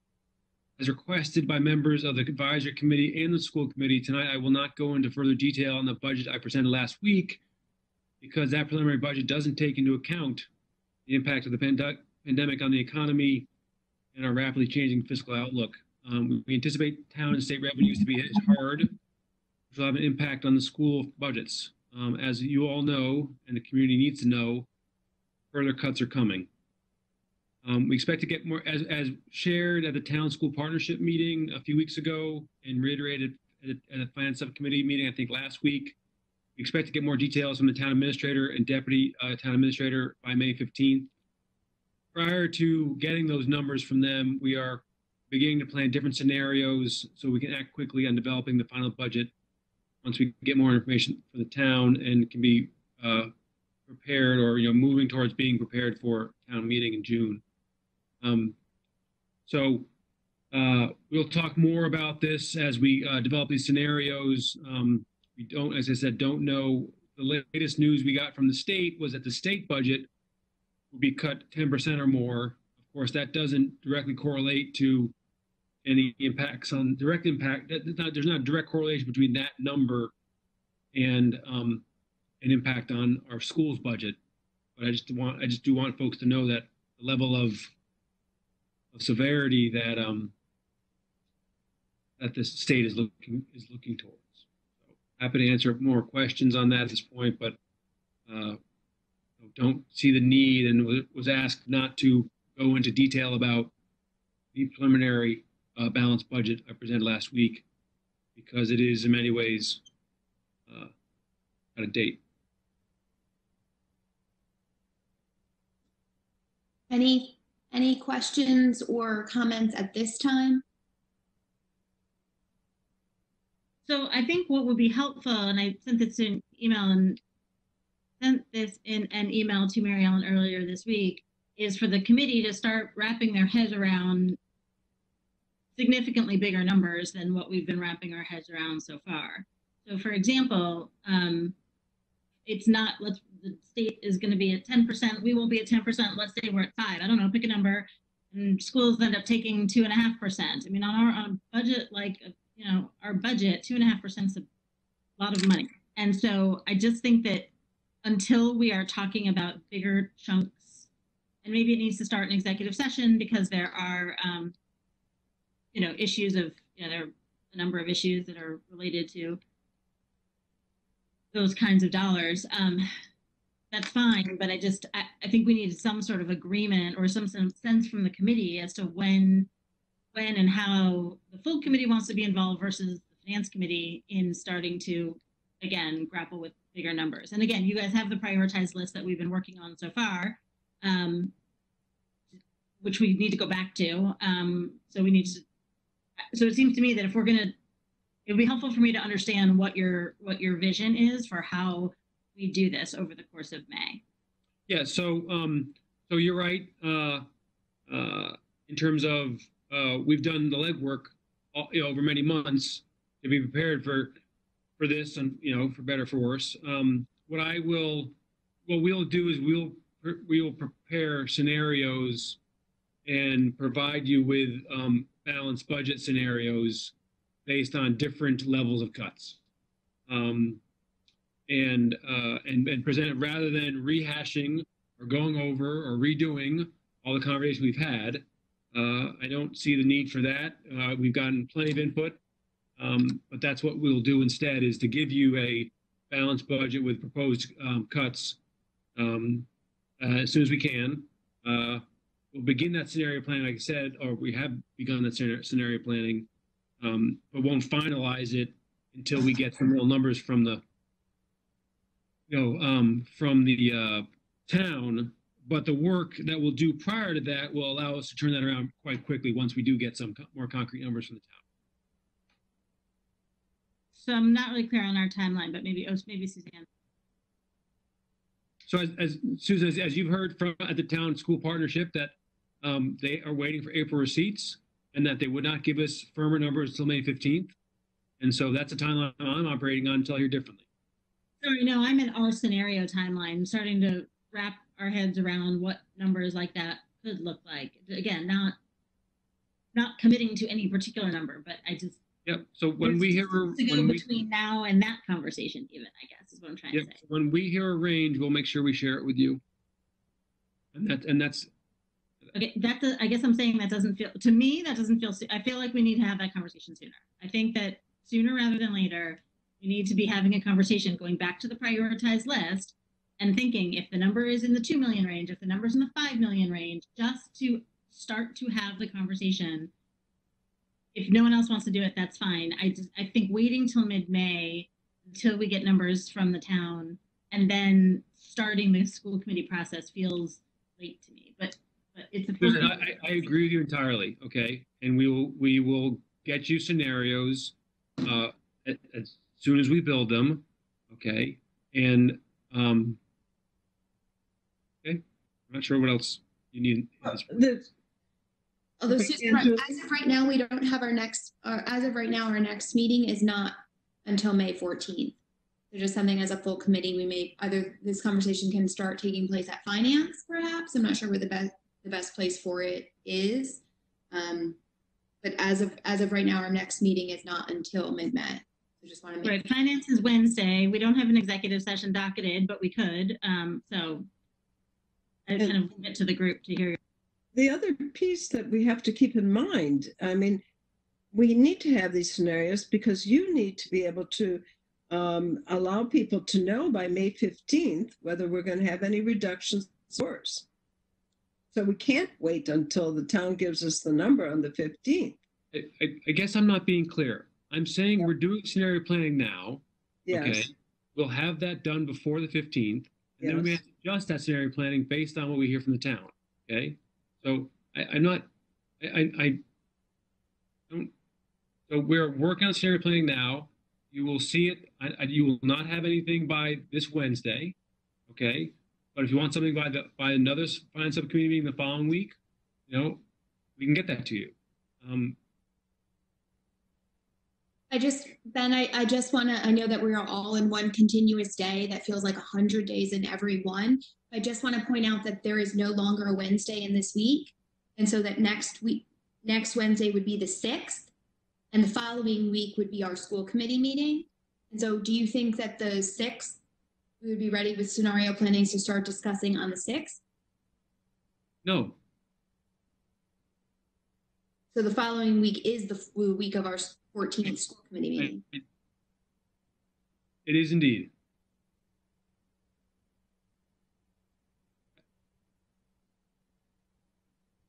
Yes, Suzanne, and then Jennifer, are you puzzling or you have your hand up? But Suzanne first. Well, I, you know, I just want to remind us that this will be across the board, if, depending what those numbers are, uh, including central office. So it's, it's, we don't know exactly, but it's going to be bigger than what we had probably thought, perhaps by quite a bit. Also, I'd like to suggest that schools be involved, uh, again, with what they need to do at their school level. So I just said I would recognize, people asked me just to mention, I know at Lawrence, they're concerned about reduction of staff. And I, I think that we are not in a position where we can say yes or no to a particular position or staff person. And that should be, we should get that information from the school. Those decisions should be impacted by the schools. Uh, and so we need to think about that. Suzanne, I just want to clarify, when you're saying schools, are you asking, you're asking about then whether principals, the school leaders, the principals are involved in this consideration? Or you're wanting the entire school committee, this, the school community to be involved in individual decisions about the school? I think I want the school site council, or the school councils to be involved with their budgeting advice. That's their role is to advise on their school budget.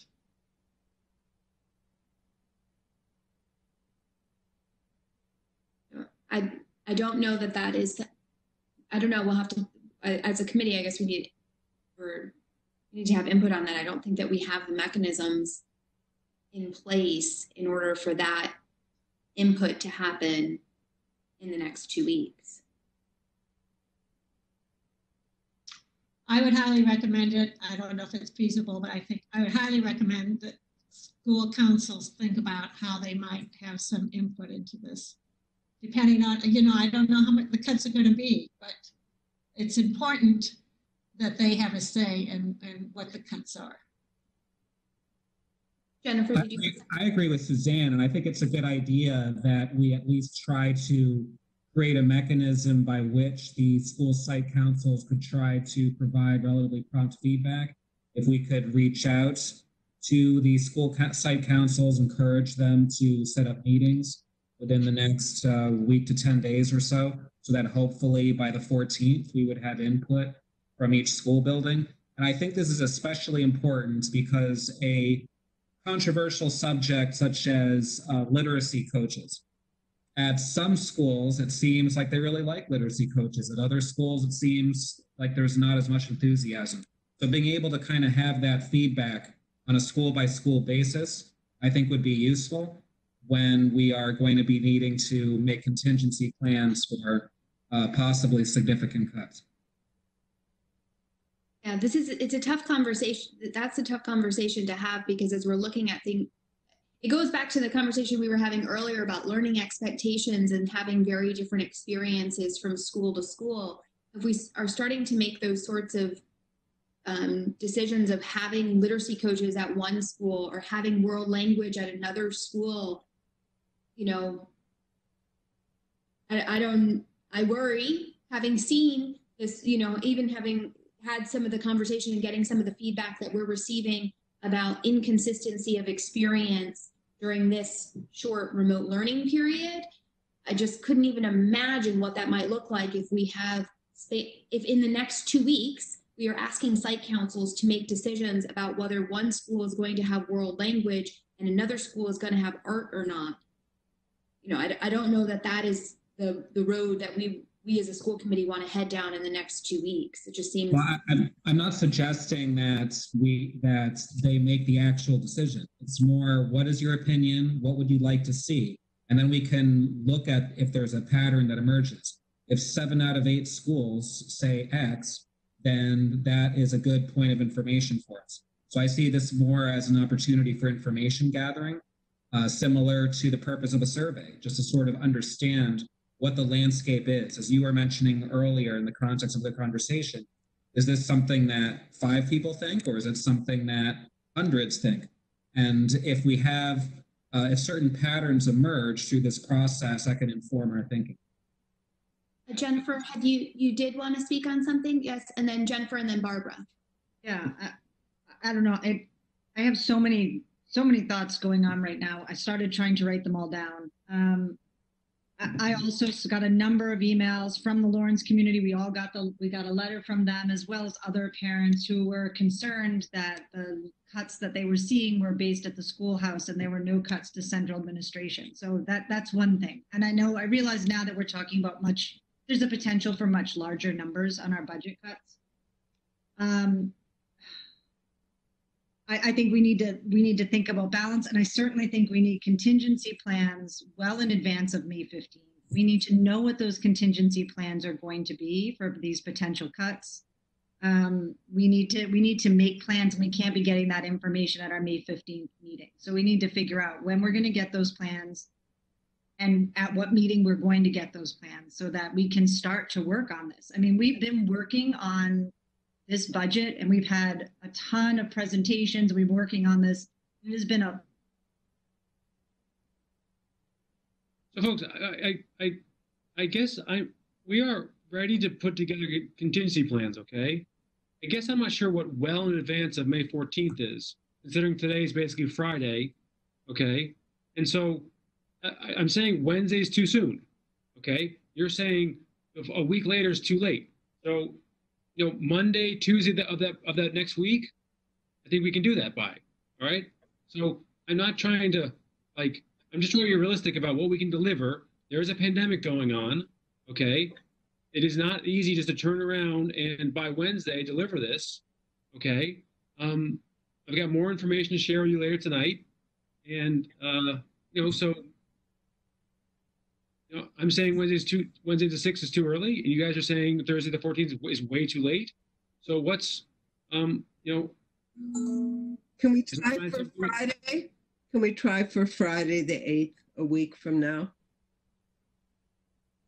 Jennifer, I see that you're, you're trying to talk. You're You're computer- muted. Yeah, Jen, no, you just muted, but your computer's doing something weird. We can't hear you.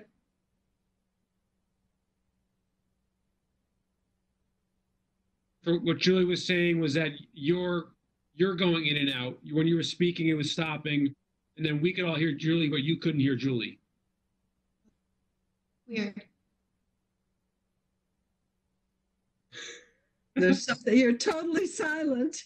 Can you hear us? We can't hear you.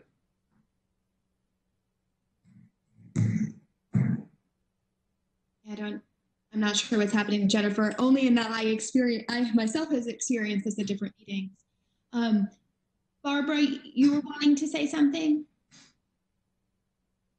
Yes, um, I am, I, I think we don't have enough time to do the kinds of things we're talking about with school councils. I think there's some real issues around school councils getting involved with how money is spent. One of them being equity. Um, I don't want to get into this conversation now. It's a longer conversation, but at this point in time, with the problems we have uh, with with the uh, COVID virus and with with the whole financial situation, I don't think we can afford to spend time thinking about how we want our budget to work in the long term. I think that we have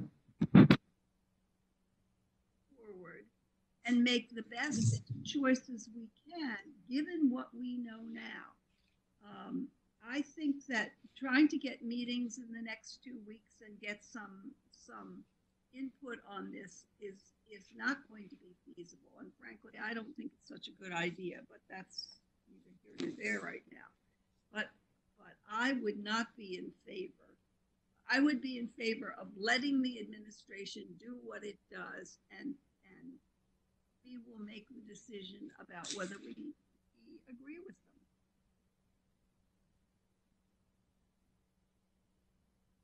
them. Okay, so how are we going to land on when?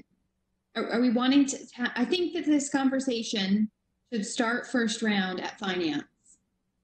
And so then do we land on? I know that there was a proposal. Helen had made a proposal, and then we had trouble with computers. Did we land on trying to make this happen for Friday, or is that suggested in? Uh, I would prefer Monday, the uh, 11th. Okay. Um, Ellen, I mean, uh, Susan, being that I'm now talking about finance, does that work for you? Uh, apparently. So I will let Susan work with Robin and Mary Ellen and Ben to try to schedule a finance subcommittee meeting for Wednesday. To, and that will have to be an executive, I'm assuming there will be a lot of personnel um, impacts to Wait, the, Wednesday?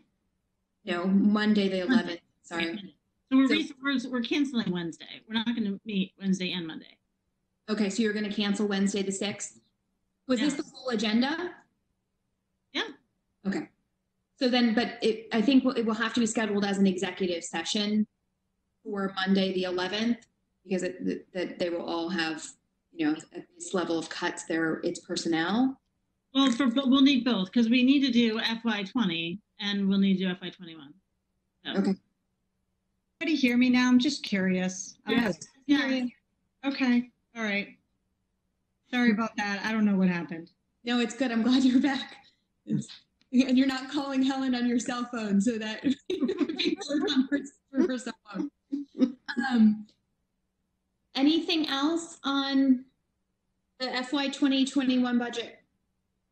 All right. Um, I'm just going to repeat myself, and we don't have to respond to what I'm going to say, but just so that people know what it was that I was going, that I was saying that no one could hear. Um, um, I was talking about, you know, the all of the the letters and emails. Um, Suzanne mentioned the letter from Lawrence. We've gotten, I've gotten a lot. I'm sure we all have gotten letters from parents in the community concerned about the cuts happening at the schoolhouse level and not the central administration level. And that I, I understand that in the context of this conversation, we're looking at much, potentially much larger cuts.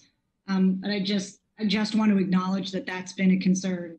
Um, and I was also um, making, uh, wanted to encourage us to really have those contingency plans well in advance of the 15th, which we have now settled. So that's And- just, and- And also, just to clarify on that as well, in our executive session this evening, we already have intended that part of that conversation in discussing So- central office So, cuts. um, yeah, so, uh, Jennifer, thank you for bringing that up. I'm, I was remiss in saying earlier in my opening that further cuts are coming. And those will certainly include cuts to central office.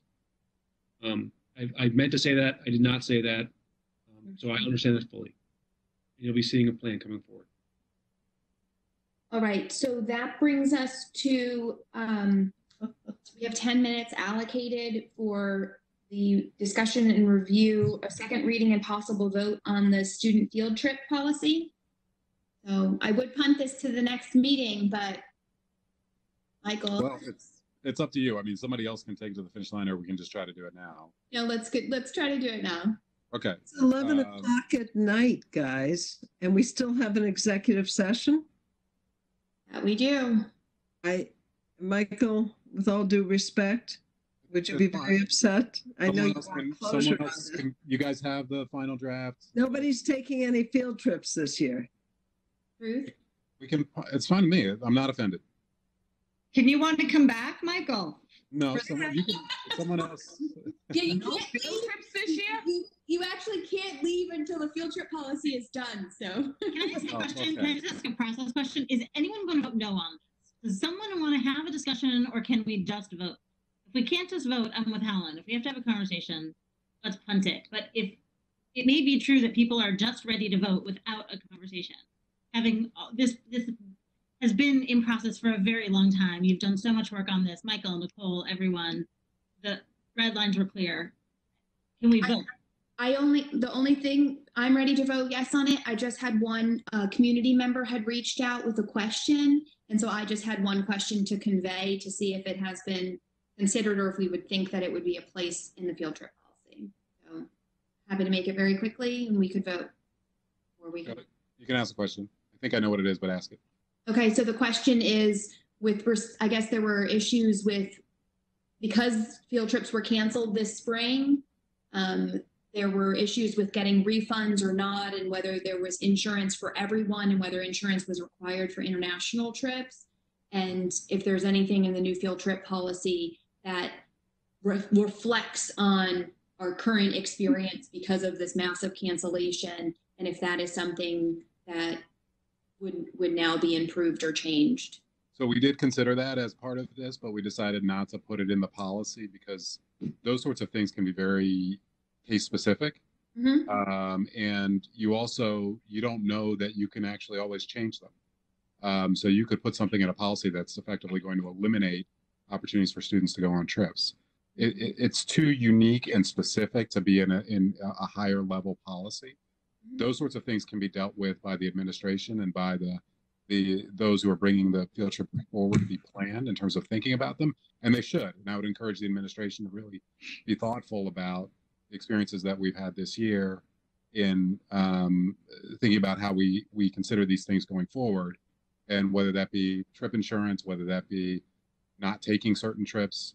Um, those are all things that should be considered, but they're not they're not something that we decided to put in this policy. With that said, and I want to reiterate, it does not pre- prevent anyone from considering those issues. Uh, the policy just lays out sort of the minimum standards um, that we're looking for for for policy approval. Um, we did insert some language that, that indicated that travel insurance may be required by uh, by central office, uh, but it's not not a requirement.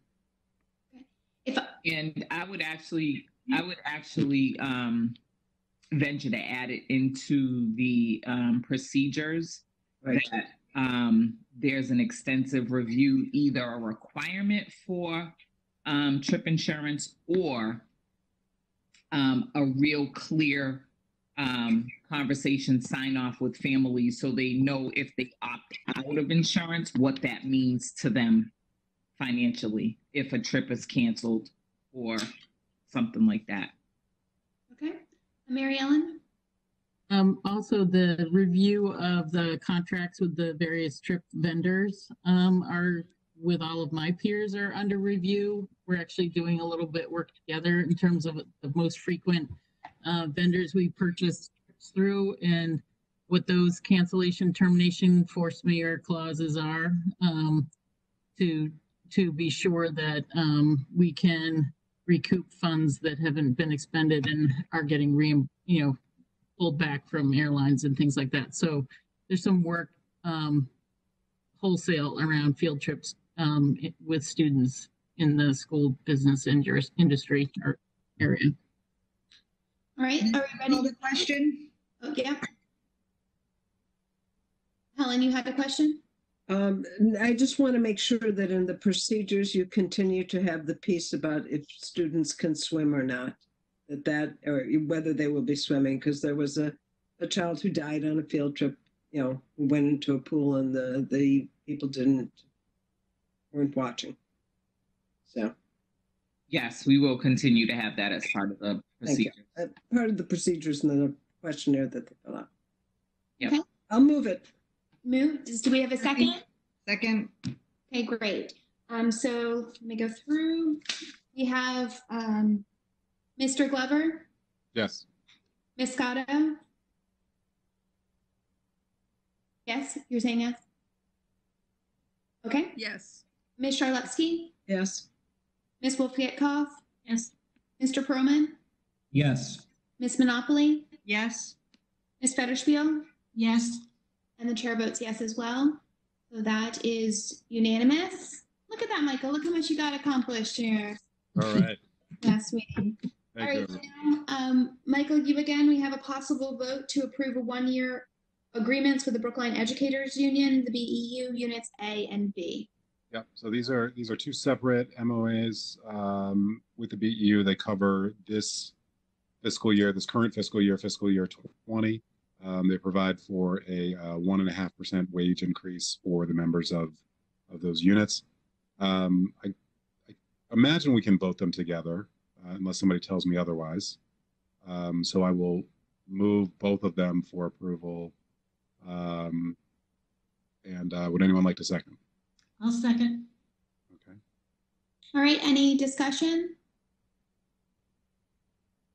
Uh, yes, Helen? You're muted, you have to unmute. The, the union has voted the memorandum, Yes, they've ra- they have ratified. ratified it. Thank you. Okay, uh, so the, again, I just, just as I did in the last, on the last vote that we took before we go ahead and take the vote, I just want to say that I am going to vote no on this again.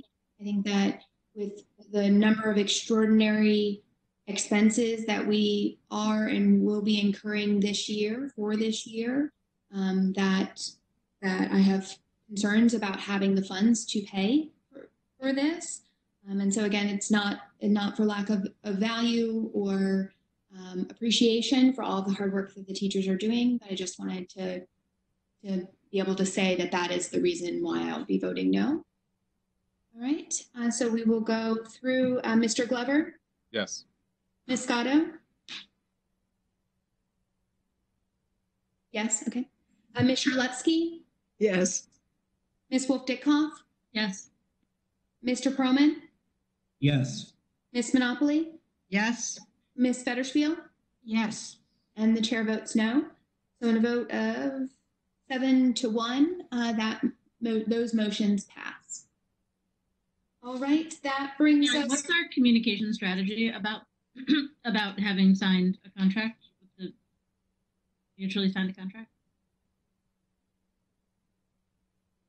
I have not developed one. Um, When does your clock run out, Michael? Next uh, I, I think I'm accelerating it. I think it's in about 10 minutes.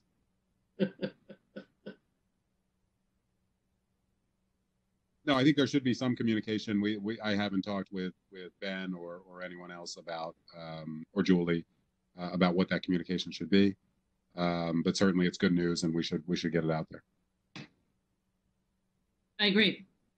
Uh, so Michael, do you, is that something that you're wanting to take on or do you, uh, do we need to um, designate someone else to take the lead with that? I think we need to designate someone else to take the lead with that. Okay, just, is someone willing to take the lead with that?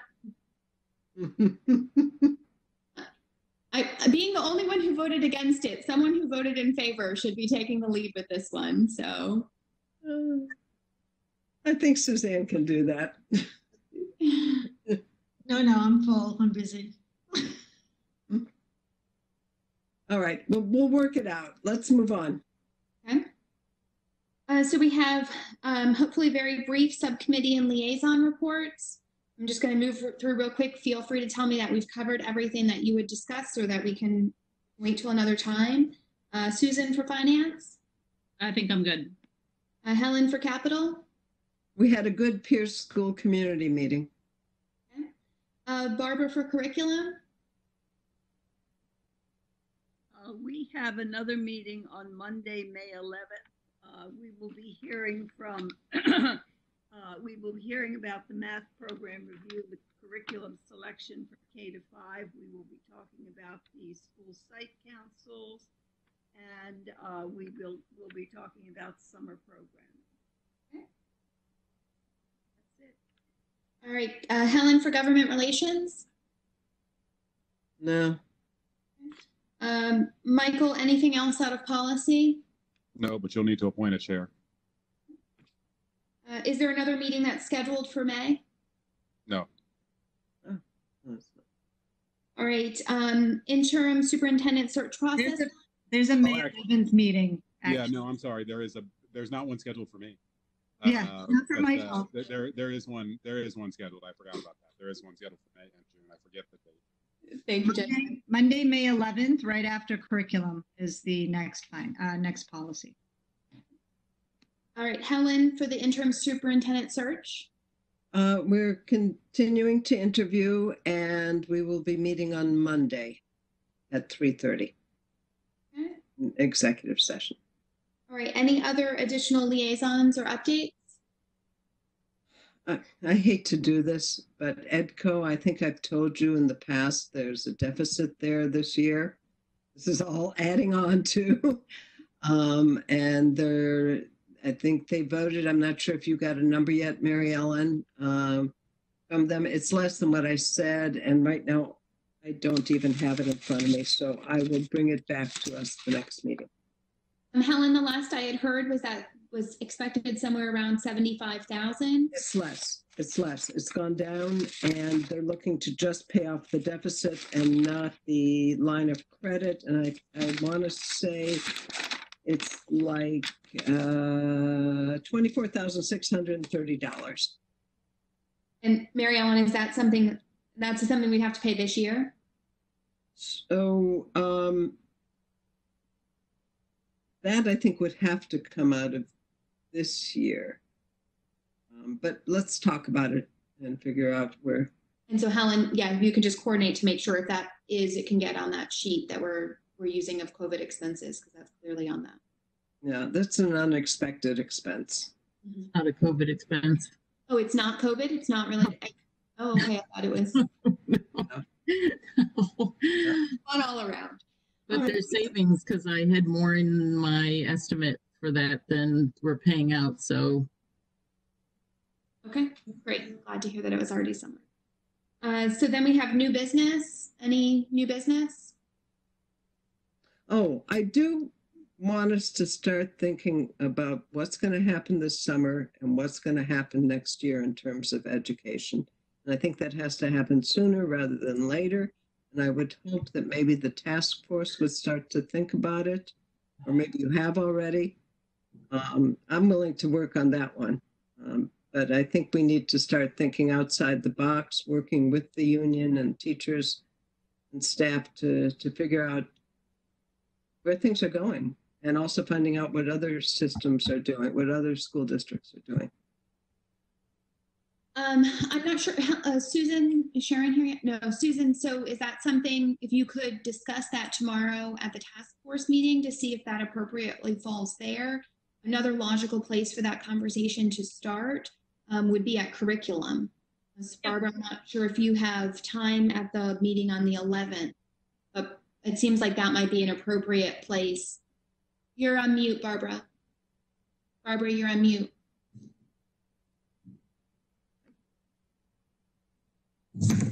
No, you're still on mute. Barbara, we can't hear you. Yep. Oh. Barbara, Barbara, we still can't hear you. It keeps going back. There you go. There, I can hear you now. It keeps going back. Now we can hear you. One of the things we're discussing.